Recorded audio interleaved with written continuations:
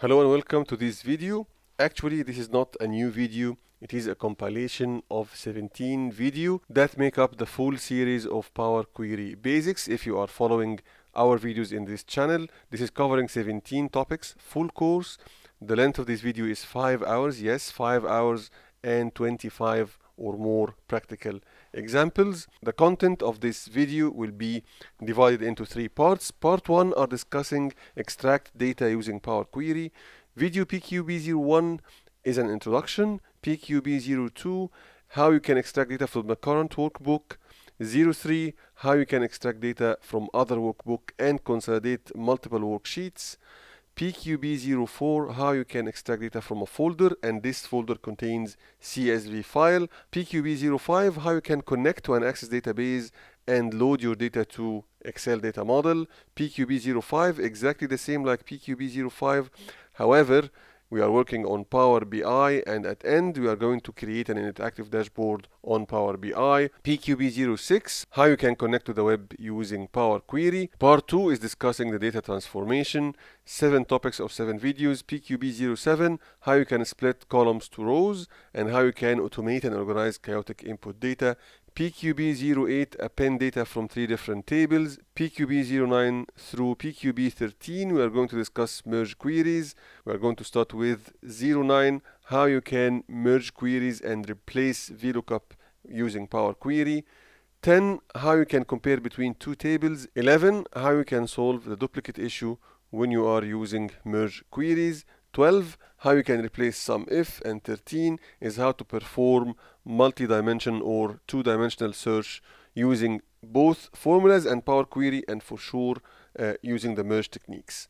Part 3 is the main theme is about how to manage queries. We're going to look uh, at excel.current workbook to extract data and group by to summarize data. This is in PQB 14. 15, how you can create a dynamic filter using Power Query. The criteria input are going to be from the Excel itself, from the Excel sheet itself. And then you can also create a customized refresh button. And finally, we're going to look at duplicate reference or append in video PQB16 and when and how you can use each and every one of them. Before leaving you with the first topic, let me tell you how you can navigate through this long video. If you go down in the description, if you hit the show more button, the full description will be opened. You will notice that I put the titles of each and every video.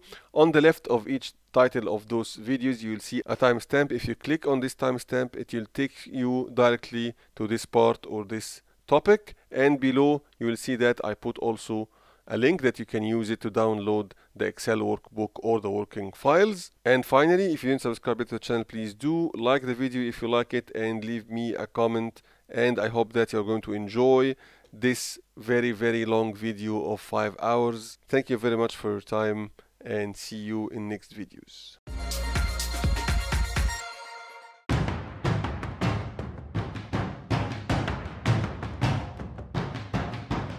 Welcome to a new video from Excel Data Analysis Series PQB Power Query Basics. This video PQB01 Introduction to Power Query. In this video, we are going to try to answer these three questions. Why Power Query? Where we can find it in Excel and how Power Query Editor works.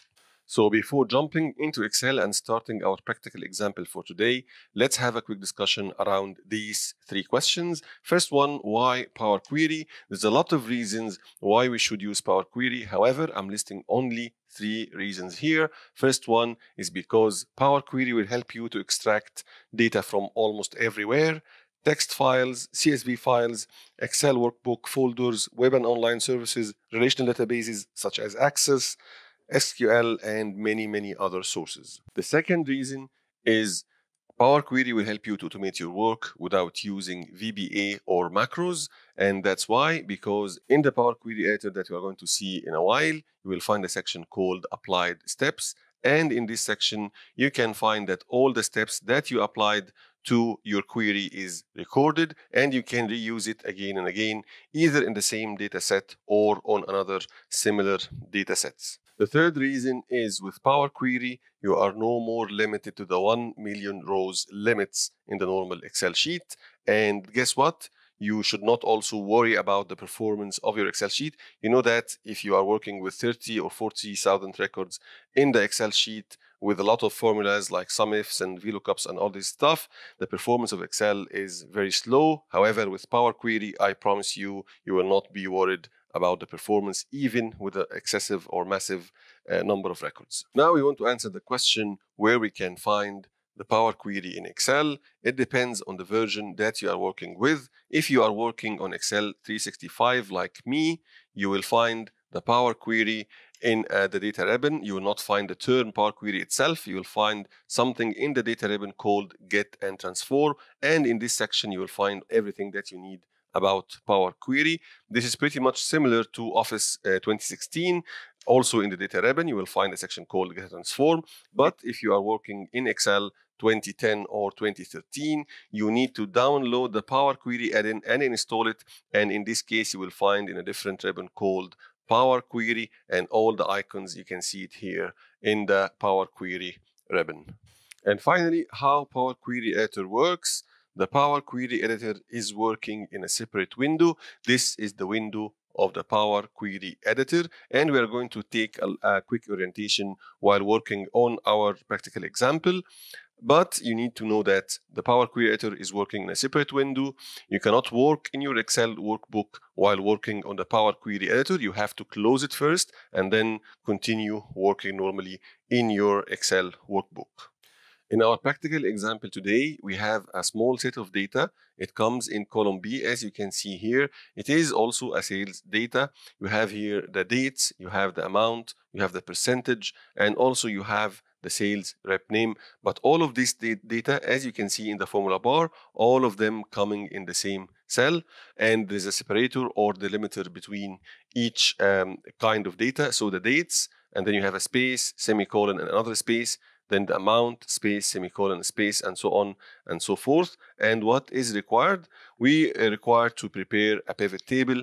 This pivot table reporting the sales by sales rep name. As you can see, we have here the data for the year 2017, but also we have here another set of data for 2018. So let's start directly with the Power Query. But before start working with Power Query, I need to transform this data into a table format so it will be easy for Power Query to understand what kind of data exactly.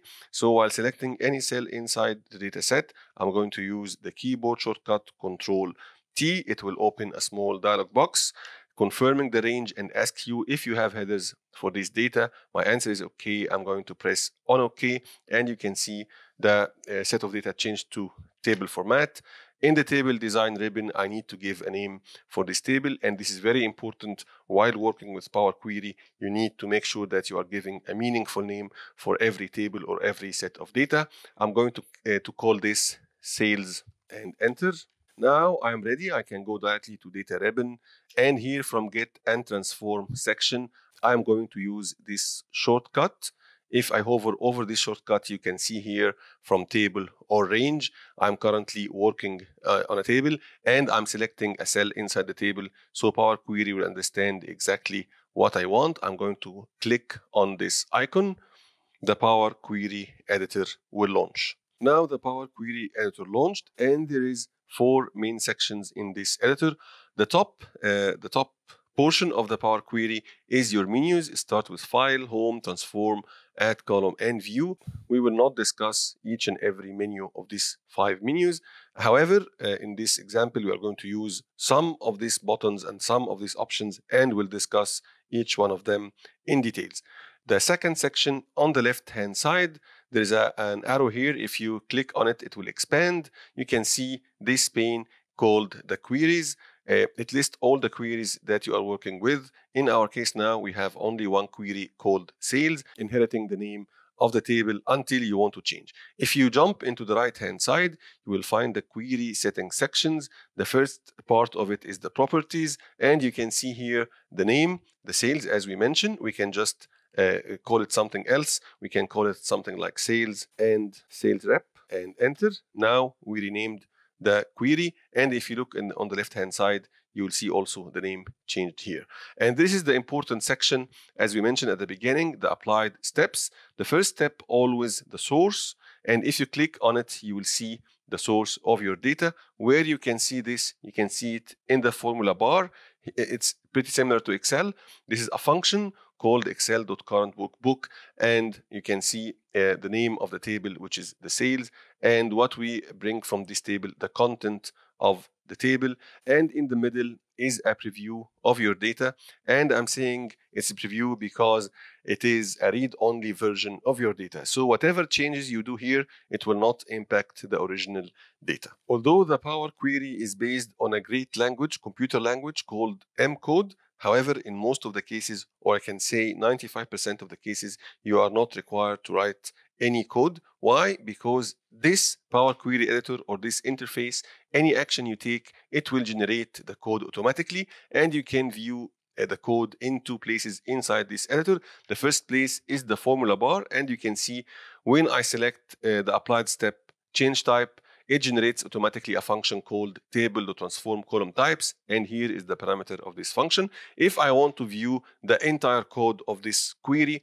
I can go to the view ribbon and from uh, the advanced editor uh, button, I can click on it and it will open the advanced query editor and you can see the code, the entire code of this query written here. Now let's start transformation required for this data and the first thing I want to do is to just get rid of this action. So I'm going to use this red X and I'm going to delete. The first thing I want to do is to just split this data into four columns. To do this in the Power Query, while selecting this column, I'm going to home ribbon and from home ribbon you go to the transform section and you will find a button called split column the small arrow here if you press on it you have all the options for splitting column. In our case we want to split by delimiter and our delimiter is three characters space and semicolon and then space. So there is a standard delimiters here but not none of them is space semicolon and space. So i'm going to use custom when i select custom it will open a small window.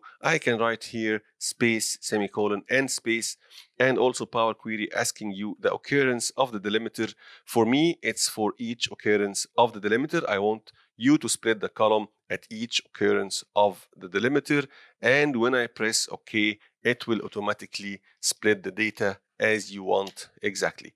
Not only this, the Excel trying to be smart and there is a change type action taken automatically. This column, the first column is date and you can see the icon changed here and you can see something like a calendar. And if you check the data type from the home ribbon, you will see data type is date. It's also detected that the second column contains whole numbers. However, in this case, I want to change. I want this data to be decimal number, not whole number. So I'm going to tell the Power Query I have decimal numbers here. I can do this action from two places. From the column itself, from this icon, I can just click and uh, I can uh, choose the decimal number or from the home ribbon from transform data type, I can just click and use decimal number button. And you can see it is very polite. It is asking you if you want to replace the current step or add a new step. For me, I'm going to replace the current step. And now you have all the transformation for data done. Now I want to rename each and every column of this um, query. So I'm going to double click and I can start to write. Now I think I did all the transformation required for my uh, query or my data. And now it's time to load. As we mentioned, the Power Query is ETL tool, extract, transform, and load. Now we finished the extraction and also we finished the transformation and now it's time to load. So to load I have from the home ribbon on the left hand side a button called close and load. If I just click on it, it will load the data into an Excel table. However, I prefer all the time use the close and load to. It will give you this small dialog box and ask you where exactly you want to load. I want to load to a table in existing worksheet and this will be F7 and I will click on OK. It will produce a new table. However, this table is transformed the way that we did in the uh, Power Query. As you can see here, my table now is clean one. I have the date, I have the amount, the percentage as decimal, and also I have the name of the sales rep. And all I want to do is now is to create a pivot table. It's very easy. While selecting any cell inside the new table generated by the query. I'm going to table design and I'm going to summarize with a pivot table. It will generate uh, a pivot table. I want this table to be in the same worksheet. I'm selecting this cell J5 and OK. It will create the pivot table automatically. And let's drop the amount in the value, right click and number format. Let's take the name of the sales rep on the rows and now you have your report done and all automated by Power Query. In order to prove this is automated, let's try to get the new data from 2018. Let me select all, Control C, going back to the same sheet, 2017. I'm going to the original table. Make sure that you are going to the original table, not the query generated table. I'm going down to the first empty row after the table, Control V, the table will be expanded automatically. And look at this, if I select this table, right click and refresh, the query will be refreshed and you can see the new data for 2018 is coming down here. And not only this, if I refresh the pivot table as well, and now let's take the date in the column, you can see here I have the two years 2017 and 2018 and each time you bring new data and refresh your table coming from the query will be updated and your report will be updated automatically. That's all for today. We try to answer the three questions. Where is Power Query, why Power Query, and how the Power Query is working. And we saw how we can automate our work, our transformation of data with Power Query without writing any code either in the VBA or in the Power Query M code itself.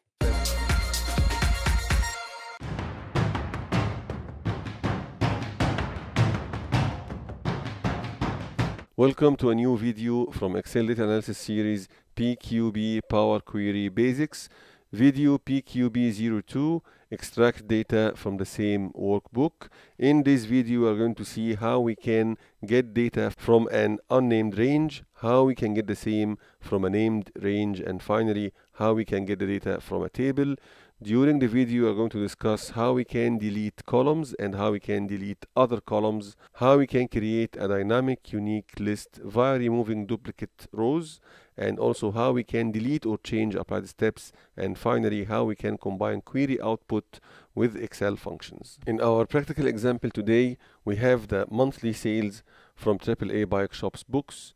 It comes in three columns, month, product, and sales value. You can notice that we have three months, January, February, and March. And you can see the month represented by the last date of the month. And also you can see I have three copies from the same data. First one, I put it in a named range called Q1. If you use the drop down in the name box, you'll find that I have a range called bikes Q1. If you select, you can see here is the range named bikes q1 and also I have the same data but in unnamed range and also a copy in a table and I give a name to this table the name is bikes and you can see I have two requirements. First one is to create a summary by product. To do this we have to create a unique list of the products. And also I need to create another summary but by month. And in this case I want to create a unique list for the month. And also I have the Q2 sales it's here it's the other three months for Q2 and I want to update the data and see if I can update this automatically without redoing any of the steps that we are going to do now. So let's start with the first set of data that we have in the named range bikes Q1 and while selecting any cell inside this data set I'm going to use the data ribbon on the left hand side I have my Power Query section. So I'm going to select this icon, the small table here. If you hover on it, you'll see from table or range. I'm going to click on this. It will launch the Power Query editor and a new query will be created. If you look at the right hand side, you will see that the query inherited the name of the range. So the name of the query is bikes Q1. I have the source here, the first step in the applied steps, and other two uh, steps uh, applied automatically by Excel. I'm going to delete them. look at this. I can just use this red cross and I can just delete. The same here the red X I can just delete and let's start to do all the work manually.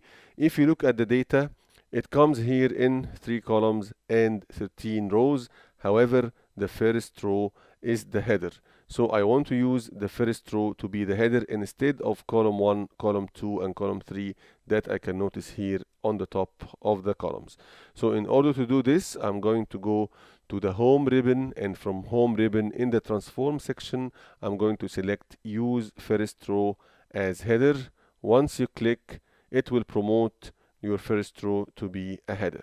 So in this case in this query I need just the name of the product so I don't need uh, either the month or the sales value. I can just select the month and from remove column I can just delete I can select the sales value right click and also remove and now I have the product name only. And you can see removed columns a step created here in the applied steps. However there is another way I can do this. I can just again delete this step uh, via the red X and the columns will come back again. For sure don't worry I can, I can play with the data as much as I want because this is a read-only version of the data. Your original data is still in the named range in the Excel. However this is a read-only version of your data. So let me select the column I want which is the product name. I can just right click and I'm going to select remove other columns this is very helpful if you have a lot of columns and you need just few columns. Now the last step is to create the unique list via removing the duplicates. While selecting the column product name I can just go to reduce rows and from remove rows just select the small arrow and remove duplicates exactly like what I have in Excel. Now the table reduced to a small list of four rows now my query is ready. I can just load it. I can go to home close and load close and load to. It will open the dialog box asking you where you want to load your data. I can select existing worksheet and cell F5 and I want it in a table. There's some other options we'll discuss later but for now let's use table and I'm going to select OK it will create a new table and you can see the queries and connection pane opened and I have one query with four rows loaded.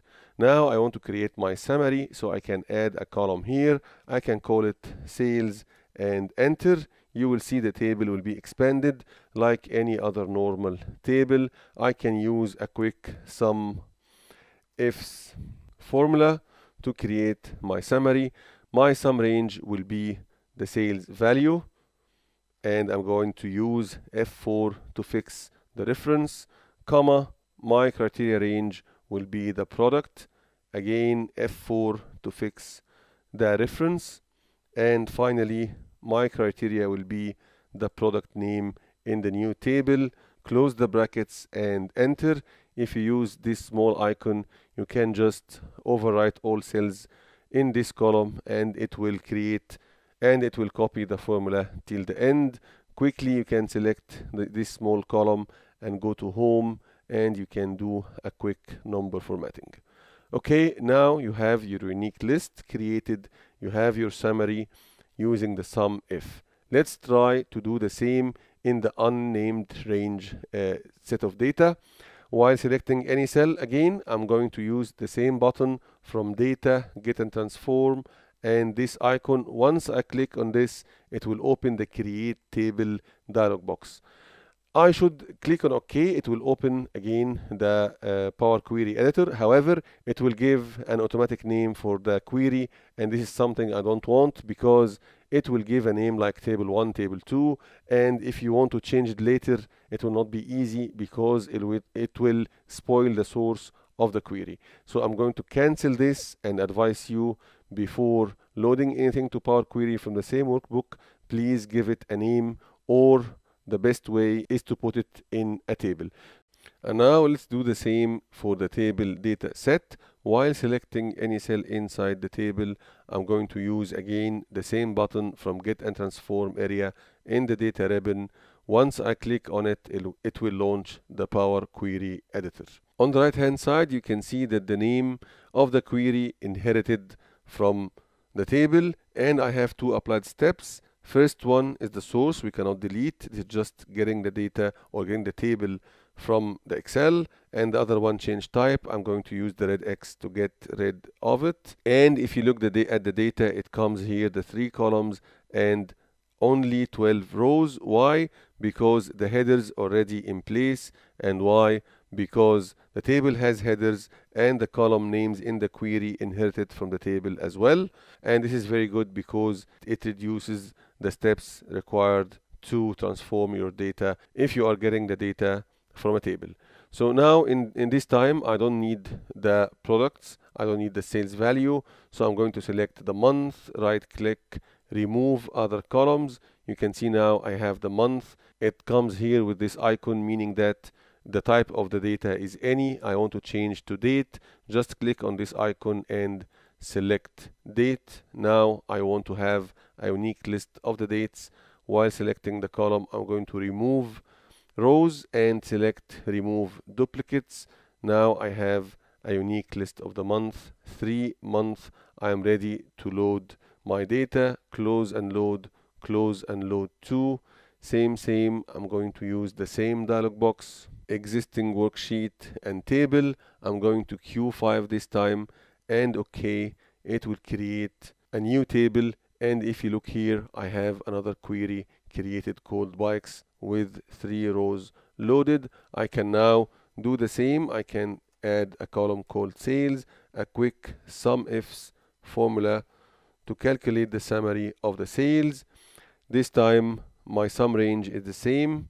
It's coming from the table you can see here I can just select the header and it will put the header name and it will use it in the formula. And I have a video about this subject how to use the headers of the columns if you are using tables in the formula. I will leave the link in the comment if you want to review. And also and also on the top of the screen you will see a link. You can use it to go directly to this video comma and then I need the criteria range. This time is the month and I want the criteria comma this time is the month in the other table close the brackets and enter.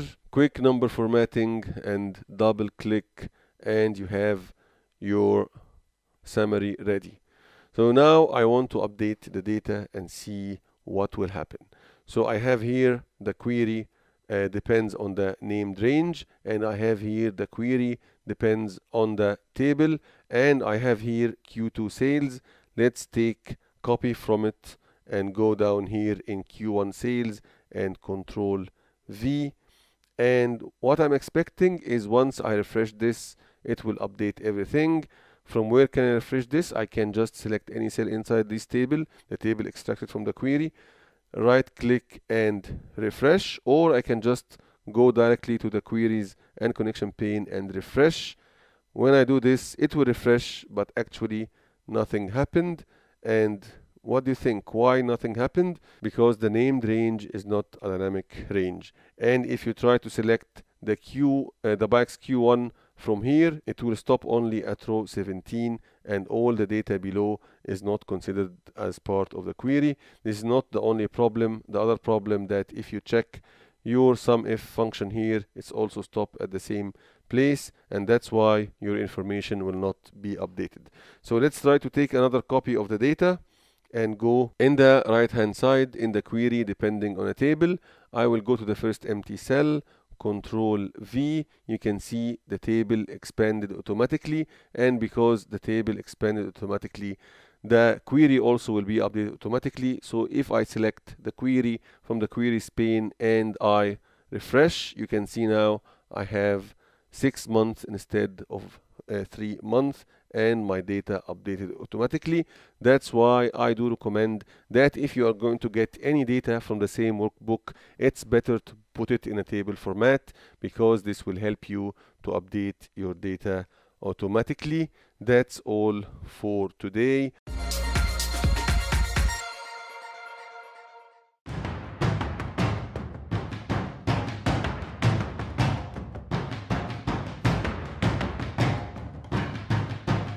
Welcome to a new video from Excel Data Analysis Series PQB Power Query Basics. This video PQB03 consolidate budgets using Power Query. In the live example today we are going to see how we can consolidate budget numbers if we are collecting the budget numbers from different departments and we get the numbers in the same workbook but in different Excel sheets. How we can consolidate all these templates in one pivot table using Power Query.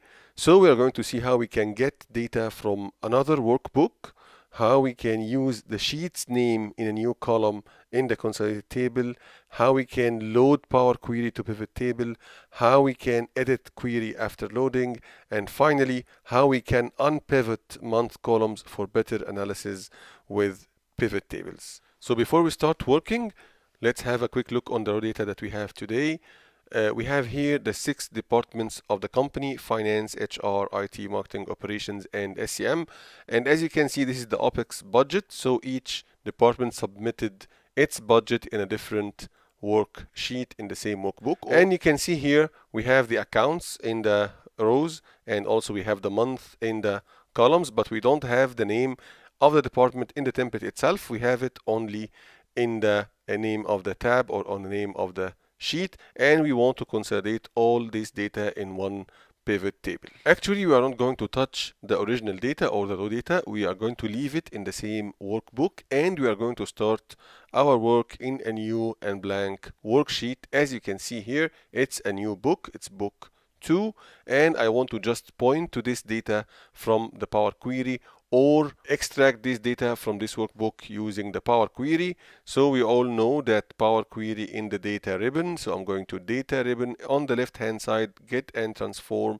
and I'm going to select get data and from file and from Excel workbook. It will open the browser and ask you exactly where the file that you want to start to work with. My data here in this folder, raw data, I'm going to select and import, it will open the Power Query Navigator. In the Power Query Navigator, you'll see on the left hand side the name of your file rawdata.xlsx and you can see number 6 here meaning that there is 6 objects inside this file and you can see here our 6 sheets for each department and if you select any one of them you'll see a preview of the data on the right hand side here.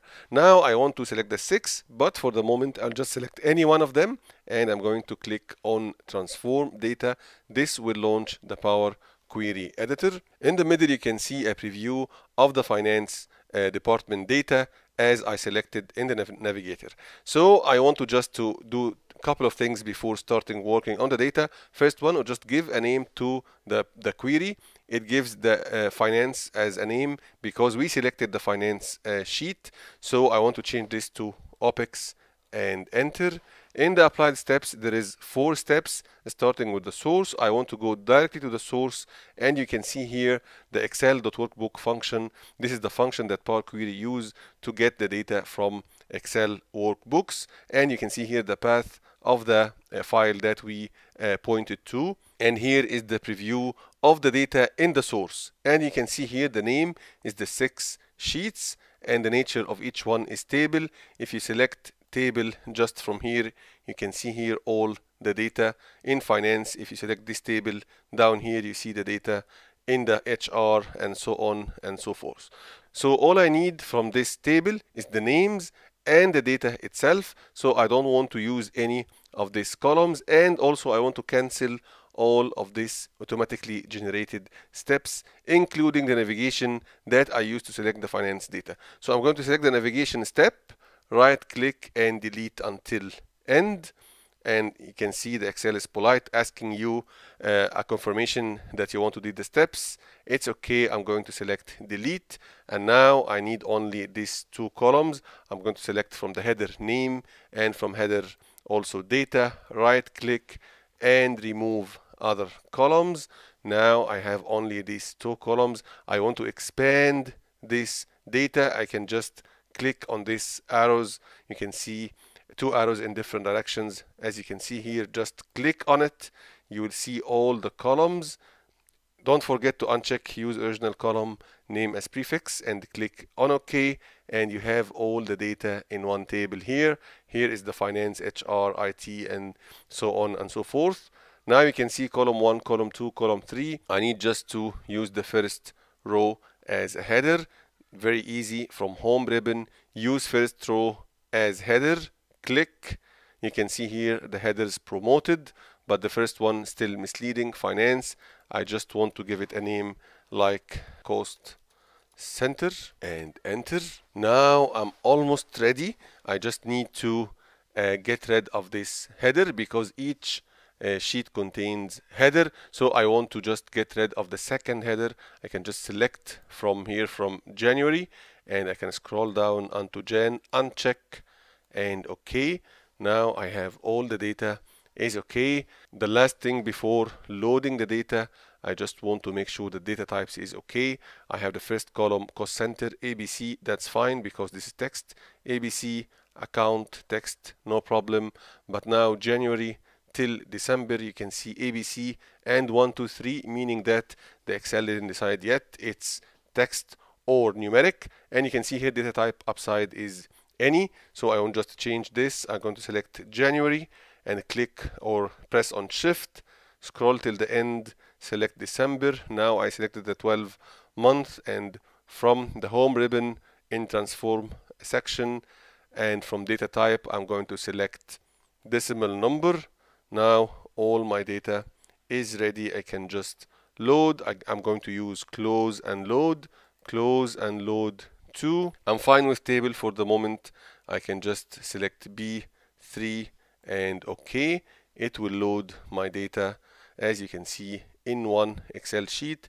36 rows. I have the 12 month. I have the cost center that was not in the original data and now I have all the data coming together. Now the data is loaded into a, a, table as you can see on the Excel sheet and we have here on the right hand side the queries and connection and I can find my query OPEX with 36 rows loaded. You can check here your six cost center you have no problem. So there is two things that I want to do. First of all, I want to load this directly to a pivot table. I can just use this uh, insert button and uh, just insert pivot table, but I want to load this directly to a pivot table and the other thing I want to put all these um, month columns in one column. So I have the month in one column uh, one field uh, for the month and also one field instead of 12 fields for the values. So in order to do this I want to go again to uh, the query. I can just double click from the queries and connection double click on OPEX query. It will relaunch again the Power Query editor. I have here in the middle preview of the data and I have here the applied steps. The last step that we did together was change type. I want to add another step. So I want to use a very good functionality called unpivot. I can find it in transform. In the uh, any column you can use unpivot columns but also you can have the um, the lovely option of unpivot other columns. So I can just select the cost center and the account and I want to unpivot the 12 uh, column of the month so I can just go to transform any column uh, unpivot columns and select unpivot other columns. You will see quickly all the month came in one column called attribute. I can just double click and call it month and enter. So I did a quick renaming. And also you have the values in one column. I can just leave it as value but I can also filter out the zeros so the data I can get rid of the unneeded data. And you can see here the three steps I added stored now the unpivot and the rename column and filtering the zeros. If you go one step before you can see the data here 12 month in the columns. One step after now the data coming in the right direction. So I can just close from here from the uh, X on the top right. And he will ask you if you want to keep or discard. For sure I want to keep. This is exactly like saving. And you will see here the table dimension changed and you can see now the OPEX um, query is 192 rows instead of the 36 rows. Last one I want to just load this directly to a pivot table instead of just creating a manual pivot table from this table. I can go again to the same query and right click and I can use load to it will open the loading options and I want to choose this time pivot table report instead of table. Once you click on OK it will ask you if you want to get rid of this table. I have no problem and it will create as you can see here a new pivot table. I can quickly create a report. Let me put the cost centers in the rows and the amount or the value in the values. You can see here the values and also I can put the accounts on top of the report in the filters. So you can see the advertising. You can see only in the marketing department. Look at the insurance. It comes in the finance. Look at the maintenance. It comes in more than one cost center. Right click and quick number formatting. And now what if I want to add another cost center? Let's say that this is the half of the cost centers. I'm just doing a dry run and more cost centers will come. This should be amended in the original data and let's see what will happen. It will be automatically updated but we need to go back to the original data and do some changes. And let's put some new data in this original workbook. I have here my six cost centers. I'm going to add a new cost center just I'm copying the same worksheet. I'm, I'm going to rename it sales and enter. Let me delete all these numbers and let's put only one number in sales. Let's say 1000 and I'm going to copy it till end for the 12 month and now I can just save and close. And let's go back to our pivot table I'm going to right click and refresh. You can see here the query is refreshing 204 instead of 192 and look at this. This is the new 12,000 coming from the sales cost centers meaning that all the transactions all the applied steps that was working in this power query editor on the right hand side is applied to the new data. And I can see my table is coming. My pivot table is just one refresh all the information coming correctly and all these applied steps applied to the new data. Very nice and very quick. Thank you very much for your time. This is all for today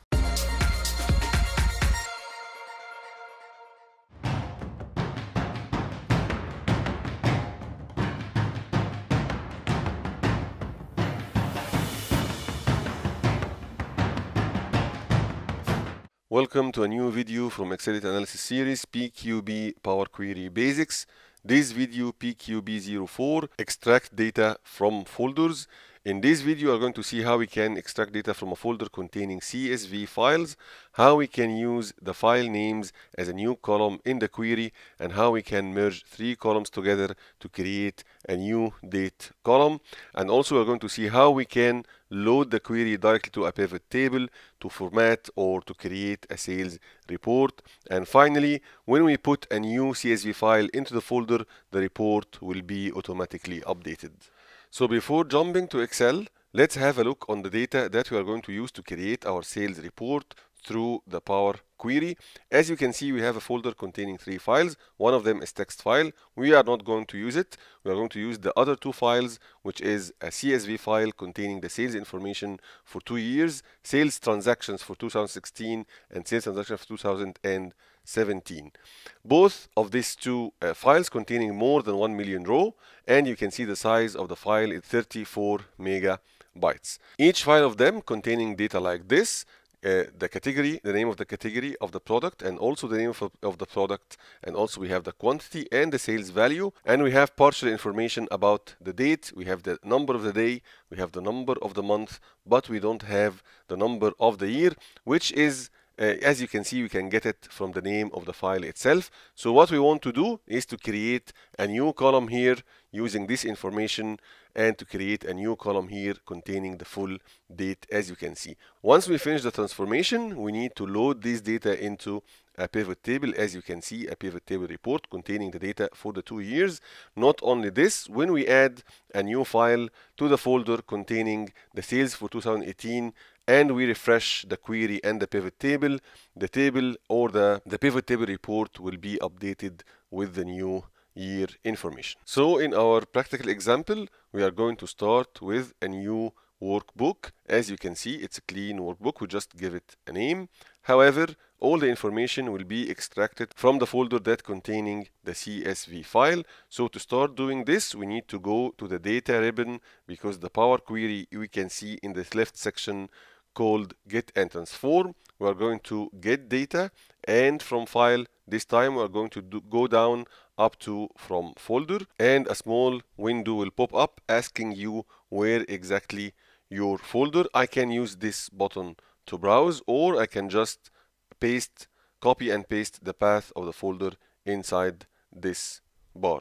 Once I click on OK the navigator window will be open the power query navigation window will be opened and as you can see here I have the content of this folder displayed in this navigator and I have a lot of options down here. I have combine load and transform data and we usually use transform data. Once I select transform data the power query editor will be launched. In the power query editor I will see only the information about each file inside this uh, folder. As you can see I have here the three files. One is text file and two is CSV uh, files. I want to work only with the CSV files and whenever I add new files to this folder I need the Power Query only work with the CSV so I'm going to select from this column the extension. I'm going to select the filter and I'm going to filter out .txt once I click on OK you can see here only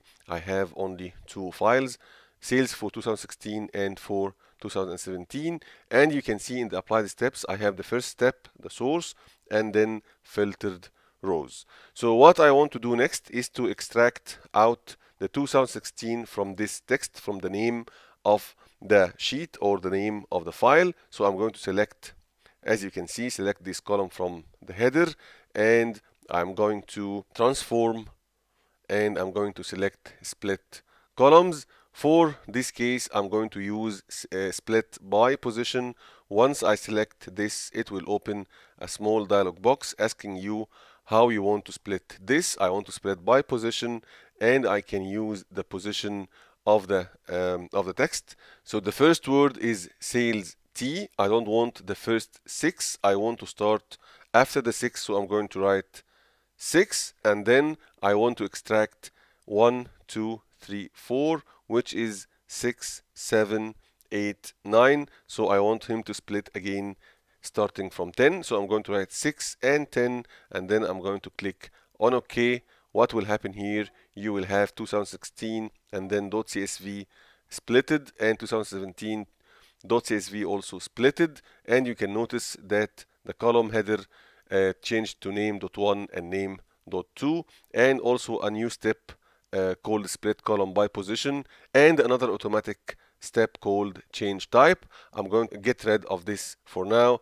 because I'm going to change the types later uh, manually.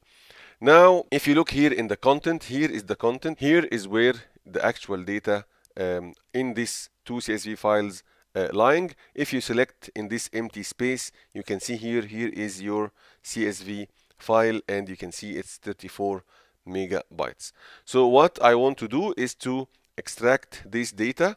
I can use this button which is combining the files together but if I did this it will ignore all this information and you know that I need the year number in order to complete the date fields. So I'm not going to do this. Instead of doing that I'm going to add new column add custom column. Once I select add custom column the custom column uh, window will open ask you exactly what you want to name this column. For me I'm going to use custom. I'm going, not going to change it for for the moment. And in the formula section I'm going to write a new uh, formula called CSV dot document. Uh, as you can see, because I'm using uh, Office 365, uh, it, it gives you a help like this. you can just click on it and it will help you but if you don't you can just write it yourself and make sure that you are writing in the right syntax meaning that you are writing in the right um, spelling and also uh, you have to consider the uppercase and lowercase because Power Query is a case sensitive uh, language. So I'm going to open a bracket. Once I open the bracket I want to put inside this formula the content column. So I can see all the available columns here. I'm going to select content and insert from here. Then I need to close the bracket. You can see here the no syntax error. So you are good to go. Once I click on OK you can see a new column added here called custom as I didn't change the default name given by Power Query. Now if you select here you can see two tables. If I select the table from the right area here you can see here here is your actual data. And now you can just expand and you will get all this data inside the Power Query edit. Before doing this I need only in this case this information the information for the year and also the information for uh, the two tables or the custom column that I added. So I'm going to select the first one and I'm going to scroll and also I'm going to press on control and I'm going to select name dot one column and then right click and I can use remove other columns. Now I have the table and I have the name of the year as you can see here. And now I can start to split my tables. I'm going to use these two arrows from uh, the header of the of the column here are uh, the all all the columns that you have inside the table but don't uh, forget to uncheck use original column name as prefix and then click on OK. All data will be expanded the two files together and all information now in one view as you can see. So the first thing I want to do now is to promote the headers because you can see column 1 column 2 and then you have the headers here. So first thing I want to do is to upgrade or use the first row as header for the column. I can easily do this from home use first rows as headers. Now it's okay. The only thing that I want to change in the header names is the column of the year because you can see here it's to 2016 but let's leave it for now because we are going to merge this with the other information for the date. So before doing anything please don't forget to get rid of the second header. Means what? We have two files each file of them containing a header. We use the first uh, header uh, the first row of the first file as a header for this combined table. But inside this data there's still another header. I want to get rid of it. If you want to do this let's go to something like category let's open the filter. You can see here all the categories. We have the four categories. You can see also load more because the list may be incomplete because as you can see here the preview on the Power Query editor is only working for uh, around a thousand rows. However I know that inside this file we have more than 2 million rows. So let me do the load more. It it will be loading from the two CSV files and give you all the option that you may need inside this filter. It will take few seconds as you can see working on the 3 million records. Now the list is complete. I want to uncheck category because category is the header of the column not data inside the column. Let me uncheck and click on OK. Now I want to start to build the date. I have the day I have the month and I have also the year but we have to be very careful when we are building a date from separate columns. We need to understand or to know first what is the order that will be accepted by Power Query. Because some countries are using the day, the day first, then the month, and then the year, and some other uh, countries start with the month like the United States. So let's check our regional settings first. I can do this from File, uh, Option and Settings, Query Options. It will open a new window. In this new window you can check exactly what settings you are using. From regional settings here you can check that you are working with the English United States meaning that you need to start with the month first. So I'm going to select month first. I'm going to use control and then day. And finally I'm going to scroll and go to select year. Now I selected the three uh, columns in uh, the right order. Now I can go to transform and do something called merge columns. It will open a new window asking you what separator you want to put between the data inside these columns. For me, I'm going to use custom and I'm going to use this dash and I need to give a name for the new column. Let me call it date. Then I'm going to click on OK. As you can see here, I have a column called date and the default is the information is ABC as you can see here ABC meaning that it is a text. This is not good for dates so I need to change this to date. Now I have all transformation done. You can check the data type before loading. You have category ABC meaning it is text. Same for product. Quantity 123 meaning it is whole number. 1.2 meaning that it is a decimal number and finally you have this calendar icon meaning that you are looking at dates. Now your information is ready. You can start to load it to uh, the excel sheet. You can go to home and from home you can use close and load close and load to. It will open the loading uh, window import data window. You are going to use the pivot table report and I'm going to use the existing worksheet. Let's put it in B2 and click on OK. Once I clicked on OK the query will start to connect to the data source and you can see the rows are loaded like here and the counter is indicating how many rows uh, loading till the moment. Now we are 130 and it is continue uh, counting till the end of the 2 million rows. As you can see here uh, 2 million records more than 2 million records actually loaded and the queries and connection pane opened and also the pivot table already created. You can see here the pivot table list. You can quickly prepare your report. I will start by dropping the date inside the rows. Once I do this the date will be grouped automatically. You can see here the dates already grouped. I have years and then quarters and then month let me take out the quarters. I will also take out the date which is the month currently and I can put the years in the columns. Then let me drop the sales value in the values. I can do a quick number formatting currency zero decimal places and okay then I can start to put the products in the rows and category above the product so I have the products uh, classified by category and now you have your sales report completed. And finally let's have the new file for 2018 and drop it in the same folder. Here is the folder for the data. Let's go up in the upper folder and let me take from here sales 2018 control X to cut back to our data file control V to paste once I go back to my uh, query, my pivot table, I can just go to pivot table analyze and refresh or I can go from data and use the refresh all button here. It will update the query. You can see here the rows start to load again and once the query finished also the pivot table will be updated and this will take something like 15 to 20 seconds.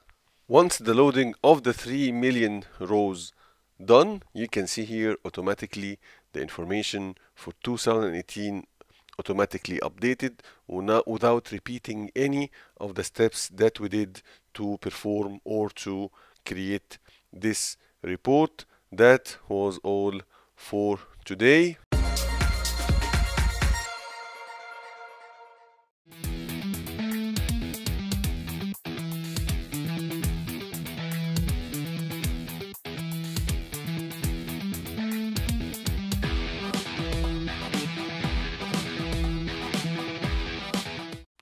Welcome to a new video from Excel Data Analysis Series PQB or Power Query Basics. This video PQB05 we are going to see how we can extract data from an Access database. We are going to see how we can extract the sales transaction from the Access database and also we are going to build on the relation inside this access database so we can retrieve more data from other tables. And also we are going to see how we can add custom column to calculate the sales revenue. Also we are going to load the query into the data model instead of the normal excel table or pivot table. And this will speed up the reporting process big time. Also we're going to check our data inside the Power Pivot Editor so we can check the data. It's around 3 million records inside the Excel but in the Power Pivot Editor and also we're going to see how we can add measures to calculate sales uh, totals, sales quantity and average price using the DAX formula or data analysis expression formulas and finally we are going to create a pivot table so we can generate our sales report. So before going to Excel and start working on our example today, let's have a look on the Access database to start understand our data. So we have the, in the Access database, we have three tables. First one is the sales table, which is the sales transaction. As you can see here, it's more than 3 million records. And the fields that we have in this table is the product ID, the region ID, the date of the transaction, the quantity, and finally the discount. As you can see here, there is no names for the product or for the region and also we don't have the price for the transaction so we cannot using this table standalone table we cannot calculate the revenue. Therefore we need to capitalize on the two dimensional table or lookup tables. First one is the product. As you can see here we have the product id which is the primary key that we are going to use or already used to have a relation with the sales T table. We have also the product name, the category name, and the price. And we are going to use this price to calculate the revenue, the sales revenue. And in the region table, you will see the region name and the region ID. Finally, you can see here in the diagram view here, you can see the product table and the region table. Uh, both of them are lookup tables and you can see in the middle we have the sales T table which is the transaction table. And you can see the one to many relation coming from the lookup table in both cases to the sales T table. So we have here the primary key on the product ID field. And here on the other side we have the foreign key product ID also but in the transaction table. Same for region. We have here the primary key the region ID and the foreign key region ID inside the sales T. So let's go directly to Excel and see how we are going to extract this data into the Power Query. So as usual, when we start work with data from outside Excel, we normally start with a blank sheet. We start with a, a, new workbook. And because we are going to work with Power Query, we have to go to the data ribbon. On the left-hand side, you'll see the get and transform data section. And from get data, we are going to select from database and from Microsoft Access database. It will open a small browser asking you where exactly you store your Access database. So I'm going to select my Access database sales DB and click on import. Once I click on import it will open the navigation window for Power Query I can see on the left hand side my three tables product region and sales transactions. I can check this box and select and select multiple tables but for me I want only to select the sales T. I'm going to select from the left pane. On the right hand side a preview for the data will be produced. As you can see here is my fields product ID region date and I have the quantity the discount and two other tables that were uh, not in my uh, original table. However, we are going to see why we have these two tables in a while. I'm going to click on transform. It will launch the Power Query Editor. On the right hand side, you can see your applied steps. I have two steps. First one is the source. You can see here the three tables and the navigation when I select the sales T table. And you have here in uh, the center, you can see the uh, preview of your data. You have your fields here, product ID, region ID, date, and then quantity, discount, and you have these two new columns. If you remember, when we look at the access database there was a relation between the product id or uh, the product id from the sales t table and the product id inside the product table. That's why we have here this column representing the relation that we uh, had in the microsoft access database. Same for region. We have uh, the relation between the region table and the sales T table based on the region ID. So uh, if you if you click here on the right hand side on the empty space in the right here, you will see the preview of the data for just only this record. So you can see here the product ID 2009 and here is the match 2009, uh, the name, product name, uh, category name, the price and you can see here sales table so this is coming from the table product and the same for the region. If you click here you can see a preview of the equivalent record in the region table. So you can see here Cairo 2000 3002 this is the region ID and here is the region. So what I can do how can I use this data? I can just click on the expand button so I can get the information that I want. So don't forget to uncheck use original column name as prefix, unselect all, I need only the product name, the category and the price. I will click on OK, it will expand. The three columns and this column will disappear. And you can see it give automatic names like how it was named in the other table. But for this the first column you can see product.1 because the original column was named product. So I want to change this. I can just do it from the formula bar here. I can just select carefully from upside here and backspace backspace and enter. Now I have this column renamed. I will do the same for the region. I'm going to expand this record. I'm going to uncheck select all columns. I'm going to select only the region and click on OK. It will come also like region dot one let me do the same here. I will select from the formula bar backspace backspace and enter. So now I have three columns coming from the table product and one column coming from region product. Now I have the price I have the discount and also I have the quantity. So I can easily calculate the value of the sales. So I'm going to add column custom column. Let me give a name for this uh, column. So I'm going to give the name inside the custom column window. Let me call it sales revenue. So I'm going to go down in the formula section. I'm going to just do a very simple uh, calculation. I'm going to select from the available columns. I'm going to select the quantity. I'm going to click on insert and then asterisk to perform a multiplication uh, and I'm going to select the price double click. It will go directly here another asterisk open bracket 1 minus and then I'm going to select discount close the bracket. Now I'm ready. No syntax error have been detected. I am ready. I'm going to click on OK.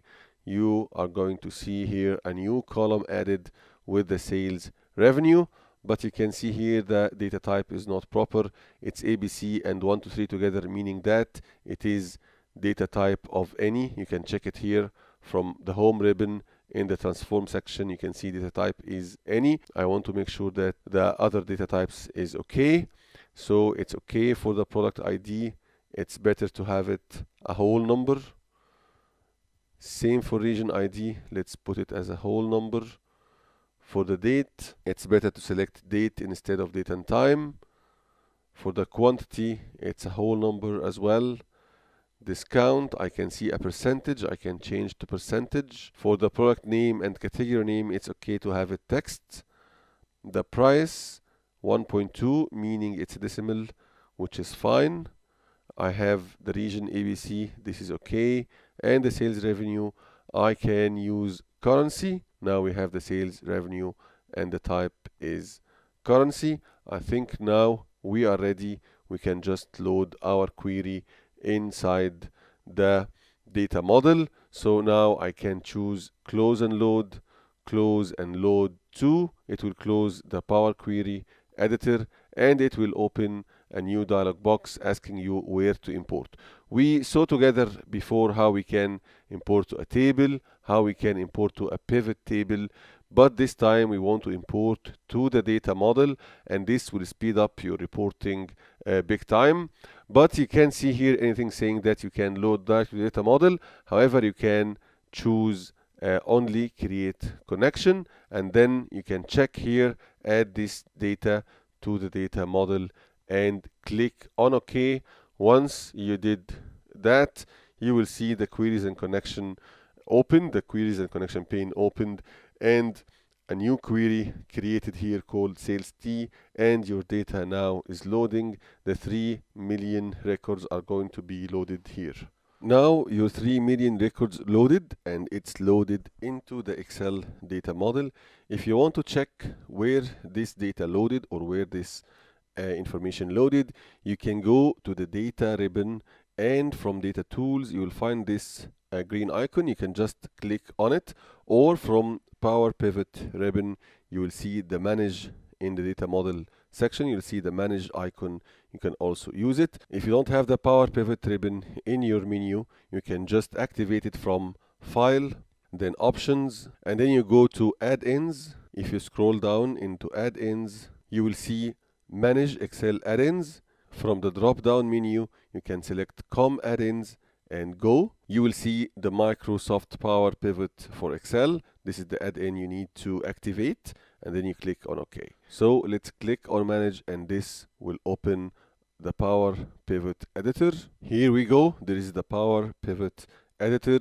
You can see here your table sales T and you can see here in the uh, records bar you can see the 3 million records counter. You can scroll down you can view only you can only view your data. You cannot uh, edit your data from here. You can just add uh, a new column or you can use the section here below the gray line which called the uh, measure grid you can add measures down here. So let's try to add a couple of measures so we can use it in the pivot table when we produce the sales report. Uh, no matter where in the grid you can add everywhere you can add anywhere in the uh, in the grid.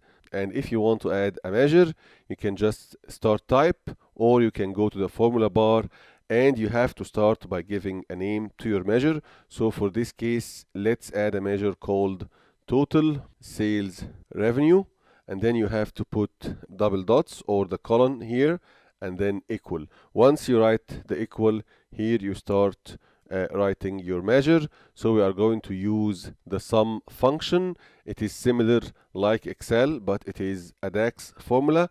Let's write sum. And you can see like excel it will give you some help. So you have uh, plenty of formulas starting with sum we'll choose the first one. I can just double click using the mouse and then it will prompt you to uh, the parameters that required by this function. And remember here we don't have cell reference. We have only tables and columns. So I need to start with my table. So my table is sales.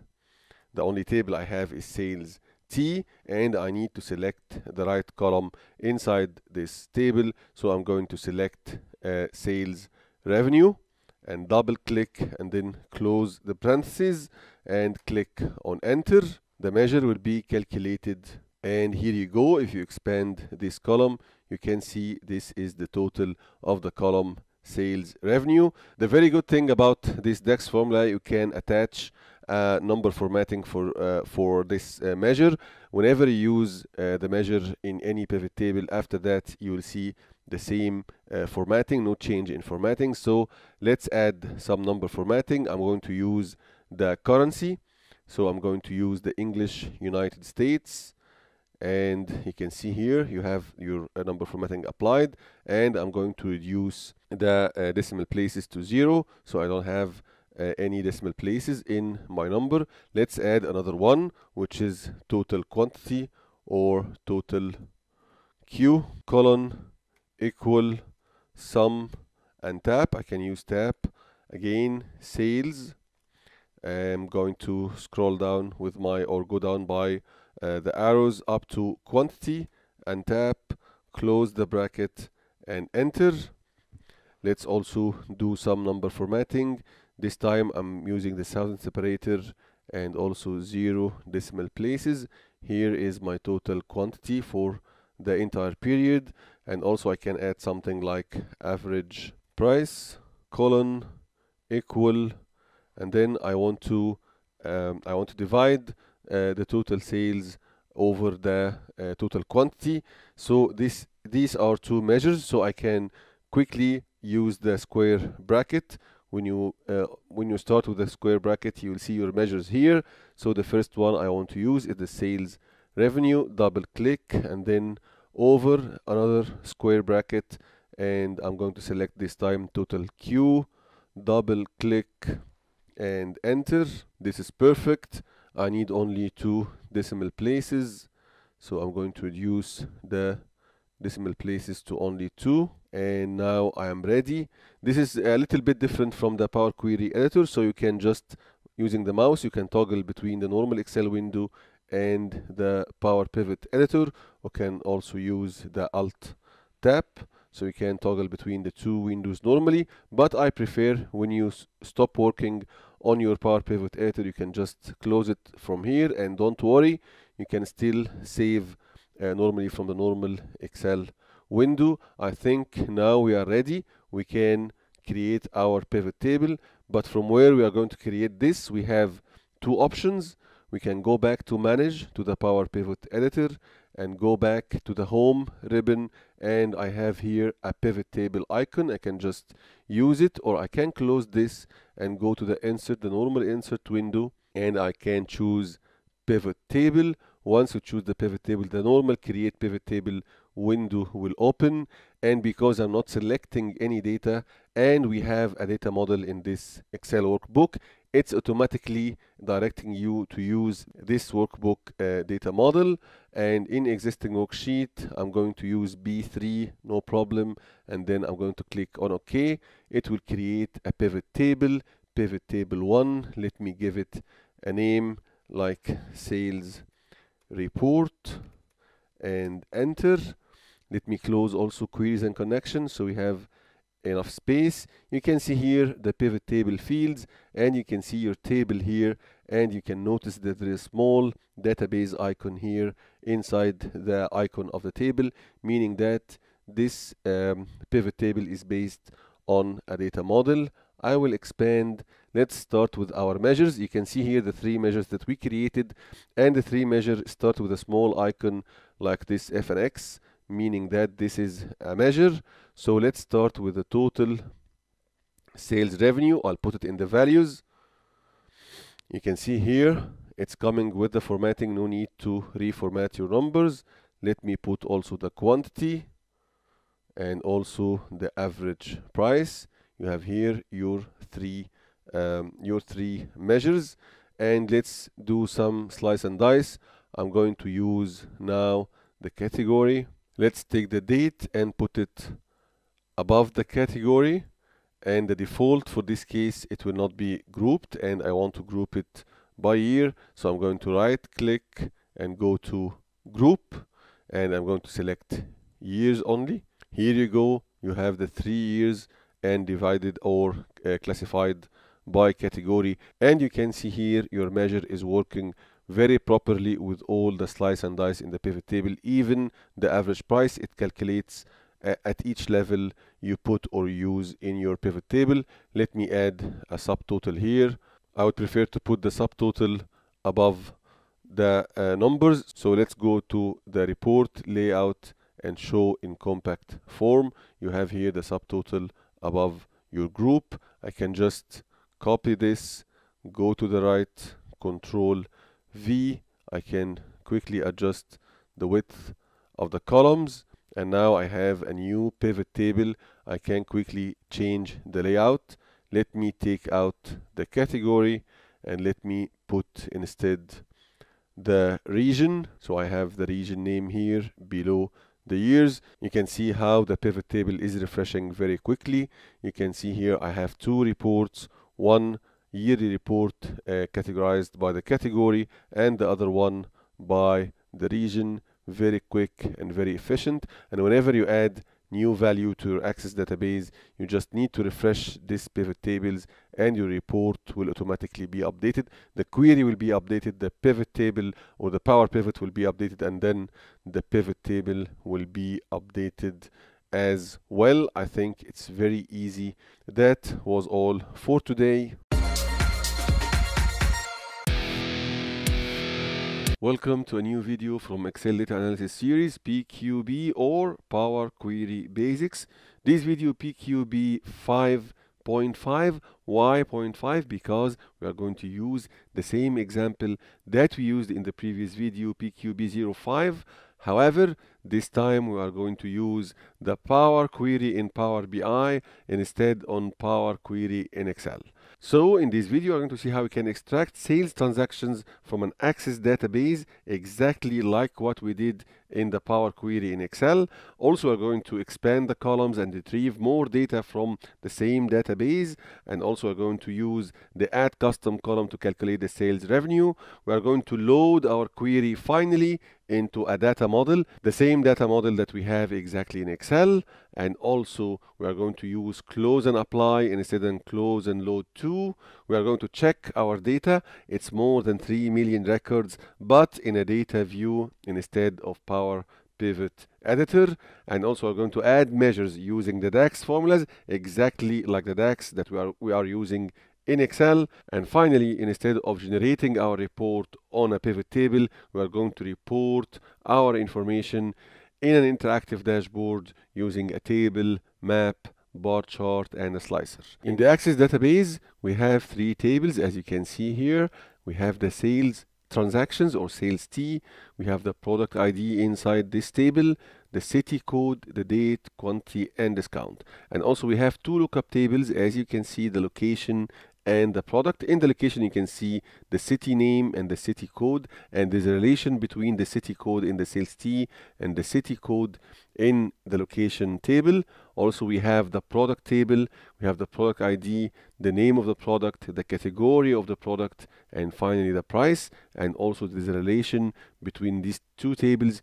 The field that used for connection or for relation is the product ID. So here we go. This is the Power BI desktop. You can download this application from Microsoft website or you can download it from Microsoft Store and this is much better because the new updates will go directly to your application. Um, whatever we are going to use, it will be uh, only on the Power BI desktop. However, if you look here in the screen, this is the screen that prompts whenever you open the Power BI desktop. You will find that it asks you to sign in. When you sign in, will you will have an access to the cloud or the BI services, and then you can share your work with your colleagues and also you can use the uh, free trial it's for 60 days if you use the free trial it will ask you to subscribe with a business email and then you can start use the feature of sharing and creating dashboards on the BI services or BI Pro. For us, we are going to use only the Power BI desktop for this video. So we can start from here. We can start to hit the get data uh, button or we can just close this and start to work on the normal uh, window. And this is the normal window. Whenever you open a, a, blank document you will see a window like this. From home ribbon you can go directly to get data and get data is the power query for the power bi so i can just hit get data and i need to find the uh, database or from database you can see here there is no access database in these options. So i need to click more and i can choose access database and then connect. It will open the browser. You can just select your access database file and then open. It will open a navigator. I have only three tables location product and sales T. I'm concerned with only sales T. Let me check this uh, box. It will start to preview your data inside this preview window. And you can see here your columns. So you are good to go so I can just start to load but usually we use uh, transform data. It is exactly like edit in the Microsoft Excel Power Query.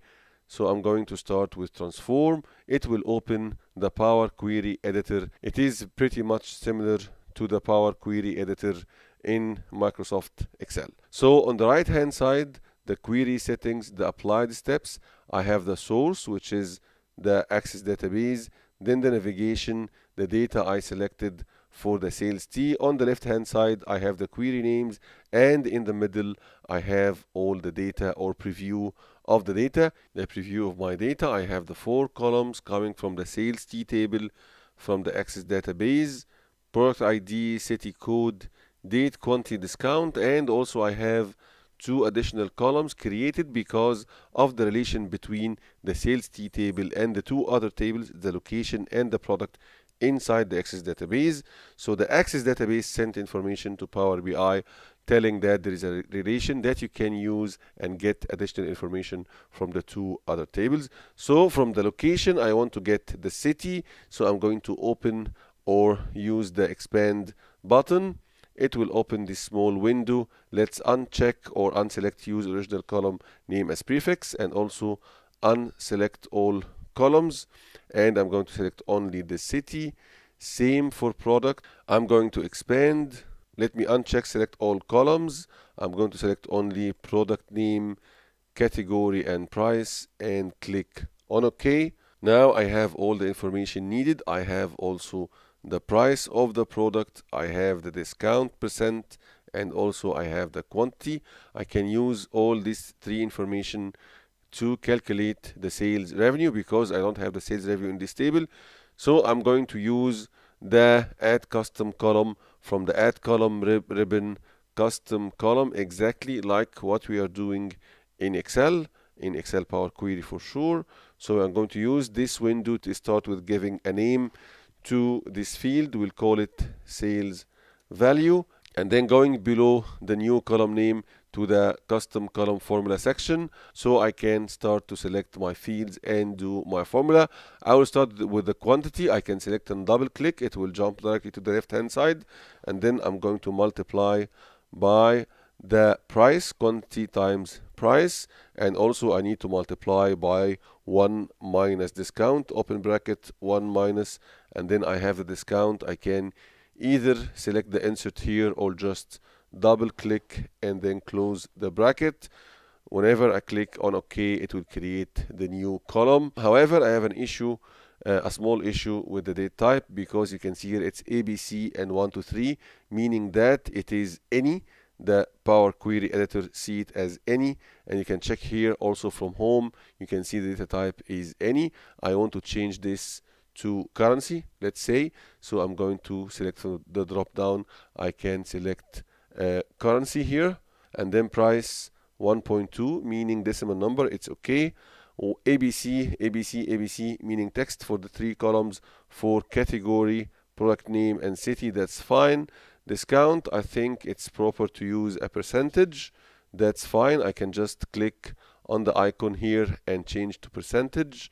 For the quantity and also the city code and product ID I need all of them to be whole number. I can just go to a home ribbon and from data type I will change decimal number to whole number. I can change the date and time here to only a date. You can see here date and time. I will change only to date. And this is fine. All my data types is fine. I am good to go. I can load this to the data model. I'm going to use close and apply it is pretty much similar to close and load to uh, that we have in uh, Microsoft Excel Power Query. It's in the home ribbon on the left hand side. Close and apply. It will load all the information to the data model inside the Power BI now the 3 million records already loaded to the data model. And you can notice here on the right hand side you can start to see the fields of the table. You can see the sales T table and the fields that we have inside this uh, query inside the table or inside our query. And you can see here is the report view. We have in Power BI three views that you can work with. On the left hand side you have the three view here the first one is the the one that with the icon like a chart or something like this. This is the report view. And here in this canvas you can start to use the fields and the visualizations and to start to build your dashboard. Start to build your report you start with page one and then you can add page two then you can add page three. It's up to you how many pages in your report. For us we'll have only one page for this report and we can start change the name of this page we can call it sales report and enter exactly like you are giving a name to a sheet or a tab in Microsoft Excel. The other view that we can use is the data view. If you click on the data view, you can see the table. We have only one table in this data model because we loaded only one table and you can preview all the data.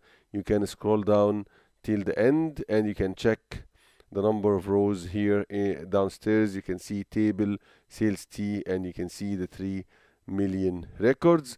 You can use this view also to add columns. If you go to modeling, you will have an option to add a new column. You can also add a new table and you can add a measure. And this is exactly what we are going to do now. What we want to do is to have a summation for the sales value and also for the quantity and then to calculate the average price. And if you want to add a new measure you just need to click from calculation here from the modeling tab. Uh, you just need to hit the new measure button. It will prompt you inside a formula bar. You can see here here is the formula bar and by default it will give a name to your measure or your calculation. It will call it a measure and you have to give a meaningful name to your measures. So we are going to change the default and we're going to write something like total sales and then equal. And we want to just have a summation for the sales value. We are going to write a simple DAX formula. It is the function sum. It's pretty much similar to the one that we have in Excel. Whenever you start to write it will give you some assistance. Double click it will open automatically a bracket and it will give you the options. We have only one table. You can see here the sales T is our table and here is all the option which is all the fields inside the sales T table. So I'm going to just double click close the bracket and hit on enter. My measure will be added. You can see in the fields here a new field added called total sales and you can notice the calculator icon here indicating that this is a calculated measure I can also add number formatting when you are selecting your uh, measure here you can go to the modeling tab and you can select from formatting whatever formatting you want it's proper to use the currency so English United States is okay and zero decimal places. I want to add a new measure, no problem. Just click on new measure. Again, it will prompt you to the formula bar and it give you again the default and writing measure. So I need to change this again. Let's call this measure total quantity. Let's try to write the same DAX function sum tab and then I'm going to select sales T again quantity and then tab close the bracket and enter and let's add some number formatting. Let's add the final one. Again I'm going to hit the new measure. It will prompt me again to the formula bar and giving me the word measure as a default. Let me change this to average price and then equal. Now I want to divide uh, two measures, already calculated measures. So if I want to call the measures, I can start with the open square bracket. It will give me a list of all the measures. I want to start with the total sales. I'm going to select with the arrows and then tab and then over again square bracket. Now the quantity tab and enter the third measure created you can see here the average price with the calculator sign or calculator icon also total quantity and finally the total sales let me show you the model view if you click on the model view you can see here your table as a small box with all the fields listed below the title of the table or the name of the table. And if I have more than one table I will see more boxes like this. I can use this window to create relations between uh, my tables exactly like what I'm doing in the Excel data model or what I'm doing in the Access databases. And also from this view I can do some organization to my table because you can see that I have a very long list of fields. When I go to the report view it will not be easy to select the correct fields. So I need my three uh, measures the average price total quantity and sales. But there is some fields that I don't need like the product ID so I want to hide the product ID from the uh, report view. So I'm going to select it right click and I can just hit hide in report view. So I can do so for some other fields like sales code like the price. I can do also the same for discount. Category I need it. I don't need the quantity or the sales value because instead of them I'm going to use my measures. I can select all of them right click and hide from report view you can see the icon changed and when I go to the report view I will see only the category city date product name and this three measures. So now let's go back to the report view. You can see a smarter list and shorter list. So be before uh, start building the report if you look at the date the hierarchy of the date you can just uh, click on this arrow you will see the date hierarchy. It's four categories or four levels. The higher level is the year then quarter month and day. So the the benefit of the hierarchy whenever we put it in a table or in a visual you can start to drill up and down through uh, this uh, multi levels so it's very useful and the date hierarchy is just created automatically by Power BI whenever it sends the, that there's a date inside your model. So I need to build another hierarchy in my data so I have the category and the product name can find the relation between them because I have uh, like four category and for each category there is specific number of product names related to each category. So I can start to build a hierarchy between these two fields. So I can start by selecting the category. I can use these three dots and it will open a small menu and I can select new hierarchy. You can see here a new hierarchy created. By default it's called category hierarchy and the first level in the hierarchy is the category field. I want to add another field so I'm going to product name. Again I'm going to use the three dots. It will open the same menu. And then I will select add to hierarchy and category hierarchy. Now you can see a new field added to the category hierarchy which is product name. And make sure that you have the right order meaning that the highest category should be on top and then the lower category and so on and so forth. So category it's correct to be at the beginning uh, of the hierarchy then the product name. Now I think everything is ready. I can start to directly build my dashboard or my sales report. I want to start with the sales uh, total. So whenever I select the sales total field and just drag it and drop it inside the canvas it will create a graph. This is the default. Whenever you drop uh, value amount a numeric um, a numeric value inside the canvas. It will uh, produce this column uh, chart like this. So for me I want this to be changed to a table. So let me go to the visualization while selecting this visual and I'm going to select the matrix. Matrix is pretty much similar to the pivot table. Let me resize it and put it down here because you can see it's very small here. I can just go to this focus mode button. Just click on it. It will put the report in the middle. So I have here the total sales for the three years. This data is for three years. You can see total sales 190 million. Let me start with the new hierarchy created.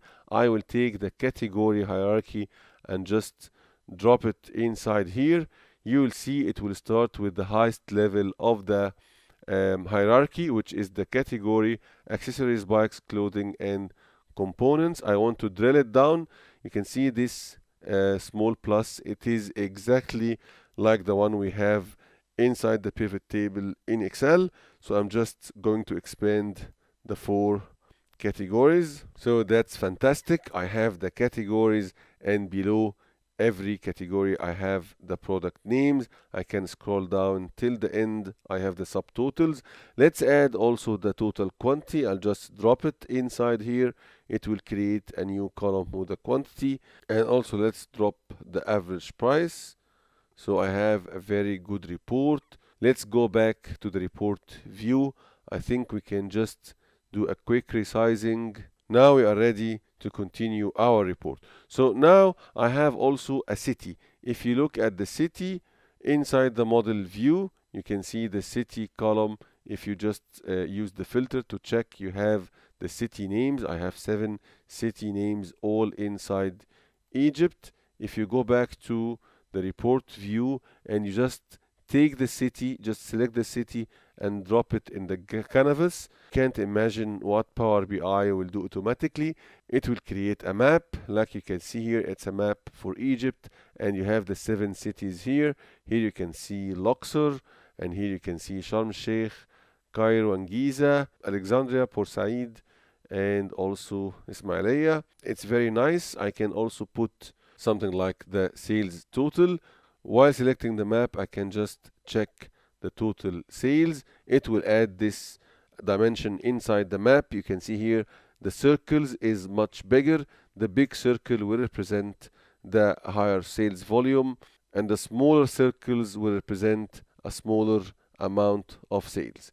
So now we have a report a matrix report and also we have a map. We can add also another graph or another visual. We can again go to the fields and reselect the total sales and drop it inside the empty space. Again it will create a new chart or a new visual. It's a column chart. I won't change this to clustered bar chart. And now let me add again the category hierarchy. I'll just take it and drop it in, inside the chart. You can see it's already created the four categories on the bar chart. If you want to expand and see all the products you can use this uh, double arrow here. It's connected double arrow. This is the expand uh, icon. You can just click on it. You will see all the products together here. I can drill up using the this drill up button. It's now back. If I want to drill on uh, only one category I can just click on the uh, turn on drill down it will have uh, this black circle around the arrow and whenever I click on any of the categories it will drill down to the category only. So I selected the bikes and you can see now it's drilled down to the cargo bikes mountain bikes touring bikes and road bikes. And you will notice also uh, as you can see here the table is filtered to bikes only. If I want to go the level up back the report will come back. I can also filter the chart and the table from the map. If I selected Alexandria you will see only uh, all the table will change to Alexandria and the same for chart. You can see the highlighted space is the bikes sold in Alexandria.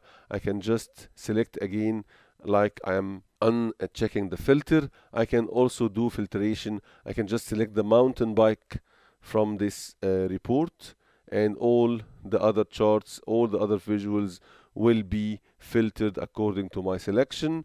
Another click it will uncheck the filter or unselect the filter. I can also add a title to this report so let's add a quick title. Uh, from the home ribbon I can go to text box. It will open a text box. This company called AAA Bikes and I'm doing a sales report this is a good title. I can just select all. I can use a bigger font actually. Let's increase it to 40 that's good. I can use italic. I can also use the center. I can just resize the text box. Let's put it on top. I can also add some background. While selecting the text box I can go to visualization here. I can choose the background and I can choose a color like the light gray like this one I have here by region or by city and also I have here by category and here I can check also the individual uh, products. I need also some controls for this report working with the time because I have inside this report three years together. So the proper visualization for this will be a slicer and here is the icon for the slicer. You can see it here. I can just select any empty place inside my report and just click on the slicer icon. It will create an empty uh, slicer like this.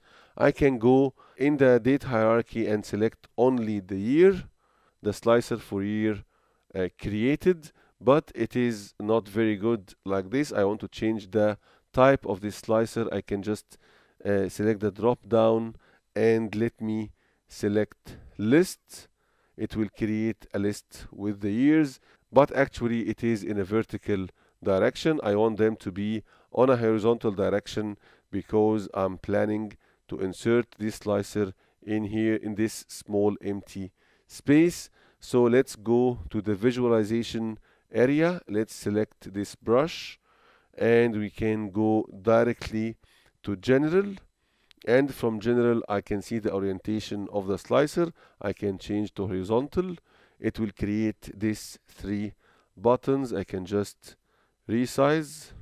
And now we have the slicer. For the three years I can select 2016 the entire report will be filtered for 2016 I can just select bikes.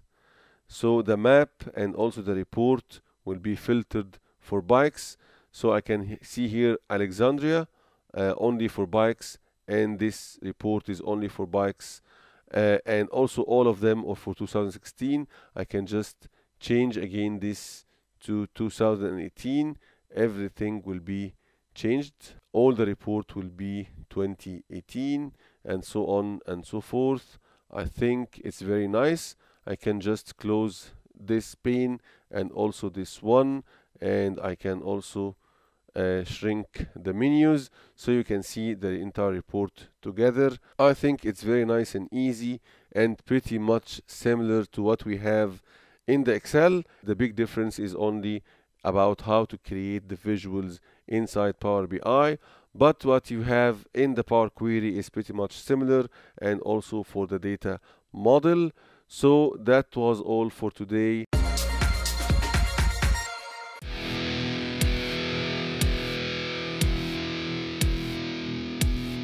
Welcome to a new video from Excel Data Analysis Series PQB or Power Query Basics. This video PQB06 we are going to see how we can connect to the web using Power Query. We are going to use Power Query to connect to finance.yahoo.com. We are going to extract the Google's historical share prices. We are going to transform the data using the Power Query editor.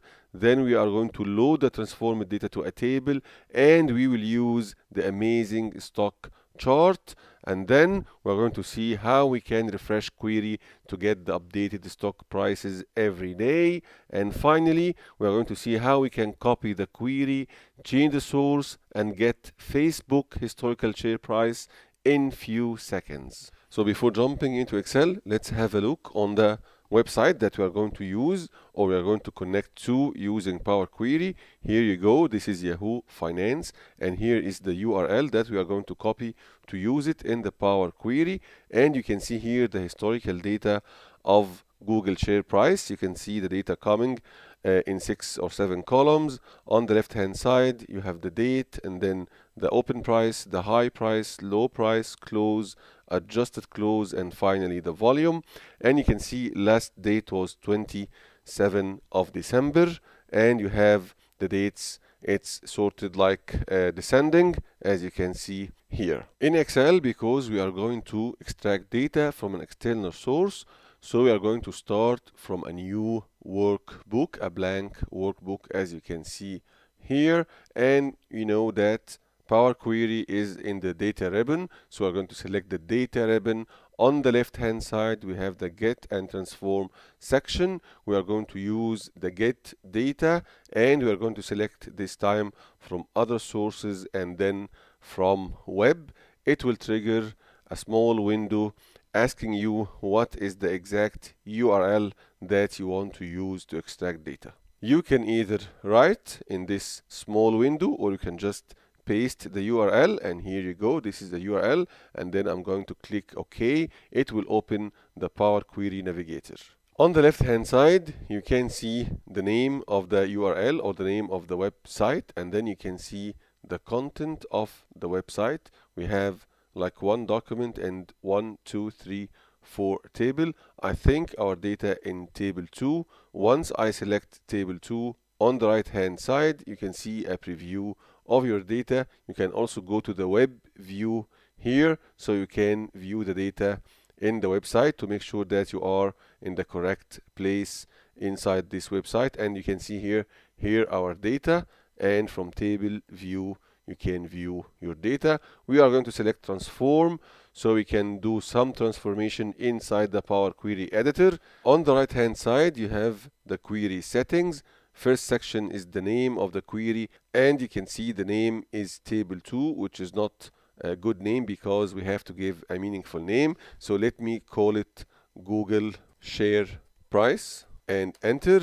And below you can see the applied steps. We have three steps. First one is the source. Here is the content of the website and the navigation step when we selected the data from table 2 containing the historical data of the share price. And finally change type. When Excel try to discover the correct data type for each column. I think the automatic data type change is not bad. I have the date in date format and the other numbers in 1.2 meaning that it is a decimal number. And finally the volume 1 to 3 meaning that it's whole number which also I think it is okay.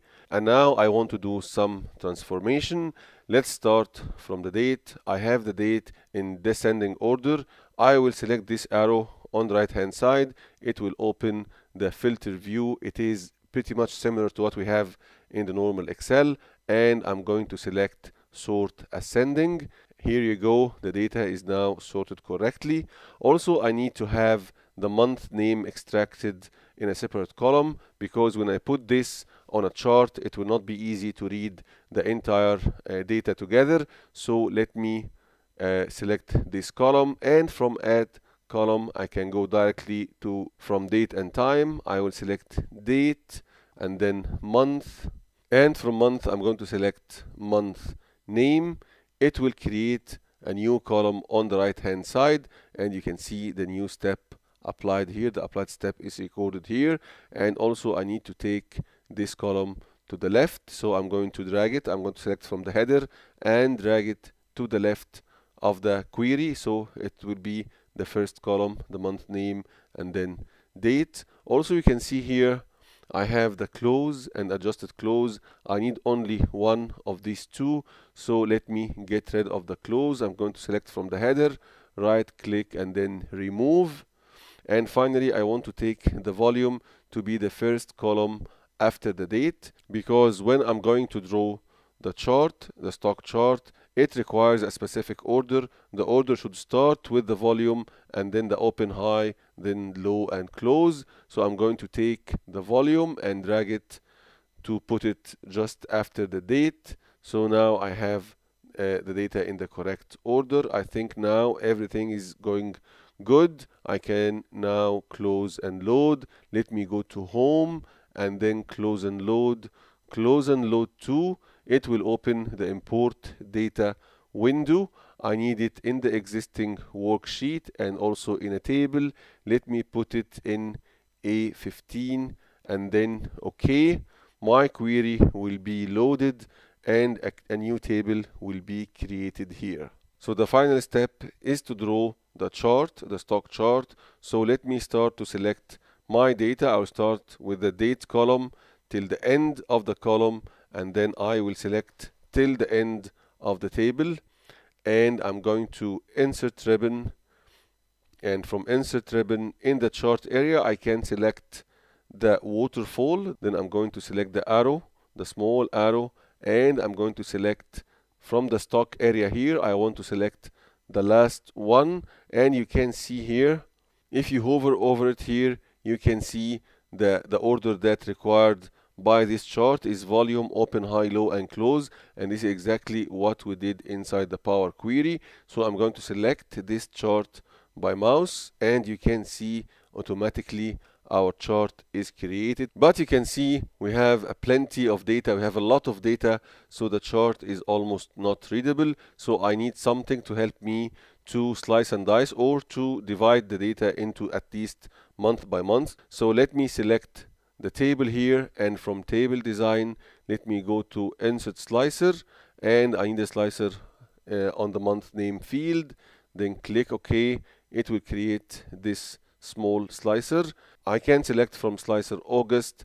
You will see that the table filtered on August and also the chart is now much easier to read because it's focusing only on August. I can change my selection we have here December and everything is going very well. I can clear the filter from here. Let me also change the title. Let me call it Google. Now I want to add another share. So because this report is only for Google let's say that we want also to look at the shares for Facebook company. But this time I don't want to repeat all the steps more and more uh, so in this case I can use a very good feature in Power Query. I can just select my query from the queries and connection pane and right click and let me select duplicate. Once I click on duplicate it will open again the Power Query editor and it will create a new copy of my query. You can see here and instead of having only one query we have two queries with the same name let me rename this to Facebook share price and you can notice here all the steps that I did in the first query. Uh, all of them copied to the second query. So I'm going to the first step which is the source. I'm going to select the source and you can see here a small wheel on the right hand side. Once I click on this wheel it will open the small window that you can use to change the source of this query. As you can see here here is the URL that we used at the beginning so I want to change this URL and just replace it with the Facebook URL and in this case all the steps will be applied. Let's try this together. Control V to paste the new URL and then I'm going to click on OK. The query will connect to the Facebook uh, web page or the Facebook URL inside the finance.yahoo web page and if I select the last step. You can see all the steps applied to my new query. Now I'm ready to close and load. I can just select close and load to. The same window will open up again import data existing worksheet. Let me just put it beside the original table and click on OK. The new query will be loaded to a table inside the same worksheet now you have the updated numbers for Facebook. And now if you want to update this data it's very easy. You can see in both tables we have data up to 27th of December. When the new data came let's say for 28th or 29th you can just use this refresh button for the first query and the same for the second query. Or you can just select the table and right click and click on refresh. You can do the same for both tables or you can go to data and select refresh all. In this case the new data will be updated automatically into these two tables. You can use the same steps to add a new chart and a slicer for the Facebook table. That was all for today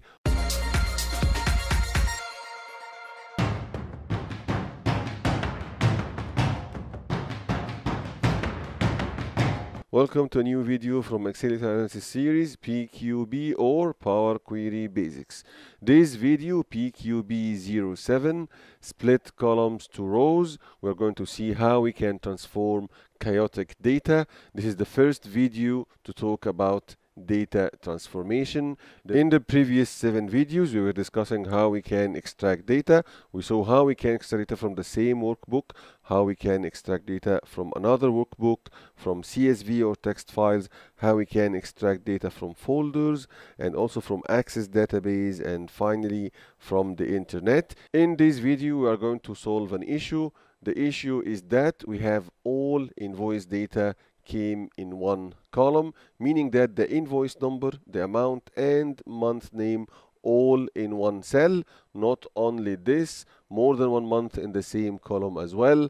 And the number of invoices per customer is variable. So some customer they will have one invoice, some customers have three, five, we don't know. It's variable and is unknown for us. And the requirement is to split column with consistent data types and finally report customer invoicing using a pivot table.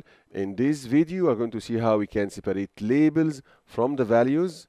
We are going to use split column by delimiter to rows. We are going to use split column by digit to non-digit and split column by non-digit to digit. And finally, how we can split column by number of characters. And at the end, we are going to see how we can add more invoices or more data and the update will be with one click. In our practical example today, you can see here we have two columns of data. The first one containing the customer ID and the other one containing invoice details. And if we have a close look inside the invoice details, you can notice that we have more than invoice in the same row. Not only this, invoice information contains the invoice number like what we have in the first row here inv dash 721 all of this is the invoice number. Then we have a semicolon and the amount 9212 then dash and the name of the month January. Then we have a space and we start another invoice. Till March we have here another space and then another invoice and space. So we have in this row four invoices not only this the number of the invoices in the same row or in the same cell is not consistent. So we have four invoices in the first record. The second row we have six invoices. We have here like five invoices. Here we have only three and all that you can see here is a very chaotic and unorganized data. The requirement is to put this in a nice format. When we have the invoice number in a separate column, the amount in a separate column, and finally the name of the month in a separate column so we can report on this data. So we need to use Power Query to ease and automate this complicated job. So while selecting any cell inside the data range, I'm going to use the shortcut Control T to convert this data into a table format. It will open this small dialog box asking you or confirming the data range and asking you if you have headers in this range. And yes I have headers. I'm going to check this and click on OK. Excel will convert this directly into a table format. From table design ribbon, I'm going to the left side and give a name to this table. Let me call it input and enter. And I want to use Power Query, Power Query in the data ribbon. And on the left hand side, I will find the get and transform section, which is the Power Query. I'm going to use this icon from table or range. I'm going to use this icon to push my data into the Power Query editor once I click on this icon, the Power Query Editor will launch.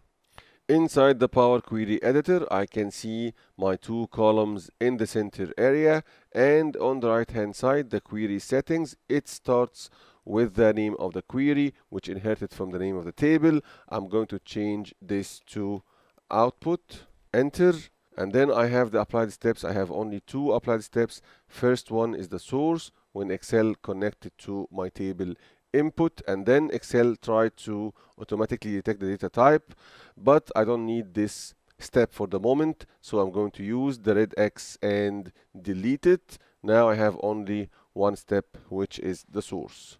Looking into the data, I have only two columns. As we saw in the Excel sheet, I have the customer ID, which is no problem all the problems that I have inside the second column which is invoice details. As you can see here I have multiple sets of data related to each invoice. Each set contains the invoice number then semicolon and then the amount and then dash and then the name of the month. At end of the name of the month you have a space and then another set of data related to the next invoice. So you can see here I have four invoices in the first row. What I want to do I want to have every invoice at least in one row. So I want to take the second one and put it below the first one and then have the third one and put it below them and so on and so forth. And of course I need also the customer number say for the first one which is ending by 500 I want this to be repeated four times. Each time I have invoice from this line I have the same customer number in front of each of these four invoices. In order to do this let me start by selecting the header of this column and from the home ribbon I'm going to transform section and then the split column button I'm going to click. It will open the menu of the split column. Let me select this time by delimiter and because I want to separate each invoice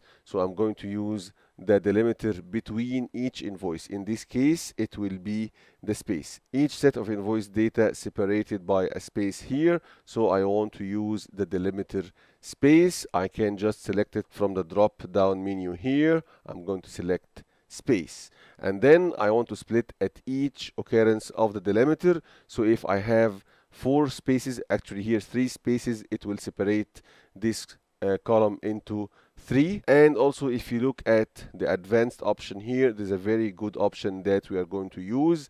Let me click on this arrow. It will open the advanced option. I can select between splitting the column into columns or rows. Yes we can split the column into rows. Let me select this one and I'm going to click on OK and let's see what will happen yes this is exactly what we want we have the first customer ID ending by 500 repeated four times one two three four and I have the four invoices separated here as you can see here and the table expanded into 48 rows instead of the 10 rows that, we started with at the beginning. Now we can look at the applied steps. We now have three steps source split column by delimiter the, the one that we just did and the last one again a change type. It's already generated by Excel. However I will get rid of this for the moment because I'm going to change all the types at the end of the transformation process so now, as you can see here, I have each invoice in a separate line, but all the information still together. I have the invoice number and then semicolon and then the amount and then dash and then the name of the month. I want to separate each one of them in a separate column. I'm going to select the invoice details column and again I'm going to use split column again by delimiter. This time my delimiter will be semicolon. So I'm going to select semicolon from the drop down. Again each occurrence of the delimiter and then click on OK. You will see here the invoice number separated. And again I have another column called invoice details.2 but because Excel tried to detect again the type of this column so uh, it's tried to be clever and converted into a date type. So I'm going to again get rid of this step. So now I have the amount and dash and then the name of the month in one column. Again let me try to separate this. I'm going to select the invoice details dot two. This time I can use digit to non digit what this means if you look at this column here I have four digits and then dash. If I use digit to non-digit at the end of the nine the fourth digit the separation will happen and then the dash and Jan together will be in a separate column. Let me do it digit to non-digits. Now I have the amount in a separate column and then dash and the name of the month together. Let's try to take out the dash. I'm going to select invoice details dot two dot two. This time I can use by number of characters.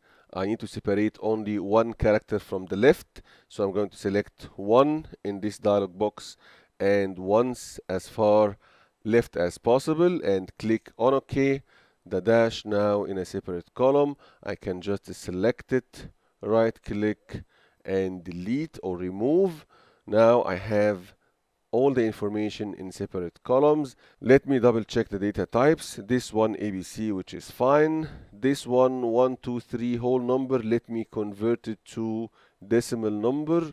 Invoice ABC, which is fine. And finally, customer ID ABC123, meaning any. So let me change it to text. And now the final step is to change the headers. So let me call the first one invoice number and enter second one will be the amount double click on the header amount and enter last one will be the name of the month so I'm going to type month and enter now you are ready you can just load. We're going to go to home close and load close and load to. The Power Query editor will be closed and the import data window will pop up. Let me select table and existing worksheet. I'm going to select this sheet output on the top left and I'll click on OK. The query and connection pane will open and the 48 rows loaded let me go to output sheet I have my data here clean and nice let's prepare a quick pivot table and I'm going to use the keyboard shortcut alt and V I need the pivot table to be in the existing worksheet. Let me put it beside the output table and click on OK. I have a pivot table created and it gives an automatic name pivot table 1 let me change it from pivot table analyze on the left hand side. I'm going to name it invoice report and enter. Let me create a quick report.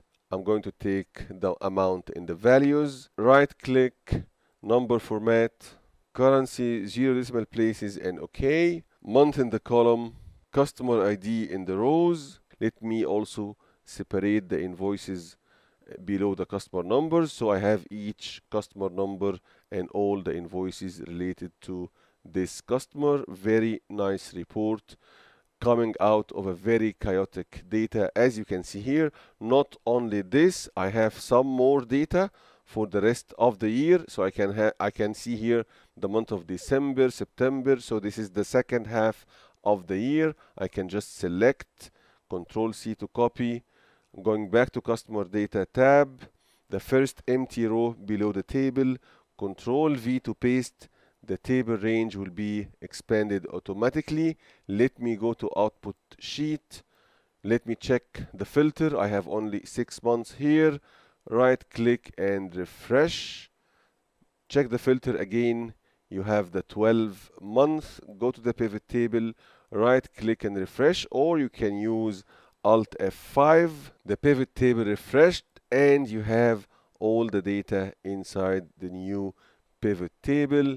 Fantastic job. Very quick and easy. All the data updated. Why? Because all the steps are saved inside the power query. When i added new data just couple of refresh and all the information updated into report. That's all for today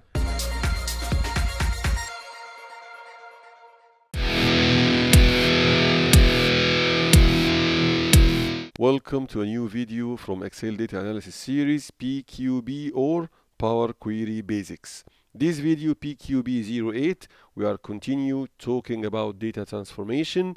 In this video we are going to see how we can append data from three different tables. In this video we have an example of three year sales in three separate tables. Number of columns in each table is not the same. One of these tables does not have the sales value what we require is to calculate the sales value in one of the tables and then unify the number of columns in all tables so we can append all data together in one single table. In the first table you can see the sales for 2017. We have six columns. First one is the product ID, then the size and then the date. Then we have the quantity, the price and finally the revenue. For 2018, we have only four columns. Why? Because we, we don't have a column to calculate the sales revenue. For 2019, we have only five columns because we don't have the column for the size. However, we have the revenue calculated inside this sheet. So what we want to do is to get all this data together using the Power Query and put all of them inside this sheet called all sales. So we're going to start with the first one. It's already in a table form and you can check from the table design tab that we have a proper name for this data set called sales 2017 so I'm going to go to data ribbon from the left hand side I'm going to use the famous icon from table or range once I click on this icon it will trigger the Power Query editor on the right hand side I can see the properties started with the name of the query and then I have two steps in the applied steps. First one is the source then Excel try to detect the data type. On the left hand side the first column I have the product ID the type is 123 meaning whole number which is fine. Then I have ABC meaning it is text for the size. Then date and time. For the date I can change this to date only. I'm going to select date and click. Power Query will ask you if you want to replace the current step or not. For me I'm going to replace. And then let me check the quantity. 1 to 3 whole number is fine. Price and revenue 1 to 2 meaning it is decimal which is okay for me as well. I think I can go to close and load close and load to. It will close the power query editor and trigger the import data window. For this query I'm not going to load anywhere because I'm going to use it later in the append. So I'm going to select only create a connection. In this case this data will be saved in the back end of the Excel workbook. However it will not be loaded anywhere. So I'm going to select only create connection and click on OK. As you can see on the right hand side, the queries and connection pane will appear and you can see one query created called sales 2017. Let's do the same for the second table 2018. I'm going to select any cell inside this table. I'm going to use the keyboard shortcut Alt A P T. It will do the same. It will open the Power Query Editor the name inherited from the name of the table which is okay and then change type automatically by Excel. Let me change it and type to date only same as the previous one. Replace. Now I think I'm ready. I can close close and load to. It will open the import data dialog box. Only create a connection and okay. On the right hand side you can see you have now two queries. The same for the third table 2019 Alt A P T, it will trigger, as you can see, the Power Query Editor. On the right hand side, the name is OK 2019. Let's again change the date and time to date only.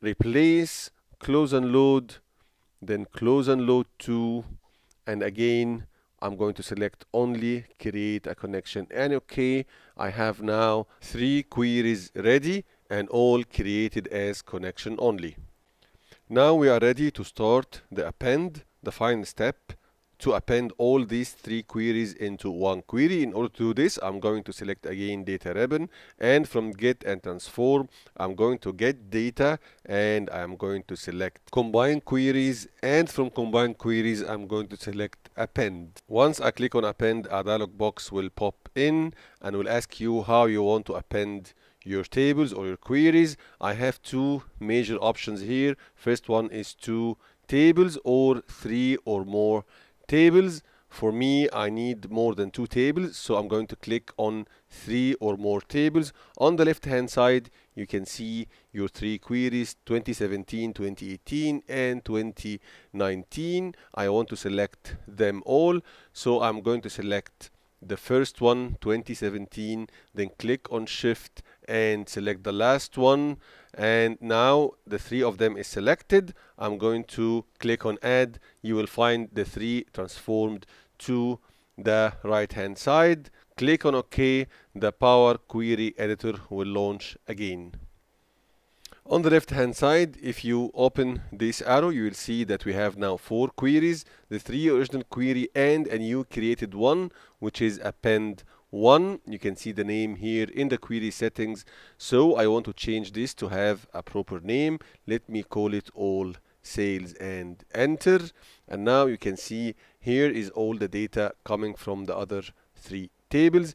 And you can see the data here coming in six columns.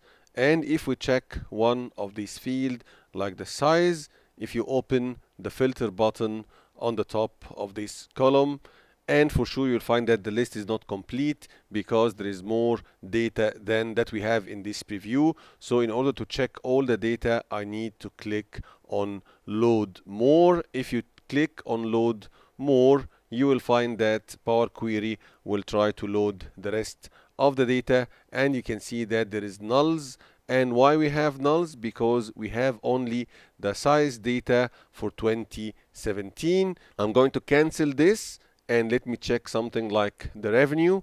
If we click on the revenue also I need to first load more. Once I did the load more I'll find also some nulls as you can see here in these columns. And why? Because 2018 we don't have a column to calculate the revenue.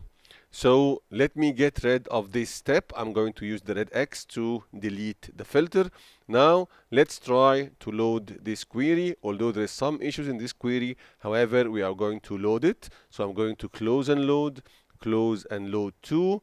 The dialog box will open again import data. This time I'm going to select a table, existing worksheet. Let me select all sales sheet on the top left and then I'm going to click on OK. The query will be loaded to a table in all sales sheet. Let me check. As you can see, a new table created and the 208 rows now loaded we agreed that there is some issues in this data so the revenue column is not complete and also the size column is serving only 2017 so I want to start to edit my data and do some changes so I'm going to double click on the first query 2017 from the queries and connection pane. Once I do this, the Power Query editor will relaunch again. In 2017, I need just to get rid of the size column. So I'm going to select it from the header and right click and I'm going to select remove column. Now I have this column removed. I need to do some changes in 2018. I can use this arrow on the right hand side to expand and then select 2018. The problem in 2018 that I don't have a column with the revenue, but I have the price and the quantity. I can do a calculation based on these two columns. Usually I use add column and then add custom column. And from custom column I can add a formula to multiply these two columns together. However in this case I'm going to use a different option. I am going to select the two columns from the header. I'm going to select the first one and then click on control and select the header of the second one. Now I have both of the column selected. I'm going to add columns from standard I'm going to select multiply. Once I click on this a new column will be created called multiplication and I have the results of the multiplication of the two columns calculated in this field. No further changes required in 2018 let's check 2019 I think 2019 also is okay no changes required as well. I think now I'm ready. I can just close the Power Query editor from the top. Once I click on this X it will ask you if you want to keep your changes or you want to discard. For sure I want to keep my changes. I'm going to click on keep. All the changes will be saved. I have all the three queries appended. I want to reflect the changes in the appended query so I'm going to select this icon and click on refresh. The query will be reloaded. As you can see here the 208,000 rows will be reloaded and also the table will be updated to reflect the changes happened in the three other queries. Now the table is updated. As you can see here I don't have the size column. However, I have the revenue on two columns and this is not what I want exactly. I think the issue because I don't have the identical name of the headers, meaning that if you want to append, you need to make sure of two things at least that the headers of the three tables, the three appended tables are identical, meaning that if you have the header called revenue and the R is capital, it need to be revenue with R capital. Why? Because also Power Query Editor is case sensitive and also you need to make sure that the data type is identical. Otherwise, errors will happen or as, as what happened with us here, a new column will be created and the data will not be appended correctly. So now we want to edit the 2018 again. I'm going to select and double click. The Power Query Editor will launch again. The only change I want to make here is just to rename this column. Double click on the header, type revenue and enter. Now I'm ready to close and load and you can see here all the changes saved. I just need to refresh the append query. I can just do it from the table this time. Right click and click on refresh.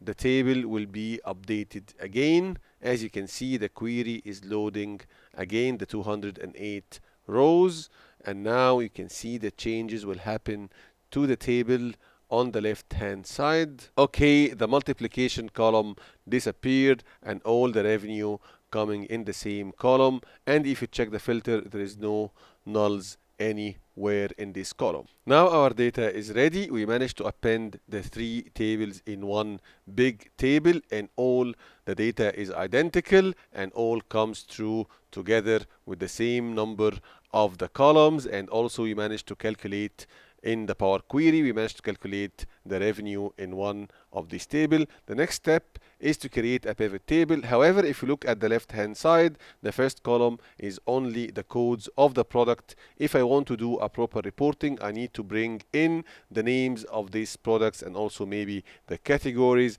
But this data will not be in the same worksheet. It will be coming from other table and this dimensional or lookup table need to be merged with this query in order to get the correct names in the report. And this will be the subject of next video PQB09 we are going to talk about transform data again. This time we are going to see how we can merge queries how we can get data from one table to the other table and how we can replace the VLOOKUP, the normal VLOOKUP in the Excel inside the Power Query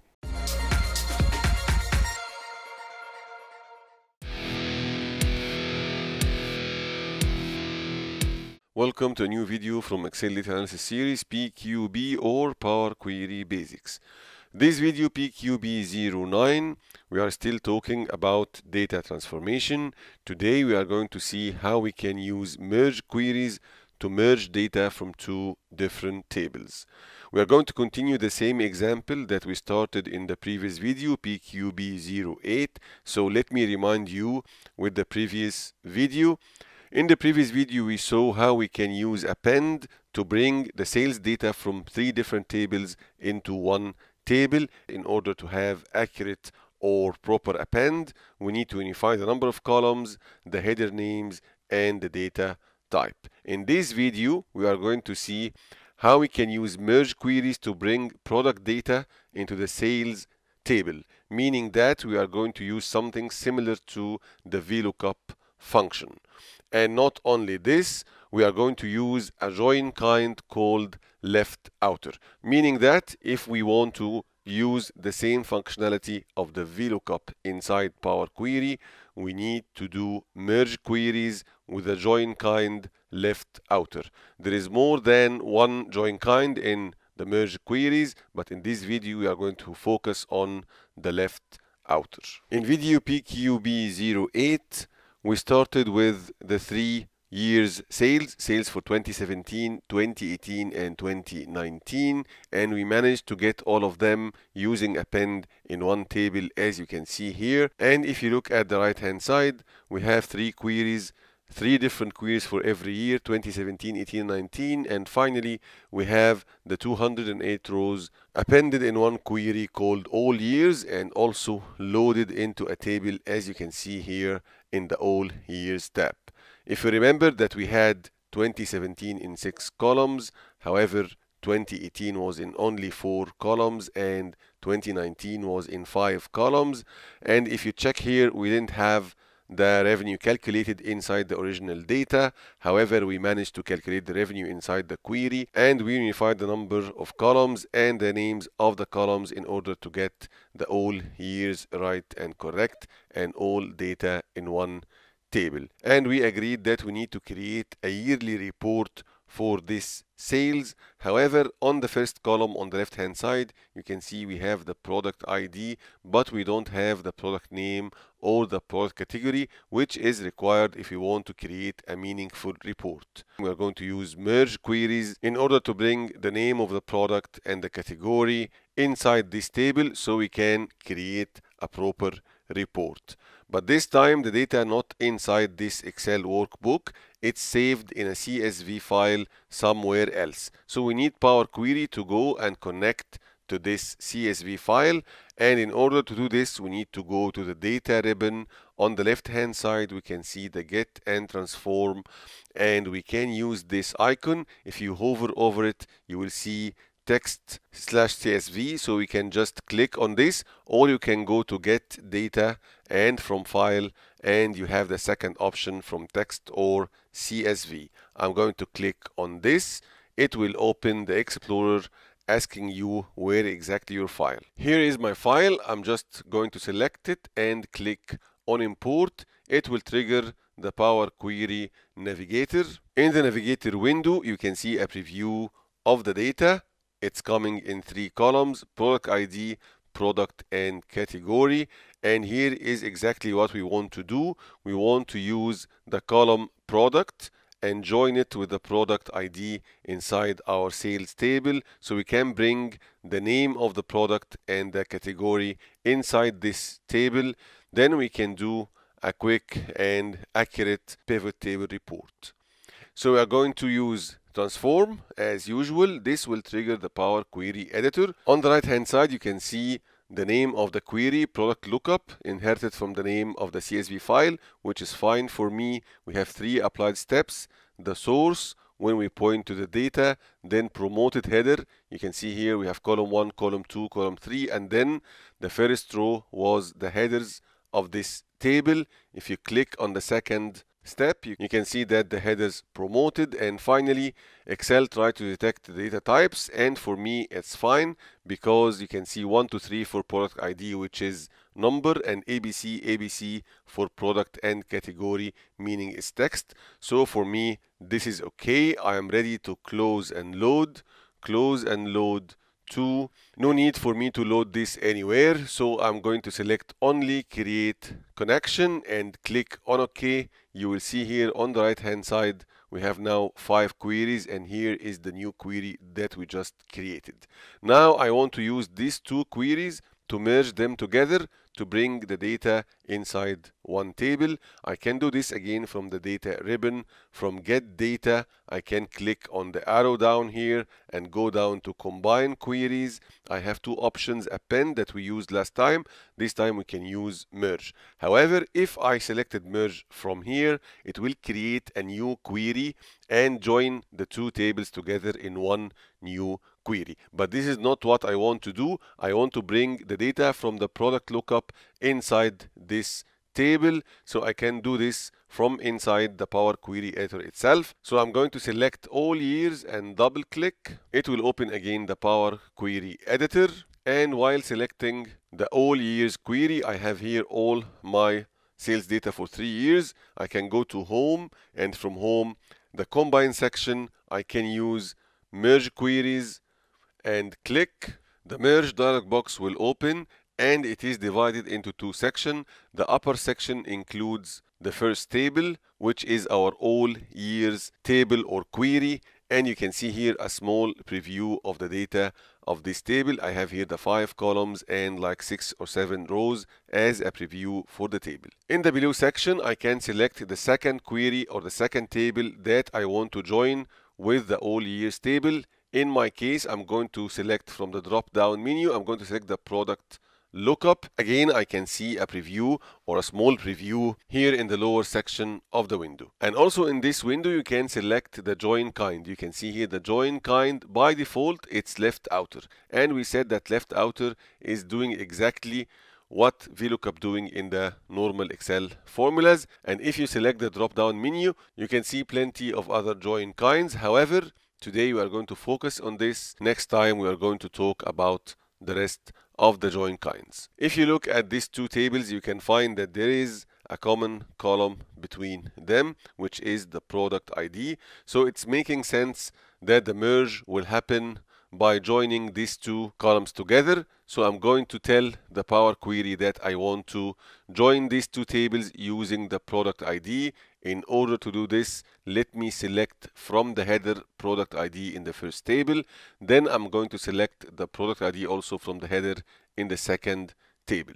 If you look down, you will find something loading and something saying that estimating matches based on data previews. Now the estimation is done and you can see that 208 rows was matched with 208 rows, meaning that every product ID that we have in all years table, we found a match for it in the product lookup table, which is perfect. We are ready and we can click on OK.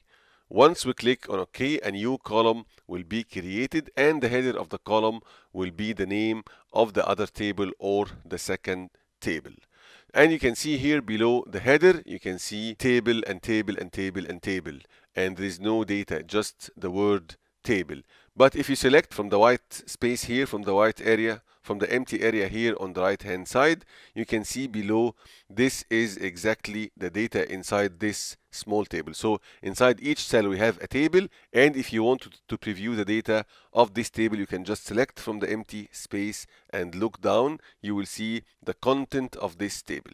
Meaning that for 2023 after doing the match or the join you can see that a small table created containing one record the 2023 in the other table corresponding to the wheels as a product name and category as a component name.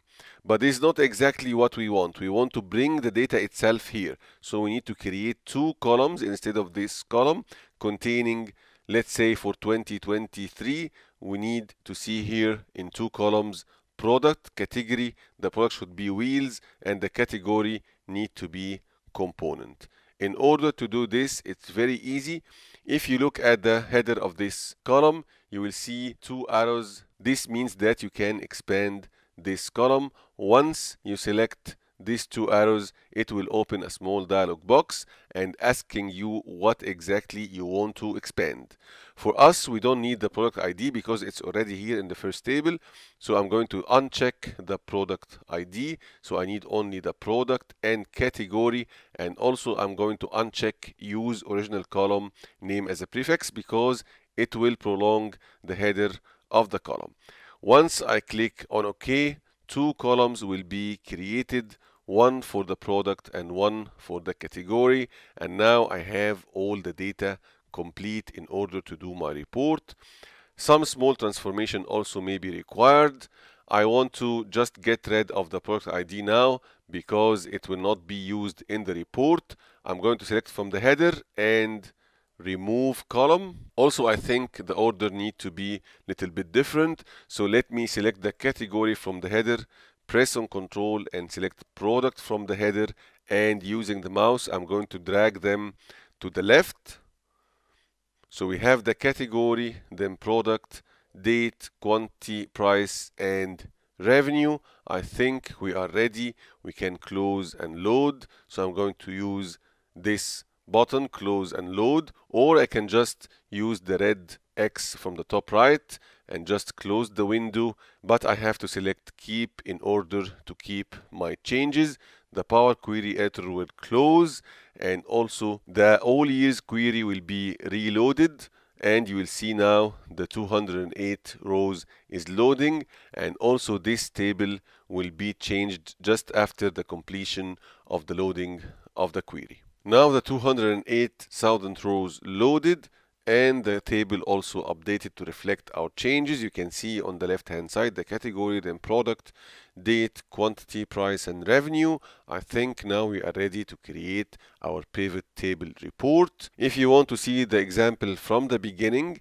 to see also the append, you will see now a link on top of this video. You can just use it to go directly to video PQB 0 8. So let's start to quickly build pivot table report. While selecting any cell inside this table, I'm going to use the keyboard shortcut Alt N V. It will open the create pivot table window. It's depend on table all years. I am going to select existing worksheet. Let me put it in H4 and click on OK. A pivot table will be created. Let's quickly build our report. I'm going to select date and drop it in the rows. It will group automatically the dates and this is exactly what I want. So let me take out the date itself. I'm going to take out also quarters and I'm going to put the years in the columns. Then let's take the revenue and drop it in the value. Let me quickly do some number formatting. Right click number format, currency and zero decimal places and OK. Let me bring the category in the rows and then product under category. And here you go. You have a very nice yearly sales report by category and product name. The data was in different sources three of them was in three separate tables as you can see here. We managed to use append to bring all together and also the product information was in a different CSV file. We just connect on this and we bring all data together and created a very nice and quick report. In next video PQB10 we are going to continue with merge. However this time we are going to see the full outer the inner left and right anti. Why? Because we are going to compare between two tables. We have two different list of names in two different tables and we are going to run a complete report of comparison between the two tables.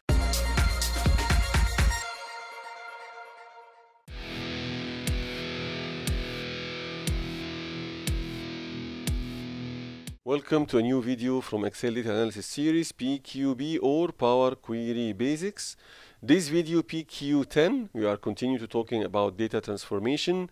We are going to continue talking about merge queries but in this video we are going to see how we can use merge queries to compare between two tables. We are going to use different join types. The first join type is full outer, which will help us to bring all the values from two tables. And then we'll look at the inner join type, which will help us to bring the intersection between two tables. And also we're going to look at left anti, when we want to get the values in the first table only.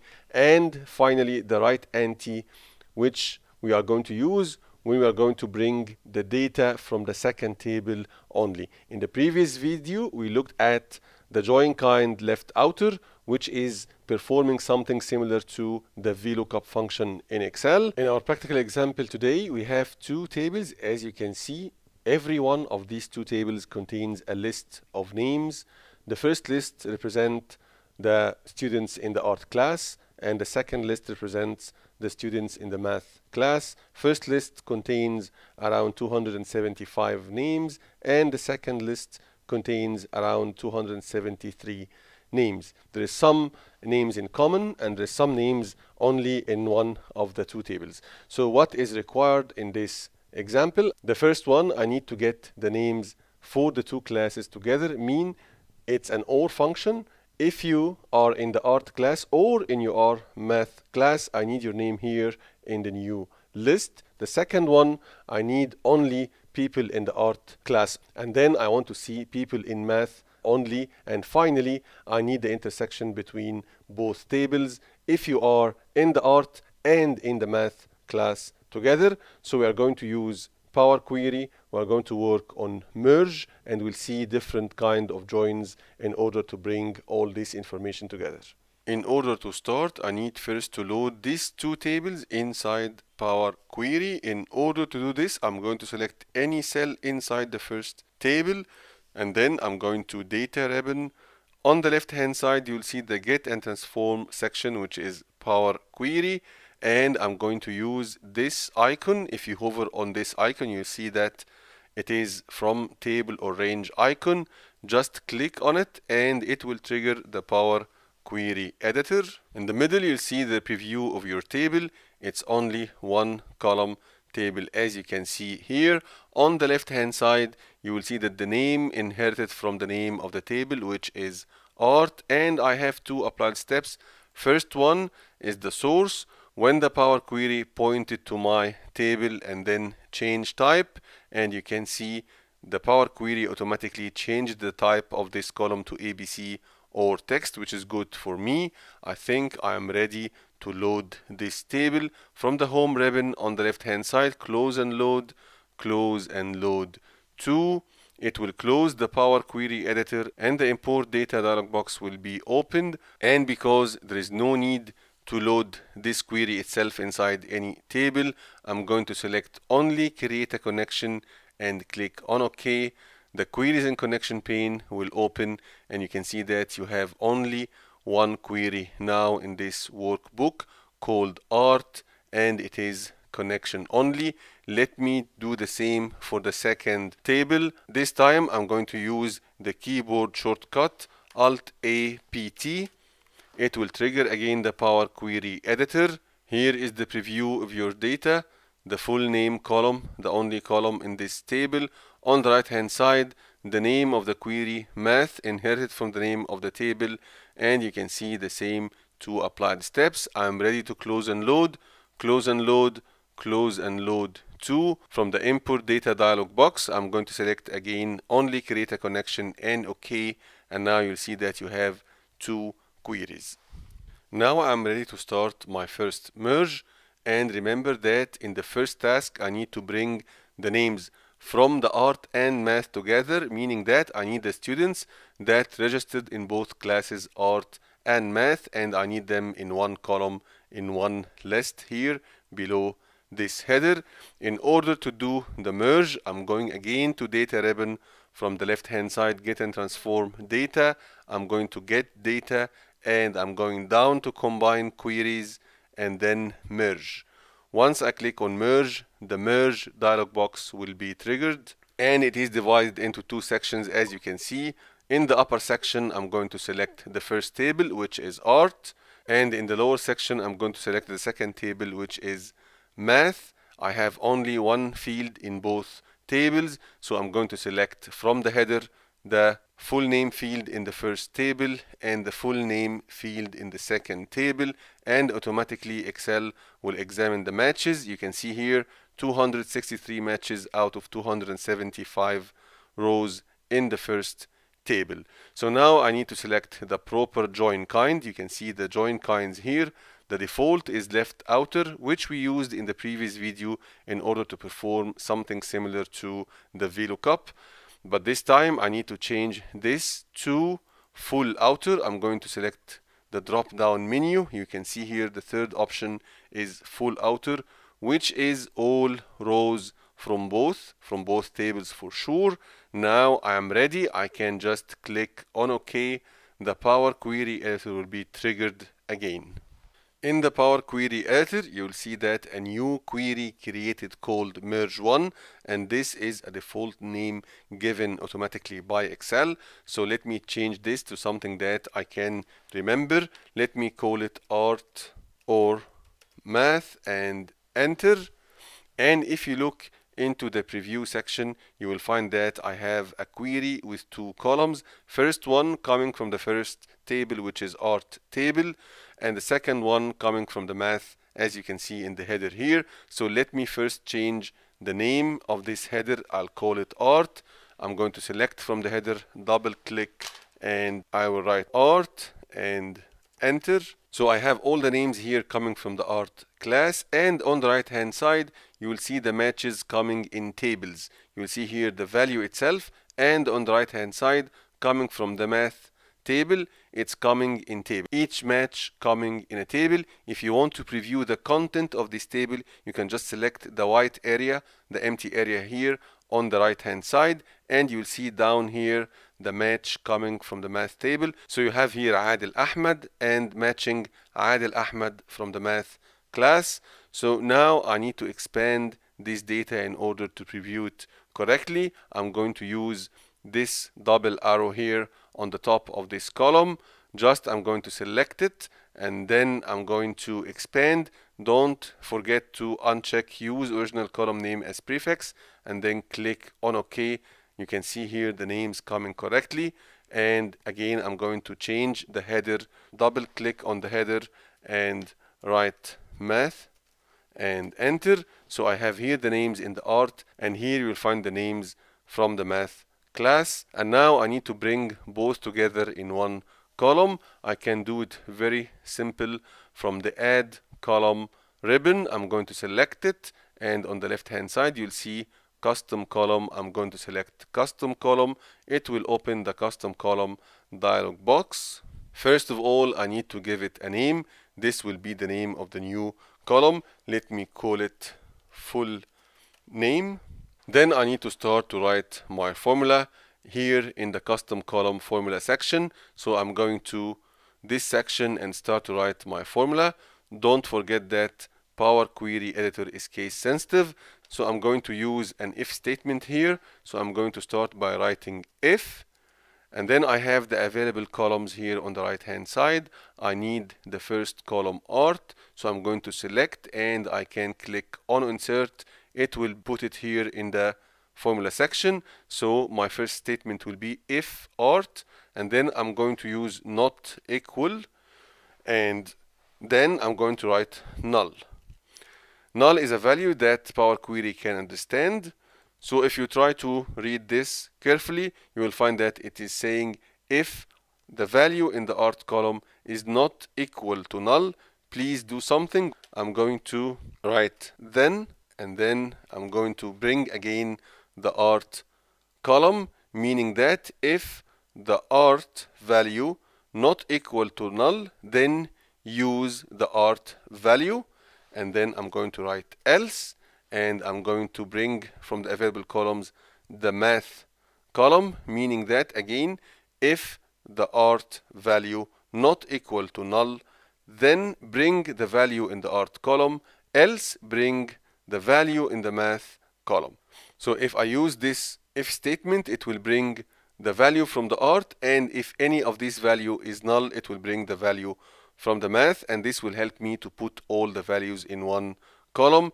Let me check if there is any error in this formula. Yes, there's an error here. The spelling of else is not correct. Let me rewrite it.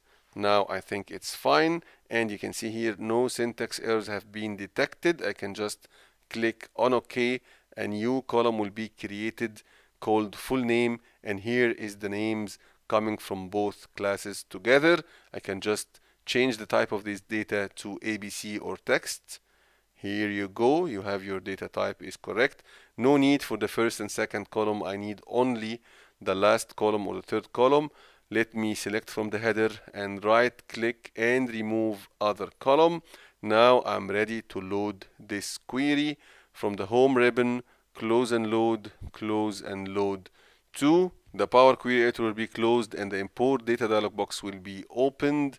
This time I'm going to load to a table and existing worksheet. Let me select E4 and click on OK. A new query called art or math will be loaded and you have 285 rows in this new query and you will find a new table created here containing the names that registered in both classes. Let's continue. Now we need to bring the names that are in art class only. So let's start doing the same. I'm going to data ribbon from the left hand side get and transform, get data, combine queries, merge. The merge dialog box will be opened. First table will be art, same, same. Second will be math. I'm going to select the only field I have, full name, and full name. The same matches 263 out of 275 the join kind this time will be left anti and you can see here rows only in first.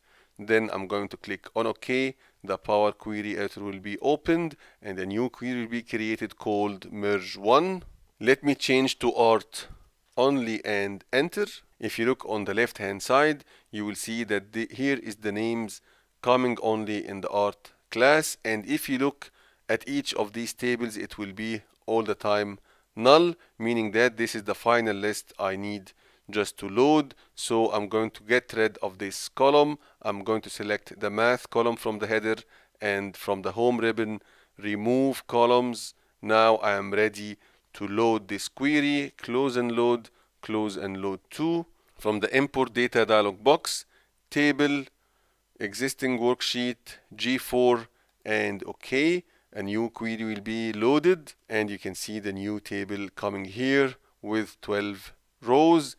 Next is to bring the students in the math class only and not registered in art class. So in order to do this I'm going to do the same from the data ribbon left hand side get a transform get data combine queries merge from the merge dialog box I'm going to select art as the first table and math as second table. I'm going to select the only field I have in the two tables full name and full name. Same matches 263 out of 275 this time the join kind will be right anti which is the opposite of the previous one. I'm going to click on OK. Power Query Editor will launch and a new query will be created called merge1 let me change to math only and enter. If you look at the data preview section you'll see that I have again two columns. First one is the null because I need the names that is not in the first table. So I have on the left hand side I have all the nulls. But if you select the empty area here on the right hand side you will see all the names in the math class only I need to get rid of this one so I'm going to select from the header remove columns let me expand this one. I'm going to select from these two arrows and always uncheck use original column name as prefix and click on OK. You will find that you have the list in the math class only. Now you are ready. You can go to home close and load close and load 2 from the import data dialog box table existing worksheet I4 and OK. A new query will be loaded. 10 rows and you can see the table here containing names in math class only. Final one art and math together. Data ribbon left hand side get and transform. Get data combine queries merge. First table is art second table is math let me select the only field that we have or only column full name and full name. Same matches 263 out of 275 this time the join kind will be inner which is only matching rows. I'm going to click on OK. Power Query Editor will be opened and a new query will be created called merge1 let me change to art and math and enter you will see on the preview data section the names coming from the art class and all the matches coming from the math class and both are identical. You will not find any null in the first column or the second column. You can check this by expanding this column here.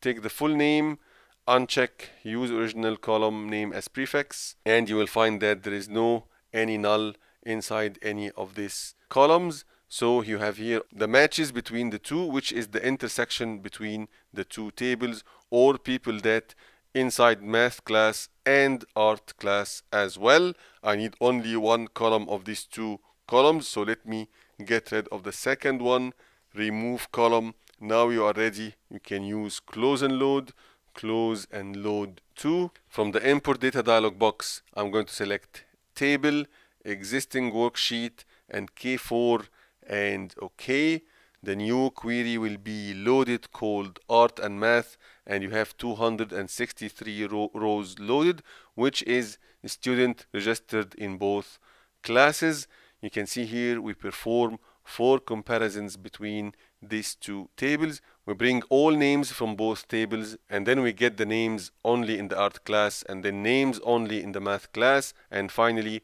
we found the matches or names are in the art and math class together. I think very easy. If you try to perform the same using the normal for Excel formula, it will take ages with very complicated formulas.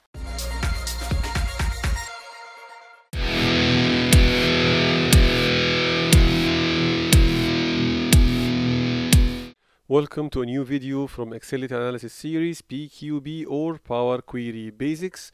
This video PQ11 we're continue talking about merge queries and in this video we are going to see how we can solve the duplicate issue when we do merge queries. We already discussed before that we can do merge queries to replace the VLOOKUP using the join kind left outer and this will require two tables first table should be the transaction table or the fact table and the second table is the lookup table or the dimension table. And we want to see what will happen if we have duplicates in the lookup table and how we can solve this issue inside and outside Power Query. In the practical example today we have two tables as you can see. On the left hand side we have the revenue by channel but only uh, we have the channel ID information in this table and you can call this the fact table or transaction table. On the right hand side we have the lookup table. When you have the channel IDs and each channel ID has its corresponding channel name what is required in this example is to report uh, sales by channel name instead of channel ID and to use Power Query to do this. In order to use Power Query, I need to give names to these two tables, which I already did. If you go to table design, you will see the first table called sales and the second table called channel. In order to trigger the Power Query, I need to select any cell inside the first table and go to data ribbon. On the left hand side, get and transform data and I can use this icon from table or range. Once I click on this icon, it will trigger the Power Query Editor. On the right hand side, you'll see that the name of the query inherited from the name of the, of the table. And on the middle, you'll see the preview of your data. And in the applied steps, we have only two steps. First one, when the Power Query get the source of the data from the table. And the second step, when the Power Query automatically changes the type. For me, it's okay because 1 to 3 meaning it's a whole number for channel ID and 1 to 2 meaning it is a decimal number for the revenue, which is fine for me. Now I'm ready. I can do close and load. From the top left, close and load, close and load 2.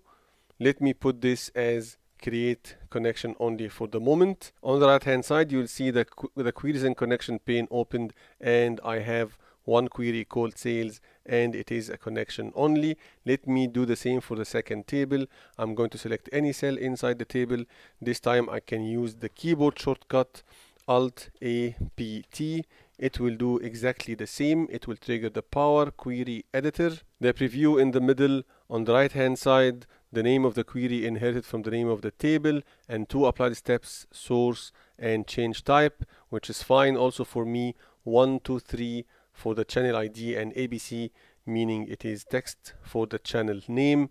I am ready, close and load, close and load to only create a connection because I don't need to load it anywhere for this time and then click on OK. Now I want to go back to the sales query. Let me select it from queries and connection pane and double click. Power Query Editor now launched again and from here I can do the merge in order to bring the name of the channel from the other table here I can do my merge. So uh, from home ribbon I can go to merge queries and click on merge queries. It will open the merge query window. Actually this example is a very easy and simple example. If you want to see more complicated example about how can we do merge queries you can watch video pqb09 when we talk about merge queries from the beginning. So you will see now on the top of the screen a link. You can just click it and watch the video. And then you can see PQ 10 and 11 which is also related to merge queries. So once you click on merge queries while selecting the query sales you will see that the merge query dialog box will be open and because we triggered the merge queries while selecting the sales query you will see it's already selected on the top of the merge query dialog box and you need to start to select the second table. You are going to use this dialog box to choose the channel. Once you did this you'll see a small preview from the channel table down here. You need to select the field that query are going to use to do the match or to do the join between the two tables. In this case it's obviously the channel ID so I'm going to select it from the sales table and also from the channel table. And you need to make sure that the join kind selected is the left outer. And as we mentioned the left outer is a replacement for the VLOOKUP function in Excel. And you will see this tick box uh, initiating or indicating that you have 19 matches out of 19 matches. I think now we are ready. We can just click on OK. You will see that a new uh, column will be added and inside this column you will see table in each row of this column. If you select on the empty empty place here on the right hand side you will see that this is the matching record coming from the other table. So uh, 4001 here you can see 4001 and the name is retail. If you check here uh, like 4002 here is the match found on the other table which is wholesale in this case and so on and so forth. And you can see here a new applied step added called merge queries. But I need to get the wholesale inside this column instead of the table table table written here. This is very easy. I can use this arrow which is the expand arrow. Once I click on it I'm going to unselect select all column and I'm going to select only channel name. And don't forget to uncheck use original column name as prefix and then click on OK. You will see that you have the channel name now and you have all the names like you can see here. Now I need only the channel name and the revenue. I can select both and from remove columns I can select remo remove other columns. Now I am ready. I can load this query. Close and load. I have only one option which is close and load. I don't have close and load 2 because I previously loaded this in other action. So I can just close and load for the moment and I can come here uh, in the queries and connection pane and I can change the load option. I can just right click and I can go to load to and instead of only create connection I can load it to a table. Existing worksheet I can put it in uh, I1 and OK. Once I click OK a new table will be generated and you can see here I have the report with the name instead of the channel ID so what is the problem or the issue that we want to discuss? What if I have duplication inside this uh, lookup table. So let's try it. Let's take the retail. I'm going to copy it and go down in the uh, first empty row, control V. You will see that the table will be expanded. Now let's check if we refresh this query. I can just refresh from this button. Let's try. Once I refresh, you will see that the number of columns increased. It was 19 and now you can see it's 23 lines and you can see the total was 600 if you check the total now it is more than that 711.39 let me add another line like the wholesale control C and key accounts as well and control V. And let's try another refresh. This time I can just right click and refresh.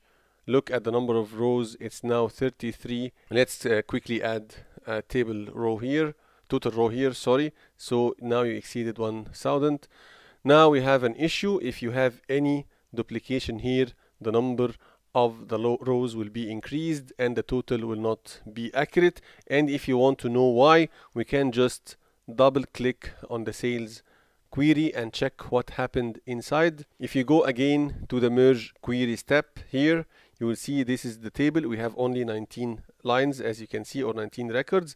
But if you check now something like retail which was 4001 the code for retail or the channel ID for retail was 4001 if you check now the table how many matches found? Two matches. And when you do expand it expand twice.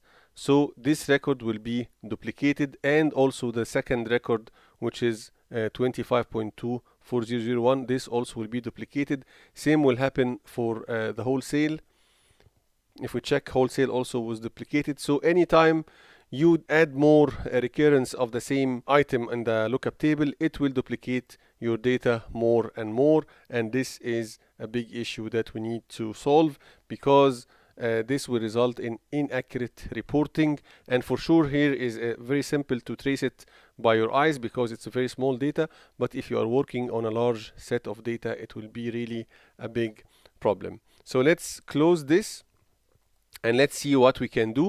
Uh, if you have the data like this and it is duplicated you can just select the table go to table design and you can easily uh, remove uh, the duplicate. And this is not a problem at all. You can just remove the duplicates from tool and select remove duplicates. No problem. It will solve the issue for sure. However it is much better if you can do it inside the power query. Uh, actually you can go to channel instead of sales this time and if you look at the preview coming inside this uh, query editor I think it's only four records because you need to refresh this preview. If you just refresh you'll see that you have seven records. It should be only uh, four records and it this is the problem that we have. So you can just do the remove duplicates from here inside the query itself. So you need to select both columns together and from home you can go to uh, remove rows when you select remove rows you can just select remove duplicates. And once you did this you can see a new recorded step or applied step will be added here remove duplicates.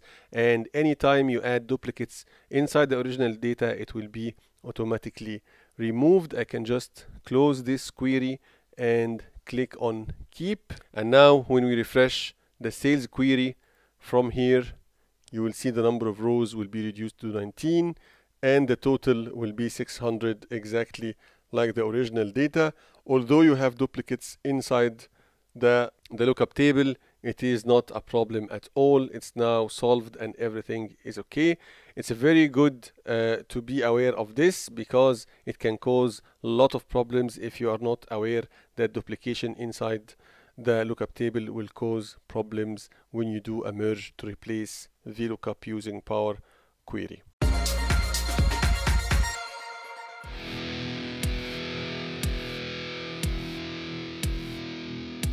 Welcome to a new video from Excel Data Analysis series PQB or Power Query Basics. This video PQB12 we continue talking about merge queries in this video, we are going to see how we can replace SUMIF with Power Query or with merge queries. And also we look at something called aggregate. We are going to use it instead of expand while we're using the merge queries function. And we'll see how we can use the sum function to aggregate numeric values while doing the merge queries. In our practical example today, you can see that we have two tables. First table is the sales transactions coming from AAA bike shops. You can see that we have more than uh, 69,000 rows. We have at the first column, we have the product ID, then we have the date, the quantity, price, and the revenue for each sales transaction. And in the other table, we have the product ID and the product name. So what is required now is to prepare a summary for the sales for this uh, entire year sale into uh, something similar to this table, meaning that we need to summarize the sales of the helmets. We put the subtotal of the helmet sales and quantity here, and also for the lights, locks, and for every and each uh, line item on each product of these products. We are going to do this using Power Query instead of the normal SUMIF function that we use in Excel. So in order to start with the Power Query, we are going to go to the data ribbon. On the left hand side, we'll see the get and transform data and we need to start to load our tables into the Power Query. In order to do this, first of all, I need to have the data into a table format, which I already did, and also to give a meaningful name for each one of these two tables, and I did the same also, if you look at table design on the left hand side, you can see that the table name is sales 2019 and the other table called products which is okay so let's start directly with the first table.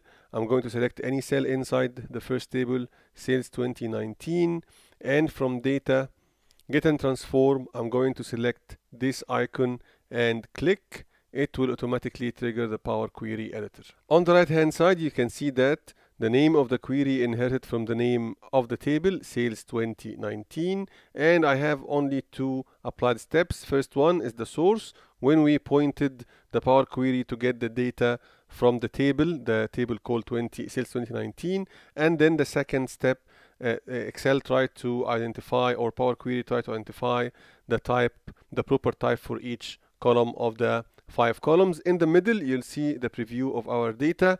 And let's check the data types. For product ID 1 to 3, meaning whole number, which is fine. Date and time for the date column, it's okay, but it's better to change to date only. I can just select the icon from the top left of the column here and select date only. This is much better. I can click on replace current instead of inserting a new uh, applied step. And also for quantity 1 to 3 meaning whole number which is fine. Price and revenue 1.2 meaning it's a decimal number which is okay as well. For this query I am ready. I can just close and load. Close and load close and load to the power query editor will close and the import data dialog box will pop in. Let me choose only create a connection and click on OK. The queries and connection pane will open. I'll see that I have only one query and it is connection only. Let's go to the other table. I'm going to select any cell inside the products table. And again from data I'm going to use the same icon from table or range. Once I click it will trigger the power query editor. On the right hand side you'll see the name inherited from the name of the table products and applied steps. Again I have only two apply steps the source when the Excel pointed to the table, the targeted table, and then change type. When the Excel tries to identify the proper data type for each column. As you can see, 1 to 3 is good for product ID and ABC is not bad for the product name. Why? Because ABC is text, so it's okay. Now I am ready to do my merge inside this query. You'll see that I have uh, 25 rows and I want to summarize the revenue and quantity in front of these rows how I'm going to do this it's very simple I'm going to home and from home uh, combine section and from combine section I'm going to select merge queries. Once I click on it it will trigger the merge query dialog box. By default the upper half of the of the merge query dialog box will select automatically the query I am already selecting now which is the products query. And here is the preview of the two columns inside this query on the bottom half of the screen I'm going to select sales 2019 which is the transaction table and you'll see here is the preview of the data inside this query. I want to do the join now. Don't forget that you need the join kind to be left outer. Now I want to select the column that the query will use to do the join or the match which is obviously the product ID so I'm going to select from the upper table and also from the lower table. And if you look down here you'll see that the selection matches 25 of 25 meaning that each product ID here in the upper column there is a match for it inside the sales 2019 table which is okay. I can just click on OK a new column will be created called sales 2019 and inside each row inside this column you are going to see something called table. If you select the white area here not the table itself just because if you select the table here it will open the table itself as you can see here and this is not what you want. Just you can get rid of this and delete. You want to select the empty space to preview the data inside this table and if you look down here you will see that the query bring all the matches inside this table. All the records matching 2001 which is helmets are coming inside this table. All the records from the other table and it is a lot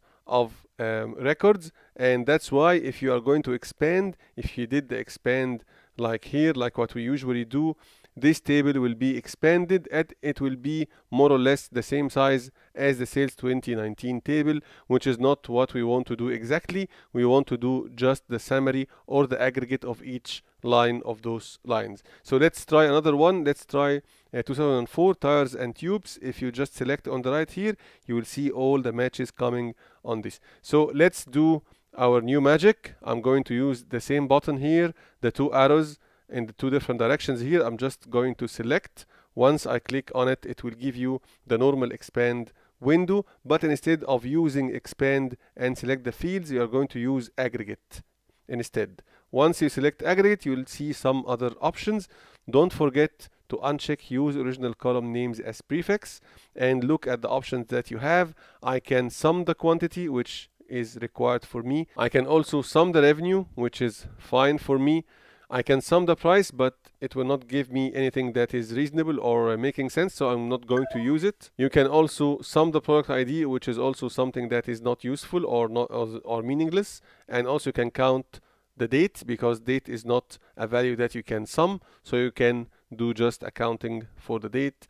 For me, mm, it's not required as well, so I'm stick. I'm going to stick only to sum of quantity and sum of revenue, and that was my original.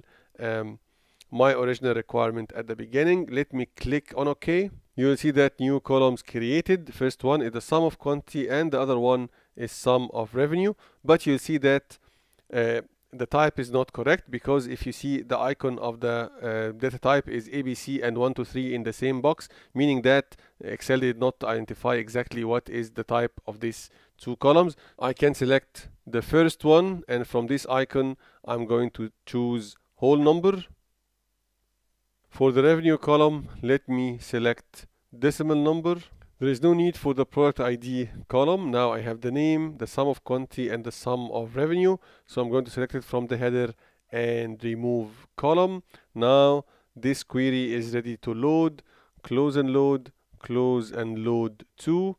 The Power Creator will be closed and the import data dialog box will be opened. Let me select existing worksheet and let us put it in K1 and click on OK. A new table will be created.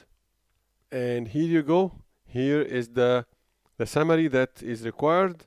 You have the product name, you have the sum of quantity, and you have the sum of revenue. You can just do a very quick number formatting and now you are simply done.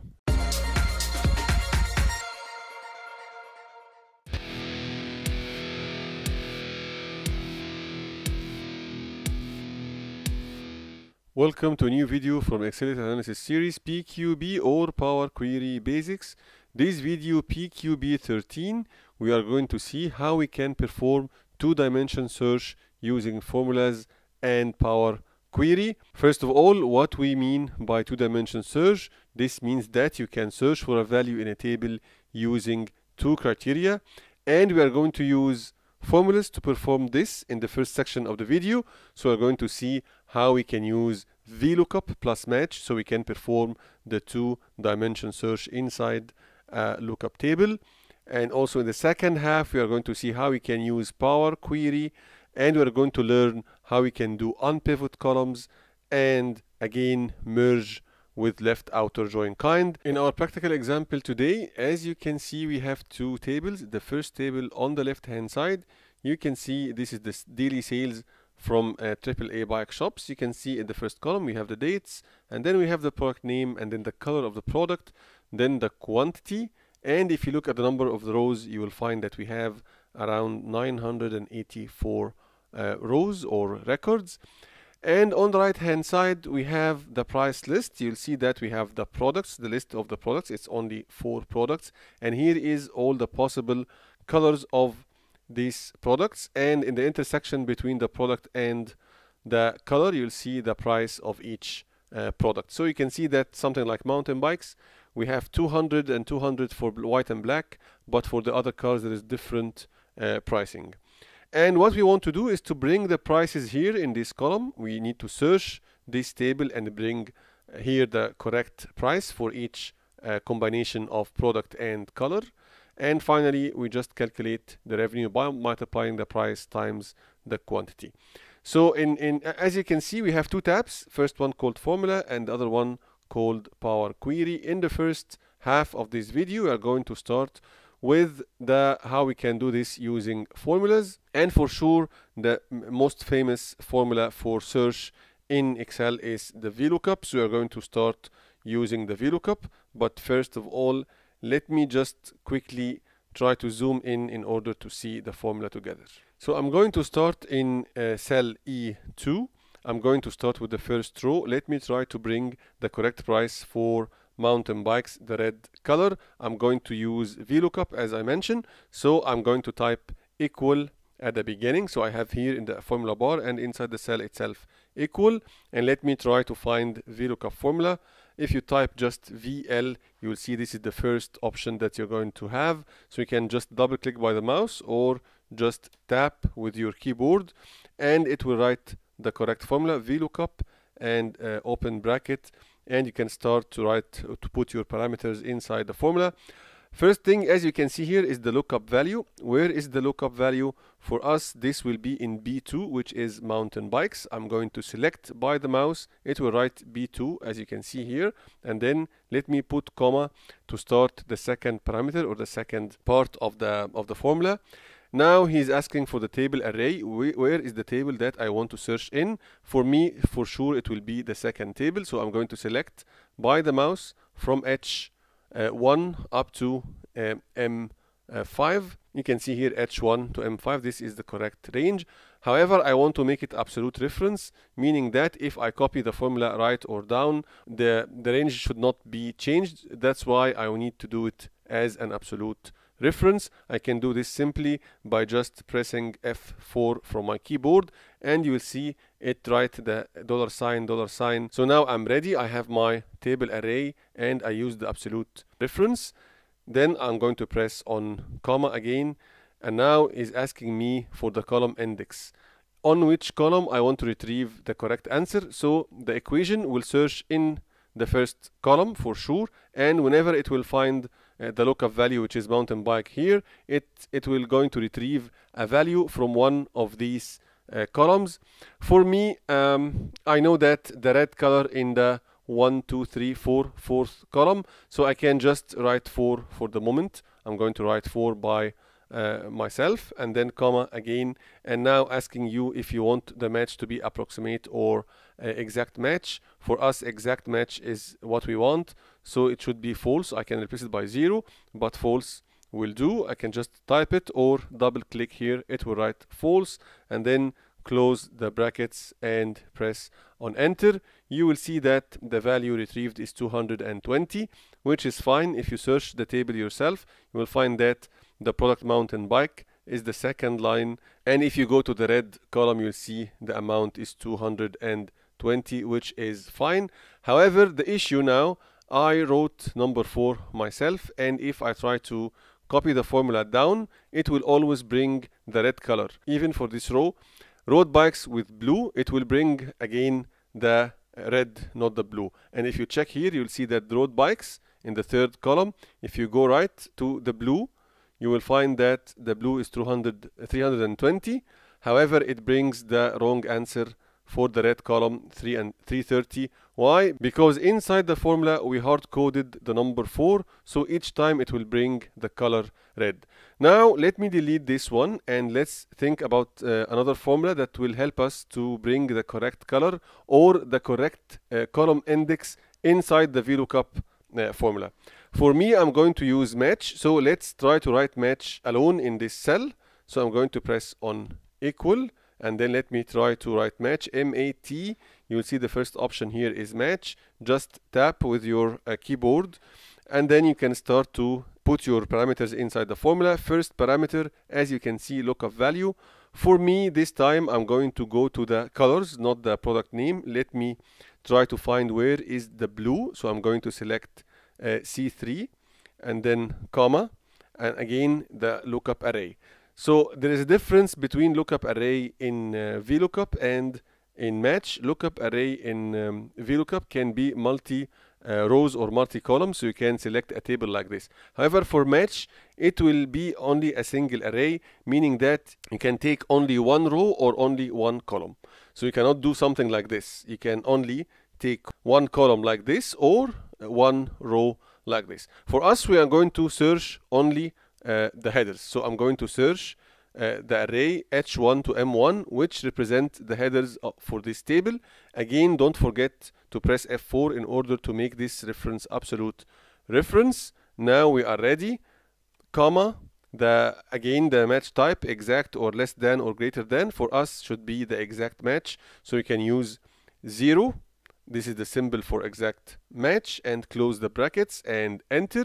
You will see that this formula returns 5 and 5 meaning that this is the position of the blue color inside these headers. Product white black red blue 1 2 3 4 5 so the position in this table for blue is number 5 so this is exactly what I want inside the formula up here. So if I replaced the number 4 the hard-coded number 4 with this match formula this will give the VLOOKUP the correct column index and all the retrieval will be automatic. So I can just copy the formula from here control C and I'm going to go to replace the number 4 carefully. I'm going to select the number 4 the hard-coded number 4 here and control V just to paste. And don't forget to change the C3 here to C2 I can do it by my hand or I can just drag it from here. And now I think I'm good to go. If I press on enter mountain bikes red 220 let me check. Mountain bike red 220 this is correct. Let's try for the second cell. I'm going to just copy one below. Road bikes blue. Here is road bikes blue and it is correct also 320 I can just do for the rest of the table. If I just double click here it will copy down till the end. Now I can simply calculate the revenue equal the quantity times price and enter. I can just use the keyboard. I can go down to the bottom of the table the empty cell at the bottom of this column control and shift together and arrow up. So I selected starting from the first equation control D to copy down so I have my revenue ready and all is good. So let's go to the second uh, tab and try to see how we can perform the same using Power Query.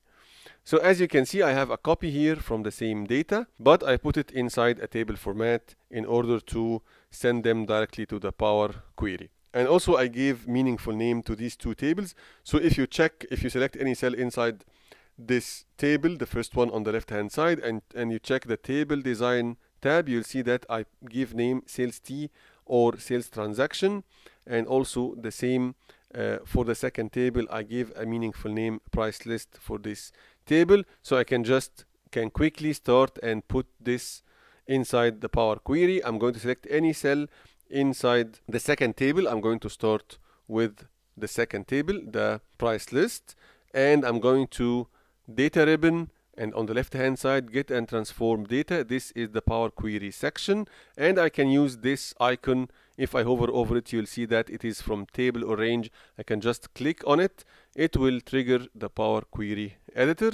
On the right hand side you'll see the query settings start with the properties name is inherited from the name of the table and then I have two applied steps. First one is the source and second one is change type.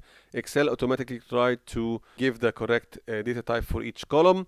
Let me check quickly ABC meaning it is text good for the product name 1 to 3 for all the colors meaning that the prices is whole number which is fine for me. However I want to do some transformation to this table this type of tables is not good for data analysis. It's good for reporting and we call this kind of tables uh, cross tabular meaning that you have some information in the column and some information in the rows and the data is in intersection between the columns and the rows. And this uh, table format is not very good for data analysis and for sure it's better to put the table in a proper data format to ease your work inside Power Query. So what I want to do is to unpivot this table, meaning that I want to bring all these headers inside the rows, meaning that I'm going to have much more rows. So I will have one column for the products and one column for the colors and then one column for the value and this we call it tabular form or a proper uh, table format so it's it's much easier when we deal with data analysis. In order to do this it's very easy. From transform ribbon you will see something called unpivot columns. I want to unpivot all uh, the colors so i'm going to select first one press on shift and select uh, last one. I can just press on unpivot columns or I can just select the first one the product that I don't want to unpivot and I can go to unpivot columns and select unpivot other columns. Once I press this button you'll see that it's automatically done in less than a second and you'll see that I have one column for the products and one column for the colors but automatically Excel gave it um, uh, a name called attribute. Let me change this to color and enter and one column for the value as you can see and this for me is the price. Double click type price and enter. And you will see that I have additional two uh, applied steps. First one is unpivot other columns. If you just go back you'll see this is the original format.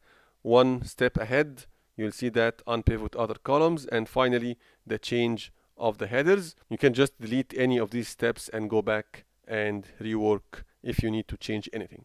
So now we are ready. We can just load this. I can go to file close and load to. It will close the Power Query editor and this window will pop up the import data dialog box.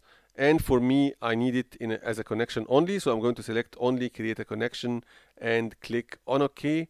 You will see that I'll have the queries and connection pane triggered and I have only one um, query called price list and it is connection only.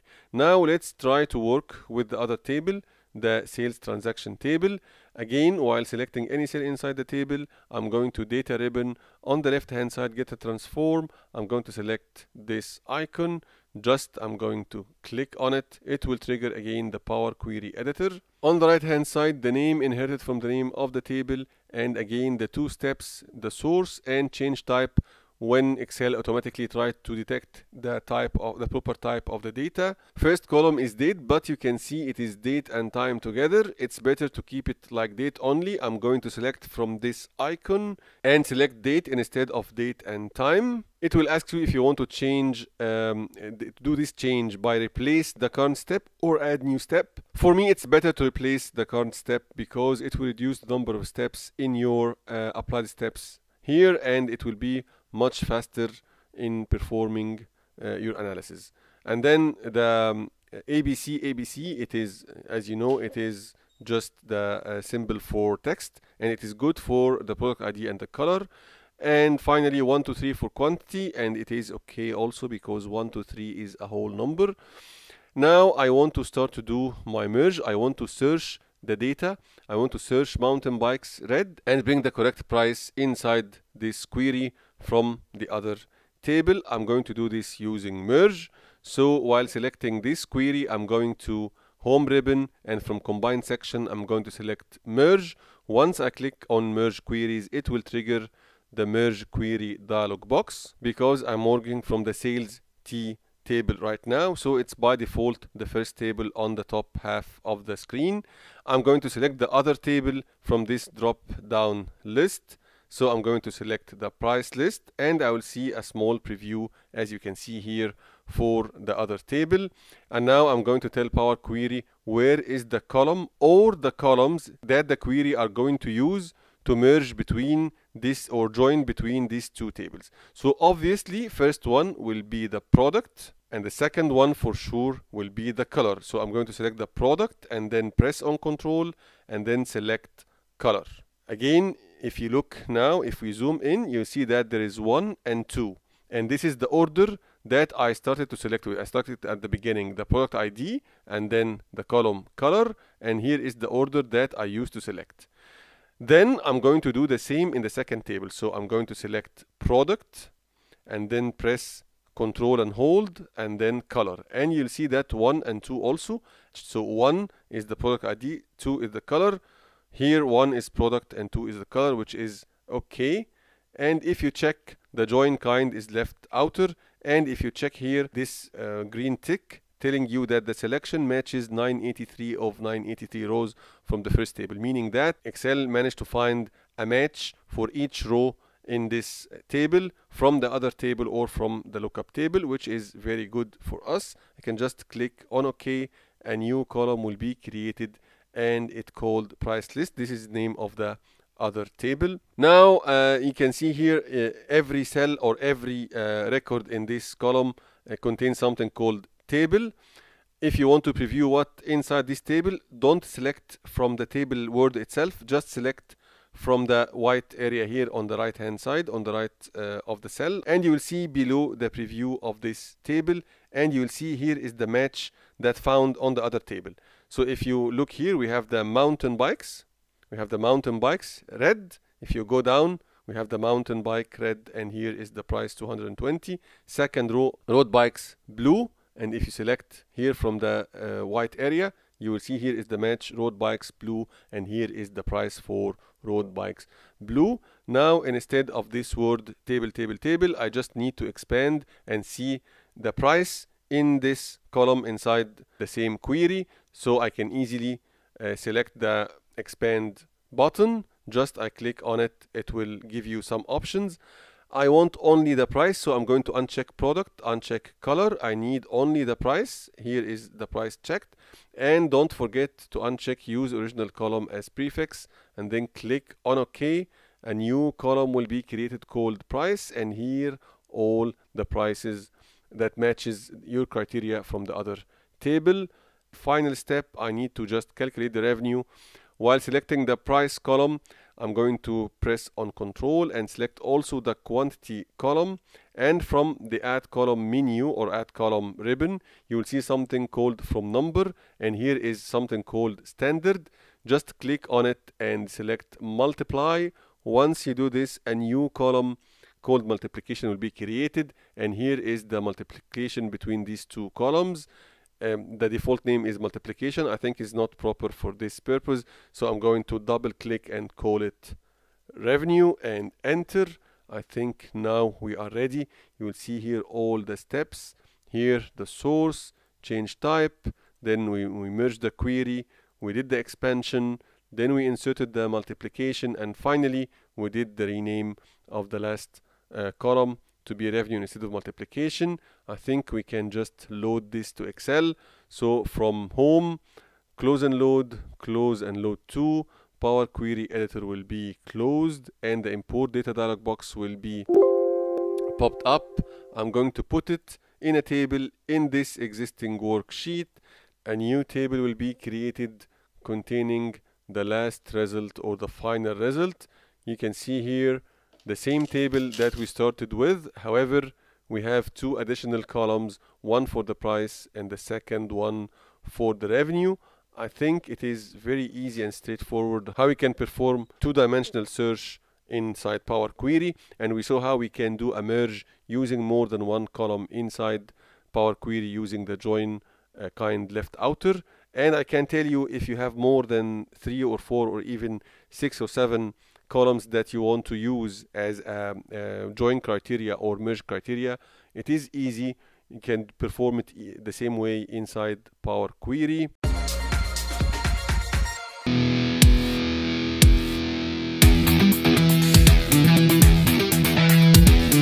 Welcome to a new video from Excel Analysis Series PQB or Power Query Basics. This video PQB14 we are going to see how we can use excel.currentworkbook in order to extract data and also we're going to see how we can use group by to summarize data inside Power Query. In the practical example, we'll have three tables containing sales data for the first three weeks from January. And what is required in this example is, first is to collect data in one table using Power Query. This is similar to the append that we did in video PQB08. However, we're going to use different technique this time using the excel.currentworkbook function in order to bring all data from different tables inside one table. Second, we are going to prepare the data that is required only for the report. At the end of the video, we'll see that we're going to build a report and we're going to select the data that is required for this report only and exclude and will exclude the unwanted data and then we are going to see something called auto detect data type in instead of having the data type um, amended manually uh, for each column. We are going to select the entire table and ask Excel to help us to detect the correct data type for each column. And then we are going to look at group by, by which is a very important tool or and very important um, skill that you need to be aware of it will help you to summarize data uh, like what you're doing using the SUMIF in Excel or the normal pivot table also helping you to do something similar to group by. However, inside Power Query, we use group by and it is very helpful especially when you are dealing with a very large uh, set of data. Then we are going to prepare a dashboard to present our daily sales and we will use a slicer and two charts, a very simple and small dashboard will be interactive using the slicer and will present the data inside two charts, one for the quantity and one for the net sales. And finally, you are going to update the dashboard automatically when we receive the data for week four and uh, week five. Just we are going to do a ref one refresh and the data will be updated automatically. As we mentioned, here is the data that we're going to use in our example today. We'll have three weeks of sales data you can see each week in a single table as you can see uh, Jan 17 week 1, Jan 17 week 2 and Jan 17 week 3 and we want to blend all these together and prepare a very simple daily trend uh, chart using this data. Before going further into this example I want to show you the end result and how we want to present our data at the end uh, of this work. Here you can see the end result that we want to reach at end of our example. You can see here this is the this is the summarized table. You will see here it's only 124 rows. However, if you look at the data at the beginning, it was like uh, 1000 rows for each week. So we're going to summarize the data. And also we had a lot of columns. We'll select only the columns that is wanted. And we're going to prepare these two charts, one for the quantity, the daily quantity sold and also the net sales value and we have here a slicer if you select any category here you will see that the charts are changing according to the, my selection. And by end of the video also we're going to see you can see here I have the five, five weeks not only three. And we'll see when we add the week four and week five in our original file it will update the charts and the table automatically. Back to our start file, as you can see here, I have the three weeks, each one in a single table, and I already uh, transformed the data into a table format, so I can directly uh, send this to Power Query. Uh, to do this, I'm going to go to the data ribbon from the menus, and on the left hand side I have the Power Query. And if you remember in previous videos we usually use this icon which is uh, from table or range in order to send the data into Power Query editor. And I'm going to use this icon this time as well just to show you uh, how this works. So I'm going to select this icon. It will trigger the Power Query editor. Inside Power Query editor you'll see a preview of your table here. But if you focus on the right hand side here in the properties and applied steps I have only two steps. First one is the source and then change type, which is done automatically by Excel. Let me X out the change type step and I will have only the source step. I'm going to select it and let's go back and look into the formula bar. You can see here, here is the formula bar for Power Query, exactly like what we have in Excel. It starts with equal and then our function excel.currentworkbook, open and close uh, brackets. And then you can see here the name of the table Jan 117 week 1 that was the table that I started uh, selecting it at the beginning and then another parameter called uh, content between two square brackets as you can see. What I want to do here is to delete the parameters after the excel.currentworkbook function so let me select from here and then backspace and enter you will see that I'll have a list of uh, three tables. You can see the first column, the content table, and here is the name of this table. If I select the empty space here um, beside the table, uh, the table written here for Jan 17 uh, week 1, you will see a preview of your data down here as you can see. If I did the same in the second table, I'll see the data for second table and so on and so forth. And that's how I can get the data uh, using the excel.currentworkbook. But suppose that you don't want to use the icon and then delete and do all of this. You want to start uh, from the beginning. So let me close this window, close the Power Query editor, and I'm going to select discard because I'm not going to save anything for this. Back to the Excel, the normal Excel window, I'll go again to data ribbon and from data ribbon uh, on the left hand side again get and transform data directly to get data and then from other sources and I'm going to select blank query. It will open again the power query editor but this time it will open a blank query and the default name will be as you can see on the right hand side query 1 let me change this to something that we can remember.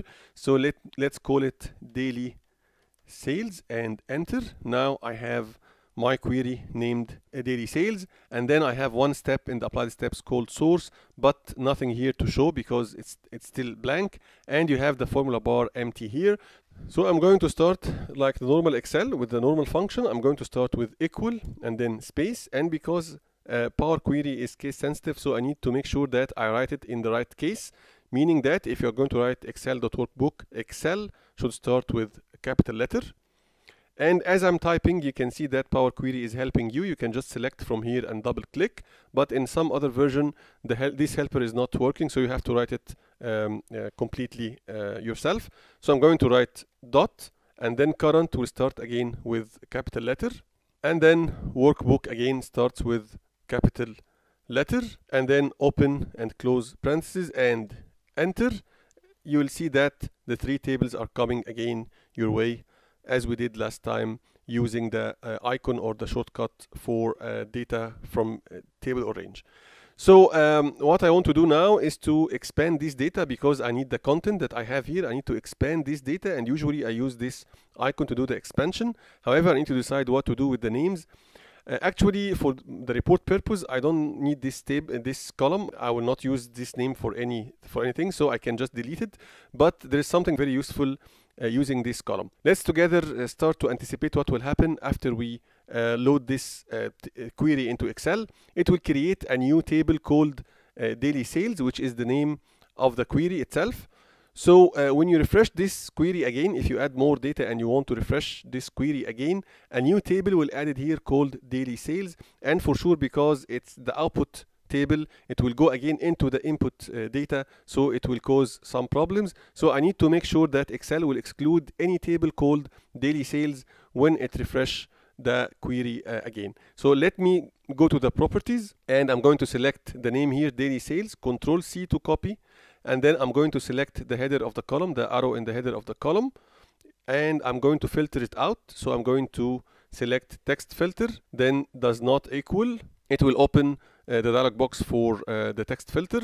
In front of does not equal, I'm going to control V in order to uh, paste and then OK. Notice that nothing happened here because there is no table called daily sales now. However, in the future, when we do uh, another refresh, it will appear here. So this um, recorded step, as you can see here, it will prevent having any troubles when you refresh this data and having the output table daily sales. Now, no need uh, anymore for this column. I can just select from the header and click on remove columns. Now, uh, let's expand our data. We are ready. We can just click on this uh, arrows, the double arrows that you have on the top of this column, the content column. Just click on it. It will open this dialog box and ask you what exactly you want to expand. Um, I don't need all this data. You can see that there is a lot of columns. I need just four columns. So I'm going to uncheck, select all columns. Let me select the date and then the category. This is the way I'm going to classify my data and my report. And then I need the quantity, the, the sold quantity and the net sales. And don't forget to uncheck use original column name as prefix. Then click on OK your data will be expanded. As you can see here I have my four columns and all the data for the four uh, for the three tables are uh, appended together in one uh, query or one table. You will see here all the steps are recorded the source the filter that we did and then the column for the name of the table. And finally uh, the expanded uh, content of the three tables. Now I want to adjust or uh, make sure that I have the correct data type for these four columns. If you look at the headers here, you'll see the icon for ABC123 for the four columns, meaning that Excel didn't decide yet what is the correct data type for each one of them. And usually we did this manually in the previous videos. We select uh, each and every column and did the data type just from here. But for this time I want to show you something different. I can select the four columns together. I'm going to select the first one and press on shift and then click on the header of the last one. So now I have the four columns selected. If you go to transform you will see an icon called detect data type and this will help you to find the correct data type for each column automatically. Just click on it and you'll see that the data type changed. First one 1.2 for net sales meaning that it is decimal number which is good for sales 1 to 3 whole number good for quantity and abc which is text good for the category. Last one is date but it is date with time. You can see the icon here uh, a calendar and a clock meaning it is date and time and you can see the the uh, time is written after the date here. I want this to be only date. I can just do it manual. I'm going to select and select date from here. It will ask you if you want to replace the current step or add new one. For me I want to replace no need to add uh, extra step. Now I have my data types are good. I am good to load this uh, table. So I'm going to home close and load close and load to it will close the power query editor and a small dialog box will be, will be popped up called import data. As you can see here I have four options to load. I'm going to select the first one which is table and new worksheet is good for me. Let me click on OK.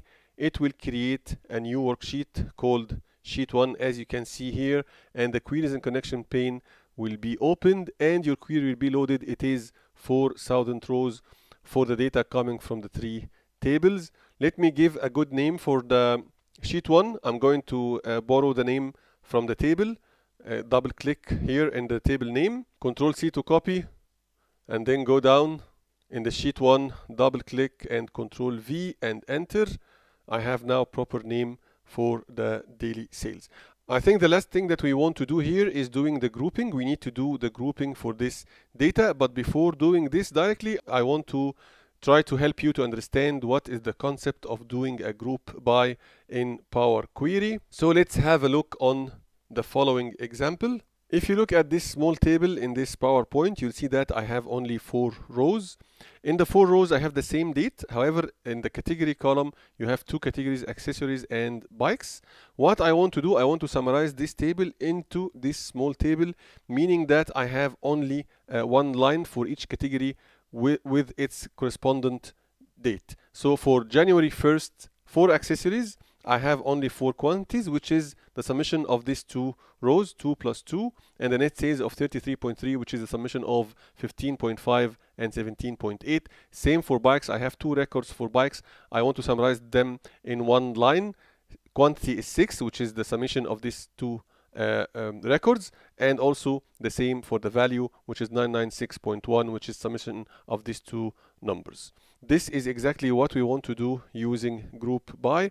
As I mentioned it is similar to sum if and also I can do the same using pivot table. However some in some cases you will have a, a, lot of data 10 million records or maybe more than 10 million records that can be handled with Power Query and you cannot do do it using the uh, pivot table. It's it will be much easier if you take out the details that you don't want for your report using the Power Query and summarize your data using group by now let's see how we can do the group by in, in our example. So I'm going to uh, the queries and connection pane. I have my query daily sales here. I'm going to double click. It will open again the Power Query Editor. Inside Power Query Editor, I can see the group by uh, tool in two menus. One uh, first one in the home menu. You can see it here in the middle, the group by, and also in the transform. We'll find it at the most uh, left uh, section in the in the transform ribbon as you can see on the left hand side.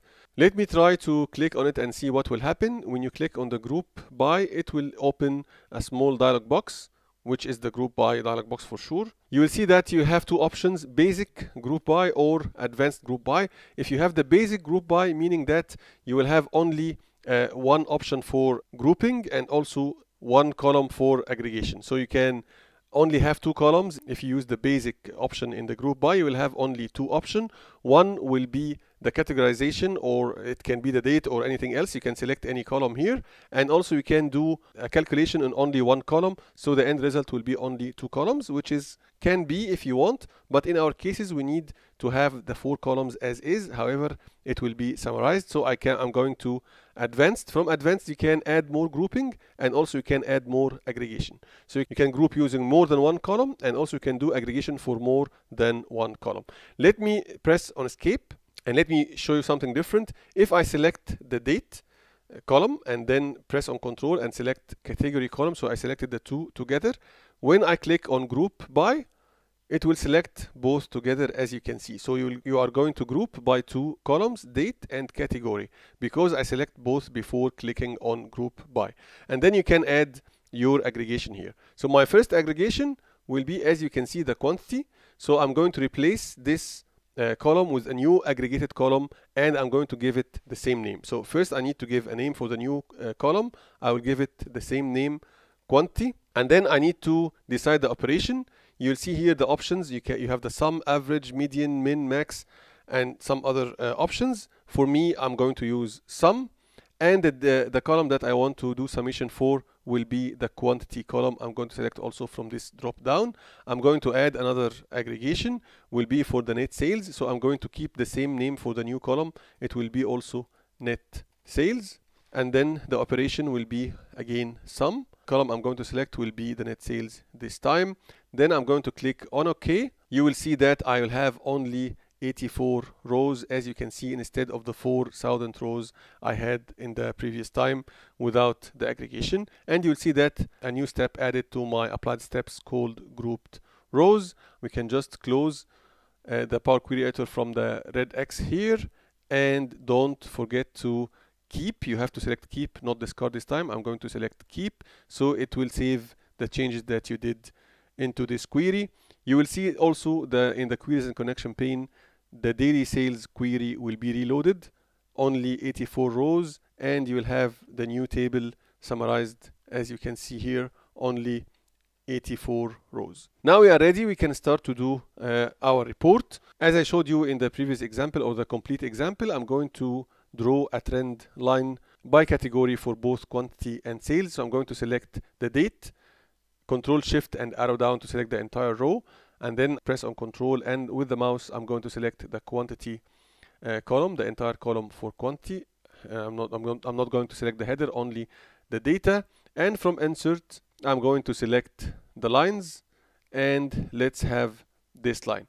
You will see that uh, the chart is meaningless. Uh, you can see this it, it's it's it's a mess. Why? Because I have recurrence for the dates. I have four times for 1st of January but each time I have different category so in order to have something meaningful here, I need to do a filtration on category. So I'm going to select only bikes. Then you will see that the chart is meaningful. But look, if I try to do this selection like this, like bikes, you will see that the chart will disappear. So I need to do something before doing this filtration. Control Z to undo first. Let me also close this to have some more space. Right click on the chart area format chart area. You need to go to this uh, square at the, at the most right and then from, from properties you're going to select don't move or size with cells now if you are going to select category and filter the table on uh, on the bikes so you'll you'll see that you have a good trend let me try something different something like accessories I think it will be also another good uh, trend or another good chart. This chart is for, uh, as we mentioned, is for quantity. So I'm going to double click on the chart title and write quantity let's try to complete the dashboard. I want to do my filtration in a good way. I not don't want to go every time to the, the header of the column and do the filtration. So I need to do it visually. As you know, I can do this using a slicer. While selecting any cell inside the table, I'm going to table design and from table design, insert a slicer. It will ask you in which column exactly you want to insert the slicer. For sure, I need it for category and click on OK. It will create this small slicer. As you can see I can put it on the right here. And if you do the filtration using the slicer it will work perfectly with this uh, chart.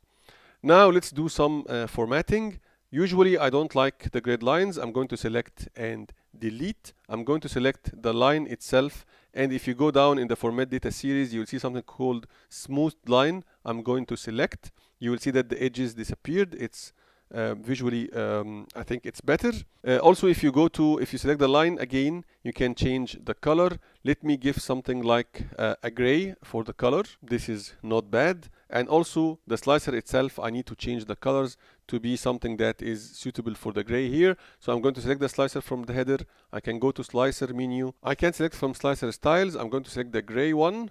I think it's good now. I can also make the slicer a little bit uh, smaller so uh, let me show you something uh, very nice. If you uh, press on Alt uh, and then you select the slicer itself, you can just move it to have it aligned with the grid. You can see here, when I move with Alt, I can just put it in the corners with the grids. So now I have it here. I think it's good. I can also do the same while resizing. So I'm going to press on Alt and then I'm going to use this dot to resize and you'll see it will be aligned with the grid. Same if I want to increase the height, I can just put it aligned with the grid like this. And also I can do some other changes for the buttons. I can go to slicer menu again while selecting the slicer itself. You will see here in the button section I can change the height. So I'm going to increase the height like this. And I don't need the headers for the slicer because category, it's category. So no need to show something called category. So let me right click and select slicer settings and you will see something called display header uncheck and okay. You will see that you have only the buttons. Now I can take the chart to be aligned with the slicer. I'll do the same pressing on alt and drag. Also let me resize to the left. Also let me uh, decrease the height. It's too high so let me do it like this. I think it's very good. Now I think we are almost ready. We can copy this and do another one for the net sales. Select the chart area control C to copy and go below and control V to paste. I have identical chart here. I can just move the selection area with my mouse here to just point to the net sales. I think it's okay. I can just change the title double click and call it net sales value. And we can change the color of the line. I'm going to choose the dark red and here you go. You can just go to view ribbon and uncheck the grid lines and you see here we go. Here is the dashboard that I showed you in the example. You can just select and the two charts will change according to your selection. Now I want to add more data.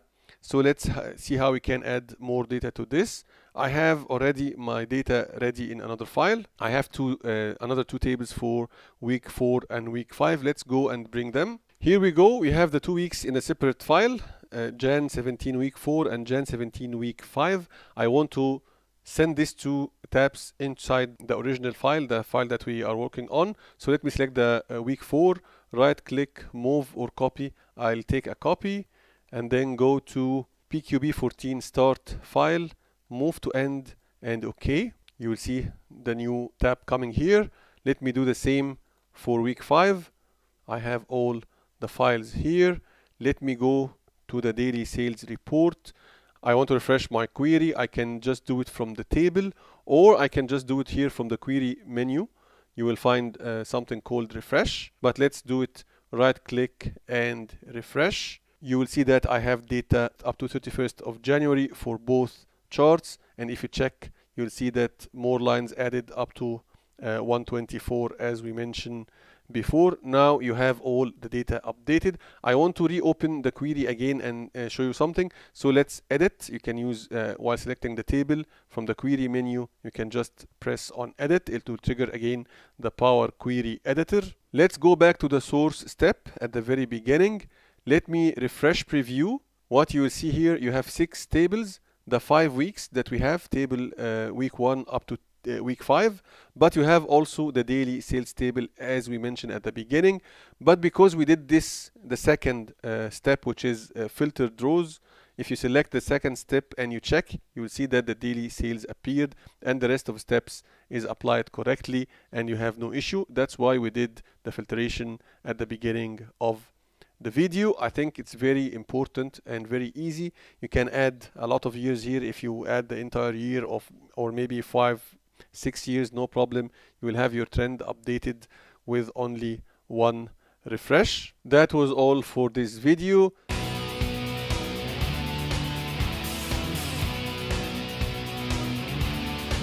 Welcome to a new video from Excel Data Analysis Series PQB or Power Query Basics. This video PQB15 we are going to see how we can create a dynamic filter using Power Query. This filter will take the input from the Excel sheet and send it to the Power Query. Then the Power Query are going to filter the data in the background and send it back to Excel. In our practical example today, we are going to start with the data coming from AAA Bike Shop representing the sales for Q2 and this data is in around 17,000 rows and we want to have an output sheet like this. This out output sheet containing a subset of the data actually filtered based on these two values. First value is the date value and then a category value.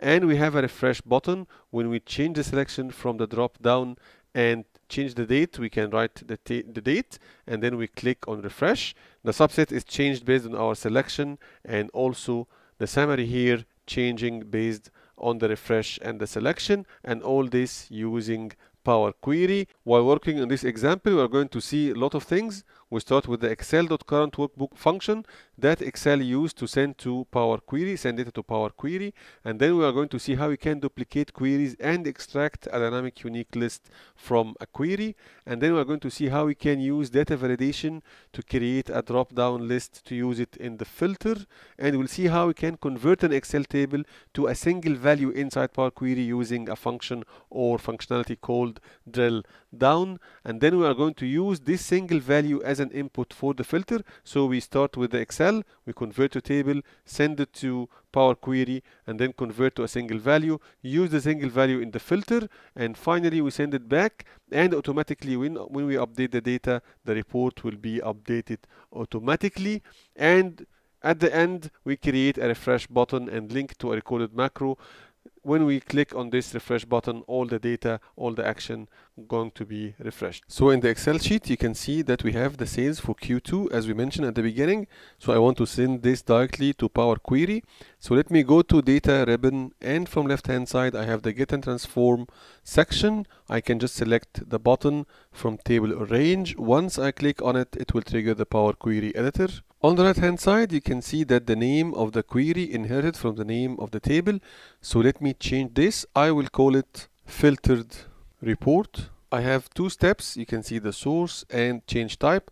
I don't need the change type for the moment so let me X out. Now I have only the source. If you go to the formula bar you will see that I have a function called excel.currentWorkbook this is the function that Excel used to bring the data from the current workbook and you can see it specifies the name of the table and the content of the table as well.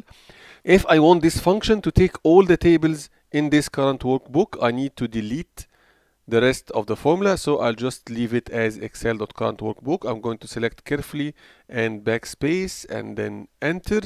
You will see that I'll have a list as you can see down here list of all the tables in this workbook. I have currently only one table which is sales 2017 Q2 but when I copy or send more tables inside this workbook it will be listed down here. So I want the query just to deal with the tables that contains or start with the name sales. So if I'm going to create any other table inside this workbook start with any other name should not be considered inside this query. In order to tell the query to do so, I need to do a filter. I'm going to select the bottom and the top of the column name here and I'm going to text filter and I'm going to select begins with. It will trigger the filter dialog box. Let me write here sales. So I'm telling Excel, please do not consider any table inside this query except the tables start with the word sales and then I'm going to click on OK. Nothing will happen but this will help me when, when more tables come into this uh, query. You will see that I have now two steps, the source and then filtered rows. Now I don't need the column name. Let me X out remove column and then I can expand the content of the table. If I select in the empty area here you'll see a preview of the table down here. I want to expand this and bring it inside the query itself. So I'm going to select this double arrow here and I'm going to uncheck use original column as prefix and I'm going to select all the columns. Click on OK.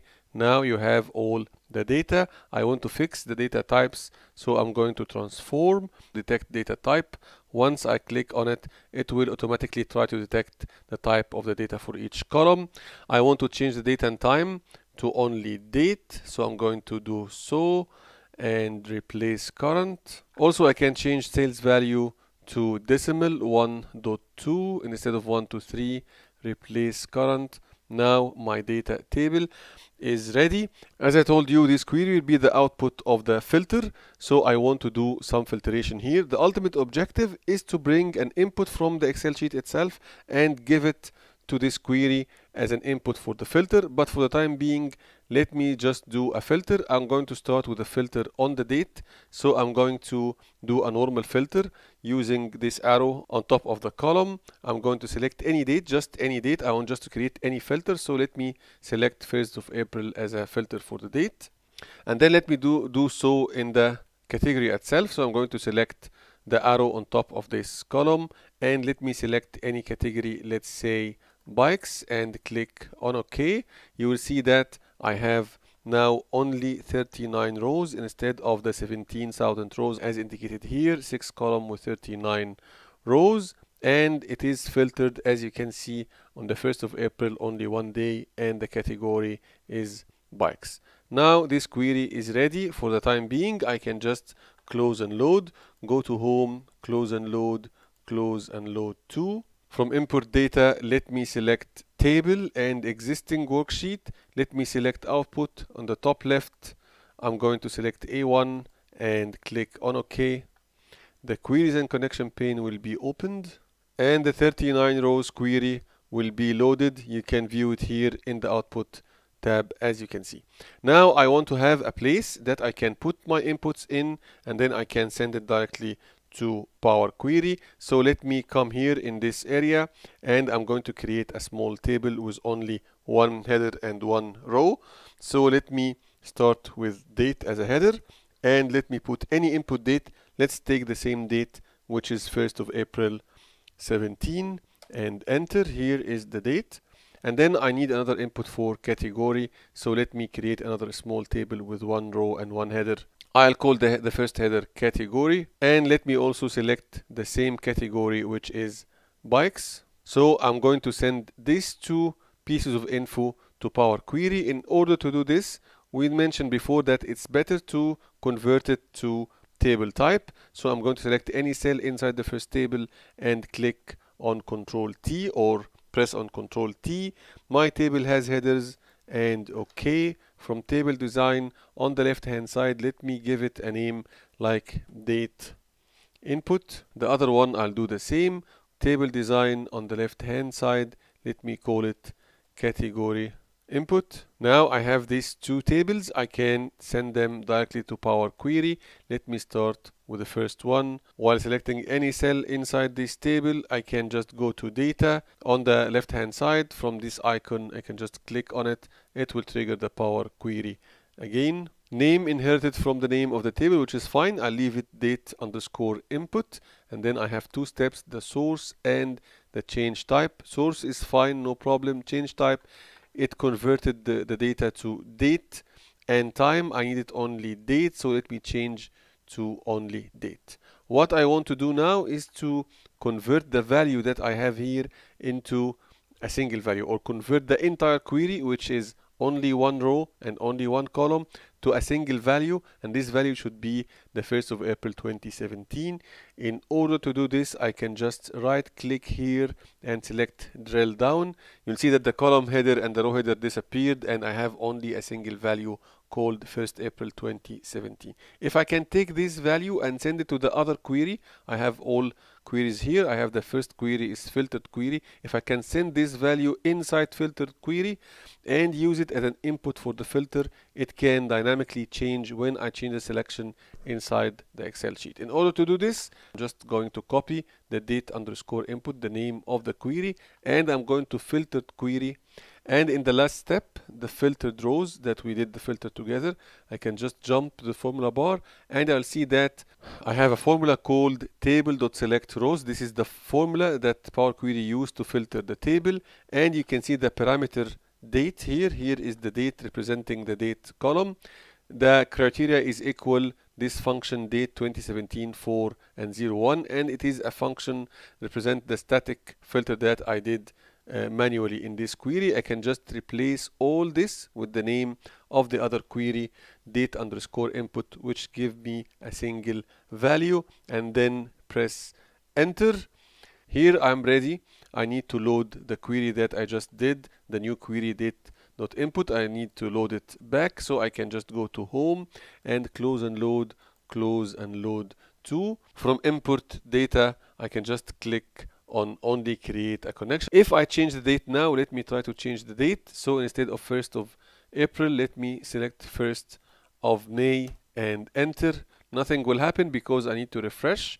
I can just select any cell inside the output table, right click and refresh. You can see here the filter changed, the data changed, the background filter worked and give me the new input. Still bikes, but I have the new date 1st of May. I need to do the same in the bikes. I'm going to select any cell inside this table and let me use the keyboard shortcut Alt A PT on the right hand side. Category input is the name of the query coming from the name of the table. I have the two steps source and change type. Change type actually is not very important for me. Let me take it out. I need to do the same. Right click and drill down. Let me copy the name of the query control C and go back to filtered report and again jump to the formula bar. This time category equals bikes. I need to change this static selection to this dynamic selection category dot input and then press on enter now I can load the new query category.input. Let me go back to home, close and load, close and load to. Only create a connection and OK. Now I can change the selection from here. But the problem that I don't know exactly the names of the categories or I don't know how to write the category name. So I need something to help me take the input from the query itself and help me how to select. Typically, I need to do a drop-down menu using validation, but I need at the beginning to create a list or a unique list of all the possible categories coming from the original data inside the query. So how can I do this? I can just take a copy from filtered report, just right click and duplicate. Once I click on duplicate, it will trigger again the Power Query Editor and it will create identical copy of the query. If you open on the left hand side you'll see that I have filtered report and filtered report 2 it is identical copy of the first query but I need to do some changes inside this query. I have the source. I have no issue with the source. You can see that I have more table came here. So that's why it was very important to, to do the filter step. Now I have only the table with the data of the sales and then remove column this is fine okay with me. Then I need to do some changes inside the expand content. After expand content I need to delete. I can just select the change type afterwards and right click and I can select delete until end. And let me do some changes. I can just select the wheel on the right hand side of the name of the step. And in order to create a unique list from categories I don't need all this selections I need only the category item or the category field and click on OK. Let me change type to text quickly quickly from here. Text and then I need to remove the duplicates so I can get a unique list of this category column. From home and from remove rows I can just select remove duplicates. I have only the four categories. I can go to close close and load to. From input data dialog box, I can select existing worksheet, table for sure, and then go to resources on the top left A1 and click on OK. A new query will be created, filtered report 2. This is a very bad name I need to change. So let me right click and I can just do renaming from here. Let me call it category underscore list and enter and also because I'm going to write the dates here I need something to help me to understand where is the beginning date and where is the end date where is the start and end date so I can select the right date. So I can do something similar to the category list query. Let me have another duplicate from this uh, query. Right click and duplicate. It will trigger again the Power Query Editor. Now I can change the name of this query. Let me call it start underscore date and enter. I don't need the remove duplicate. Let me take it out. Change type also not important for me. Let me take it out. Expanded data. I can again change the settings for this step. And instead of selecting category I'm going to select date and OK. Remember that this is a copy of the query. So category list still as is. This is a copy of the category list. I just change some steps and I have now list of all dates. Let me change type this time I'm going to select date and instead of remove duplicate as I did in the category list query let me do something different. I'm going to transform and to date let me select earliest. So only one value will appear here which is the first April 17 so this is the first date I have the start date I have inside my data or inside the table I send at the beginning to Power Query so this is very good. I can just load this but instead of loading this directly let me do another copy. Right click and duplicate. I can do duplication from here. And let me change the name of this query. Right click and rename. I'm going to call it end underscore date and enter. Now I have a duplicate. I want to change the start date to the end date. If you look at the formula bar you will see that Power Query used a function called list.min if I change min to max it will give me the last date. So I'm going to write max manually and enter. You will see that the date now is 30 June instead of 1st of April which is the last date of Q2 now I'm ready. I can just load these two new queries. Close and load close and load 2 in the import data dialog box I don't have the option of existing worksheet so let me only create a connection at the beginning and click on OK. You'll see that I have the two queries here. Let me go to the first one right click and load to this time I can load it to table and existing worksheet C1 and OK. We'll do the same for end date. Now I have the start date and the end date let me go again to the output and let me do the validations in these two cells. First one I'll start with the date. I can just go directly to data. And from data I have data tools then validation. This will be a date. So let me select date and date between. I have the start date in the resources sheet. So here is the start date. And then I need to put the end date. I have here the end date that's fine. I can just click on OK. Now I cannot select anything outside this range of dates so let me select 2016 it will refuse so I'm good to go. Let me do something similar in category but what I want to do I want to typically create a drop down menu that is referring to this list of categories. In order to do this let me start to reference at the beginning this list so I'm going to write equal. I know that I have a table called category list. So whenever I write category I have the two tables. Start with category. My one is category list. Tab. I have only one column in this table which is category. Let me select and tab.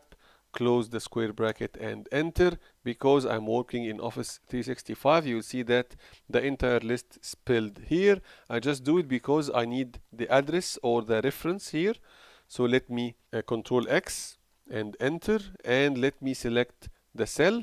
Let me go to data again and from data tools data validation this time I'm going to select list and here is the source of the list.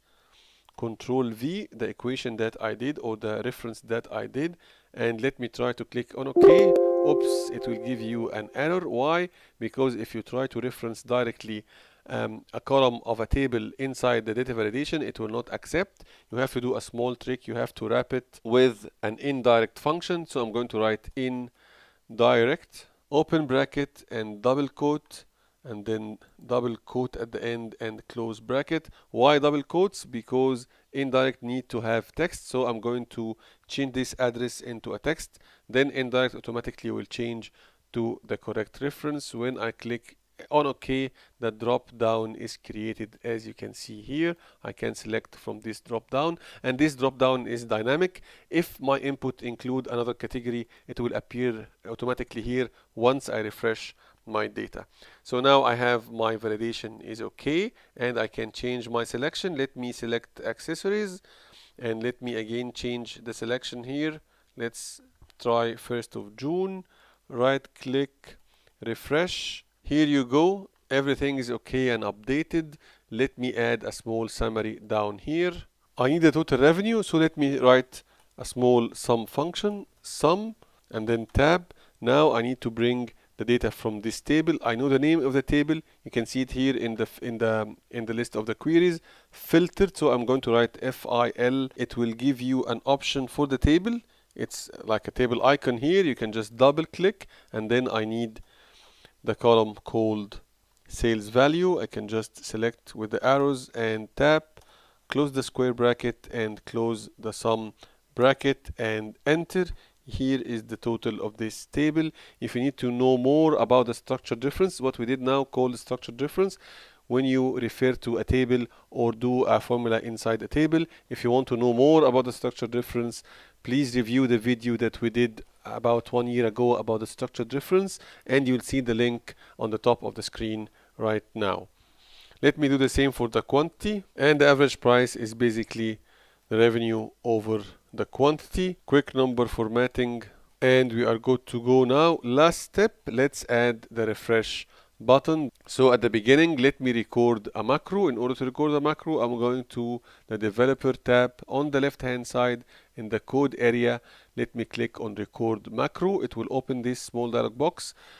Let's give a name for the macro. I'll call it refresh. I'm not going to give it a shortcut. No need for this. And I'm going to save it to this workbook. Click on OK. Now you can start to record your macro. Only one action. I'm going to data ribbon and I'm going to select refresh all. Now you can go again to the developer ribbon and stop your recording. Now your macro is ready. Let's add the button from developer ribbon as well. I can go to insert controls area and insert. I can select my button. Let me put it in this area and let's assign a macro to this button the only macro that we have is refresh let me just click on OK. And I have here the name the automatic name button 3 I can just rename it. Let me call it refresh. Now I can just right click to format control. I can just select something like Arial Black. It is a bigger font. And also I can select bigger font size. Click on OK. Now you have your button ready. Let's do another quick trial. Bikes another date let me select 15th of June and refresh. Your filters is working. You have bikes and 15th of June and for sure your refresh button is working and the summary also automatically updated. The last thing is let's try to add more data to Q2 I have another file containing some data. So I have here, as you can see, the sales for Q3 and Q4. I'm going to send this two uh, tables or these two sheets to the other file, the working file that are, are, working together on. Now we have the three quarters, Q2, Q3, and Q4 inside the same table. If you look at your resources, you have the start date is 1st of April and the end date is 30 June. If we add up to quarter 4, if we do a refresh now, you'll see that this date will be updated as well so let, let me go to the output sheet and use my refresh button I'm going to click on refresh. All the queries will be refreshed. If we check the resources again you'll see that the last date is 31st of December. Let me copy this go again to output. Let me select this date. I'm not going to change the bike selection. Refresh. Look at your table now. You have the latest date and the latest information 31st of 31st of December 2017 and for sure your summary correctly updated. I think it's very useful to filter a large amount of data inside a small table and have your summary and you have your controls. You can just select whatever you want and one click you will see your data updated.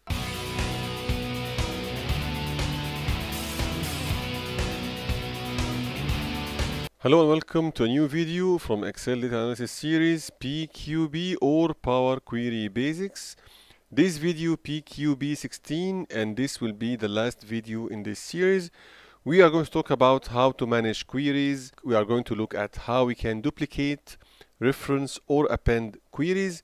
In previous videos we talked about duplicate and append but today we'll see how we can choose between these three when we should do a duplication for a query, when we should do a reference, and when we should append. Let's go directly to Excel and see our examples for today. In this Excel workbook, it's called Sales 2017. It includes the daily sales data for AAA Bike Shop, coming in five columns date category product channel and sales revenue and as you can see it is approximately 69,000 rows not only this if you look at the folder you will see that we have another two files another two excel workbooks containing the sales for 2017 and 2018 the requirement is to do some reporting some reporting on the sales and based on each report we're going to see when and how to use reference append or duplicate because we are going to connect two, three different workbooks, I'm going to start from a blank workbook. If you look at the top, you will see it is book one.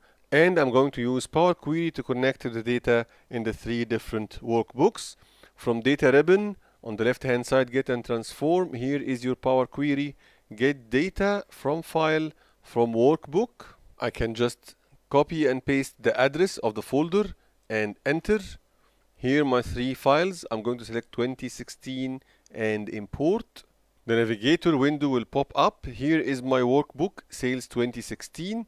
Only contains one sheet, sheet 1. If I click on this sheet on the right hand side, I'll see the preview of the data. I can just click on transform data. The Power Query editor will be launched. The name of the query on the right hand side, sheet 1 inherited from the name of the sheet. I can change this. Let me call it all sales and enter the preview of data in the middle and I have here the applied steps. First one is the source. It used the Excel workbook and then the path of the folder and the name of the workbook sales 2016 in the formula bar. You can see it here.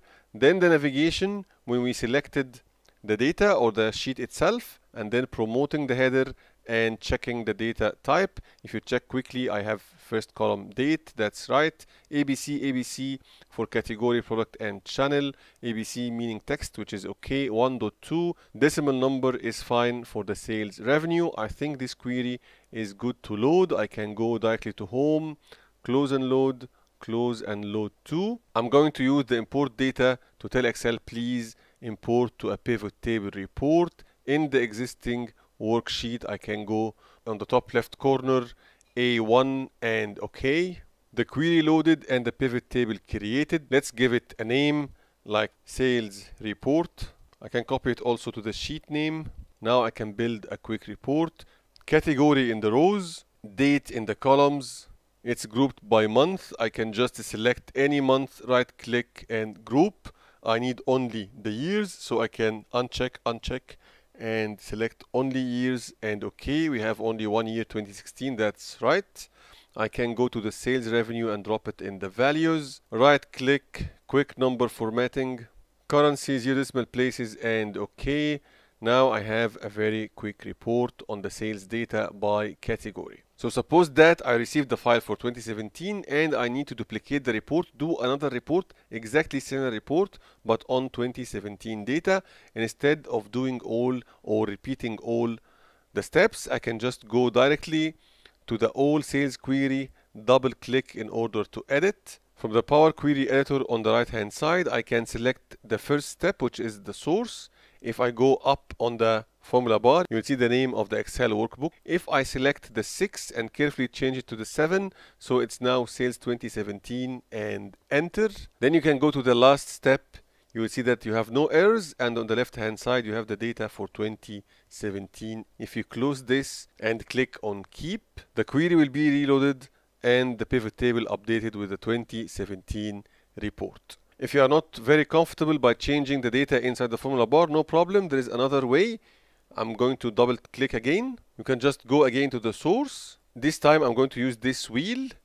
Just one click. It will open the query settings window. You can browse again and select the new file name that you want. This time let me put it back to 2016 import. Okay. Go to the last step. Now you have 2016 back. No problem. Close. Keep. Query is reloading pivot table updated back to 2016. Suppose now I want to put the 2017 data in the same pivot table. So I need to do a comparison or I see the two years together in the same report. No problem. Double click again. Inside the Power Query editor, I can just open the queries from the left hand side. I can just do a right click and duplicate or I can go to the home ribbon in the query section. I have the manage button here. Just one click and you'll see that you can duplicate from here. I'm going to duplicate. It will do another query identical query and called all sales 2 selecting all sales 2 on the right hand side let's change the name of the query to sales 2017 and enter. Going back to the source I'm going this time to change as we did the previous time the 2016 to 2017 and enter. If I select the last step I have the data for 2017 now I need to append both queries together. I have two separate queries one containing 2016 and one containing 2017 if I go to all sales and after the last step I added a new step called append. I can go I can select append from home combine and then append. Just one click on append it will open a window the append window. It will ask you two tables or three or more tables. For this case I need only two tables. Table to append I can just select 2017 current one is all sales. I'm just selecting the other one. Sales 2017 and okay. A new step added. And if you check in the filter here you see that you have 2017 and 2016 all together. I can just go to close close and load to I already loaded the first one close and load to now to load the other one the sales 2017 the new one. No need to import it to a pivot table report or any other place inside this workbook. I can just make it only a connection. Click on OK. Now the old sales will be reloaded and you will see that the pivot table will be updated with the 2017 sales data. As you can see 2017 and 2016 in the same pivot table report. Just a quick sorting from oldest to newest now suppose I need to do another set of reporting, not only this pivot table, I need to do some different reporting and I want to do it on the query itself. Let's say that we are reporting on the bikes on monthly basis, the sales of the bikes itself. So we are going to again to the all sales query, double click inside the Power Query Editor on the left hand side you can just open the queries. You have now two queries all sales and sales 2017 i'm going to right click here on the on the all sales. I have something new called reference or i can again do it from manage and reference. It will do another copy but this time if you look at the new copy of the all sales there is no steps here only the source. And if you look in the formula bar at the source you can see it's like equal all sales meaning that it will take the end result of the all sales query. So whatever happening here if I add like another steps here it will be reflected again in all sales too. Let me change this to something like bikes report and let's do some transformation here. First one the date. I need a monthly report so need for the daily dates. I can just replace all dates with the, uh, date of end of the month. I can do it from transform. Going to date month I have end of month. Once I select end of month it will change all the dates to the date of end of month. So all January will be 31st all February will be 29 and so on and so forth. Category I need only the bikes. I can just select the bikes from the filter only bikes. So the entire report now looking at the bikes. And no need for this uh, column anymore. Remove column and don't worry the filter will remain. No problem product I'm going to keep it. Channel no need for the channel. Again remove. I want to summarize this data so I'm going to use the group by. I'm going to select date and then press on control and product. I'll find the group by in the home ribbon in the transform section or in the transform ribbon on the left hand side. So let's select. Because I already selected these two columns you see that these two columns represented here this meaning that the grouping will be by date and then by product. And the column that will be used for the sum operation will be the sales revenue. So the new column I can do it the same. I can call it let's say sales value. Operation itself it will be summation. I can just select the sum. And the column to be summed will be for sure the sales revenue the Power Query is going to aggregate the sales revenue based on date and product. Once I click on OK, the sales revenue column will disappear. A new column created called sales value and now I have only 96 rows instead of I think it was more than 134,000 rows. In order to prepare the bikes report, I need to pivot the product column. And instead of having the products in the lines, as you can see in the rows here, I need to put it in the header of the columns. How to do this? Just by selecting the product, I can go to transform ribbon and I'll see that I have an option called pivot column from the any column section if you click on this it will ask you one question where is the value? How can I do the calculation? I need to know where is the value. For sure the value is in the sales value. So I can just select the sales value and click on OK. The names of the products are now the headers of the of the columns. And you see the dates. You can see here the dates. So you have only one line for each month. And you have the sales for each and every product in the intersection between the month and the name of the product. Now we are ready, we can just load this to a table. So going back to home, close and load, close and load to. This is a ready report. I can just put it in a table, new worksheet in A1, no problem. Okay, and here you go, you have your report. Quick number formatting for the values and I can do something for the dates instead of having the end of the month I can just present the month itself from custom MMMYY okay so it appears like only a month not a date. I think this is perfect. Now suppose that I received the sales for 2018 and I want to up update my sales report to have another column for 2018 it's very easy now. I can just go to sales 2017 right click duplicate this time no problem. It will trigger the power query editor. Now I have the new query called sales 2017 2 let me change it to 2018 and enter going back to the source very easy just change 2017 to 2018 and enter. Going back to the last step 2018 is okay and no errors we are good to go. I can just go back to all sales. Going to append query let me change the settings for this append step. Now I have three or more tables and now I have all the tables on the left and the appended tables on the right. I can just take 2018 and add and okay. And here you go. You have all the data now in this query in all sales query.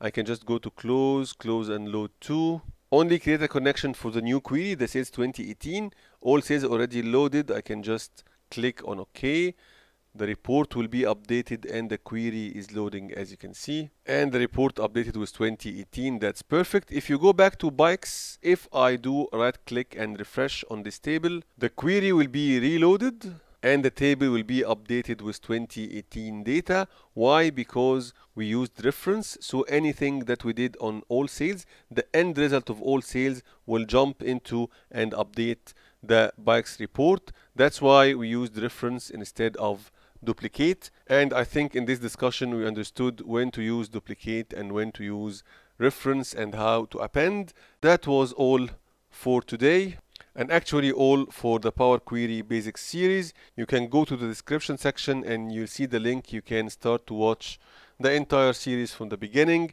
And before leaving you, if you're not subscribed to the channel, please do like the video if you like it and leave a comment and see you in the next series and bye.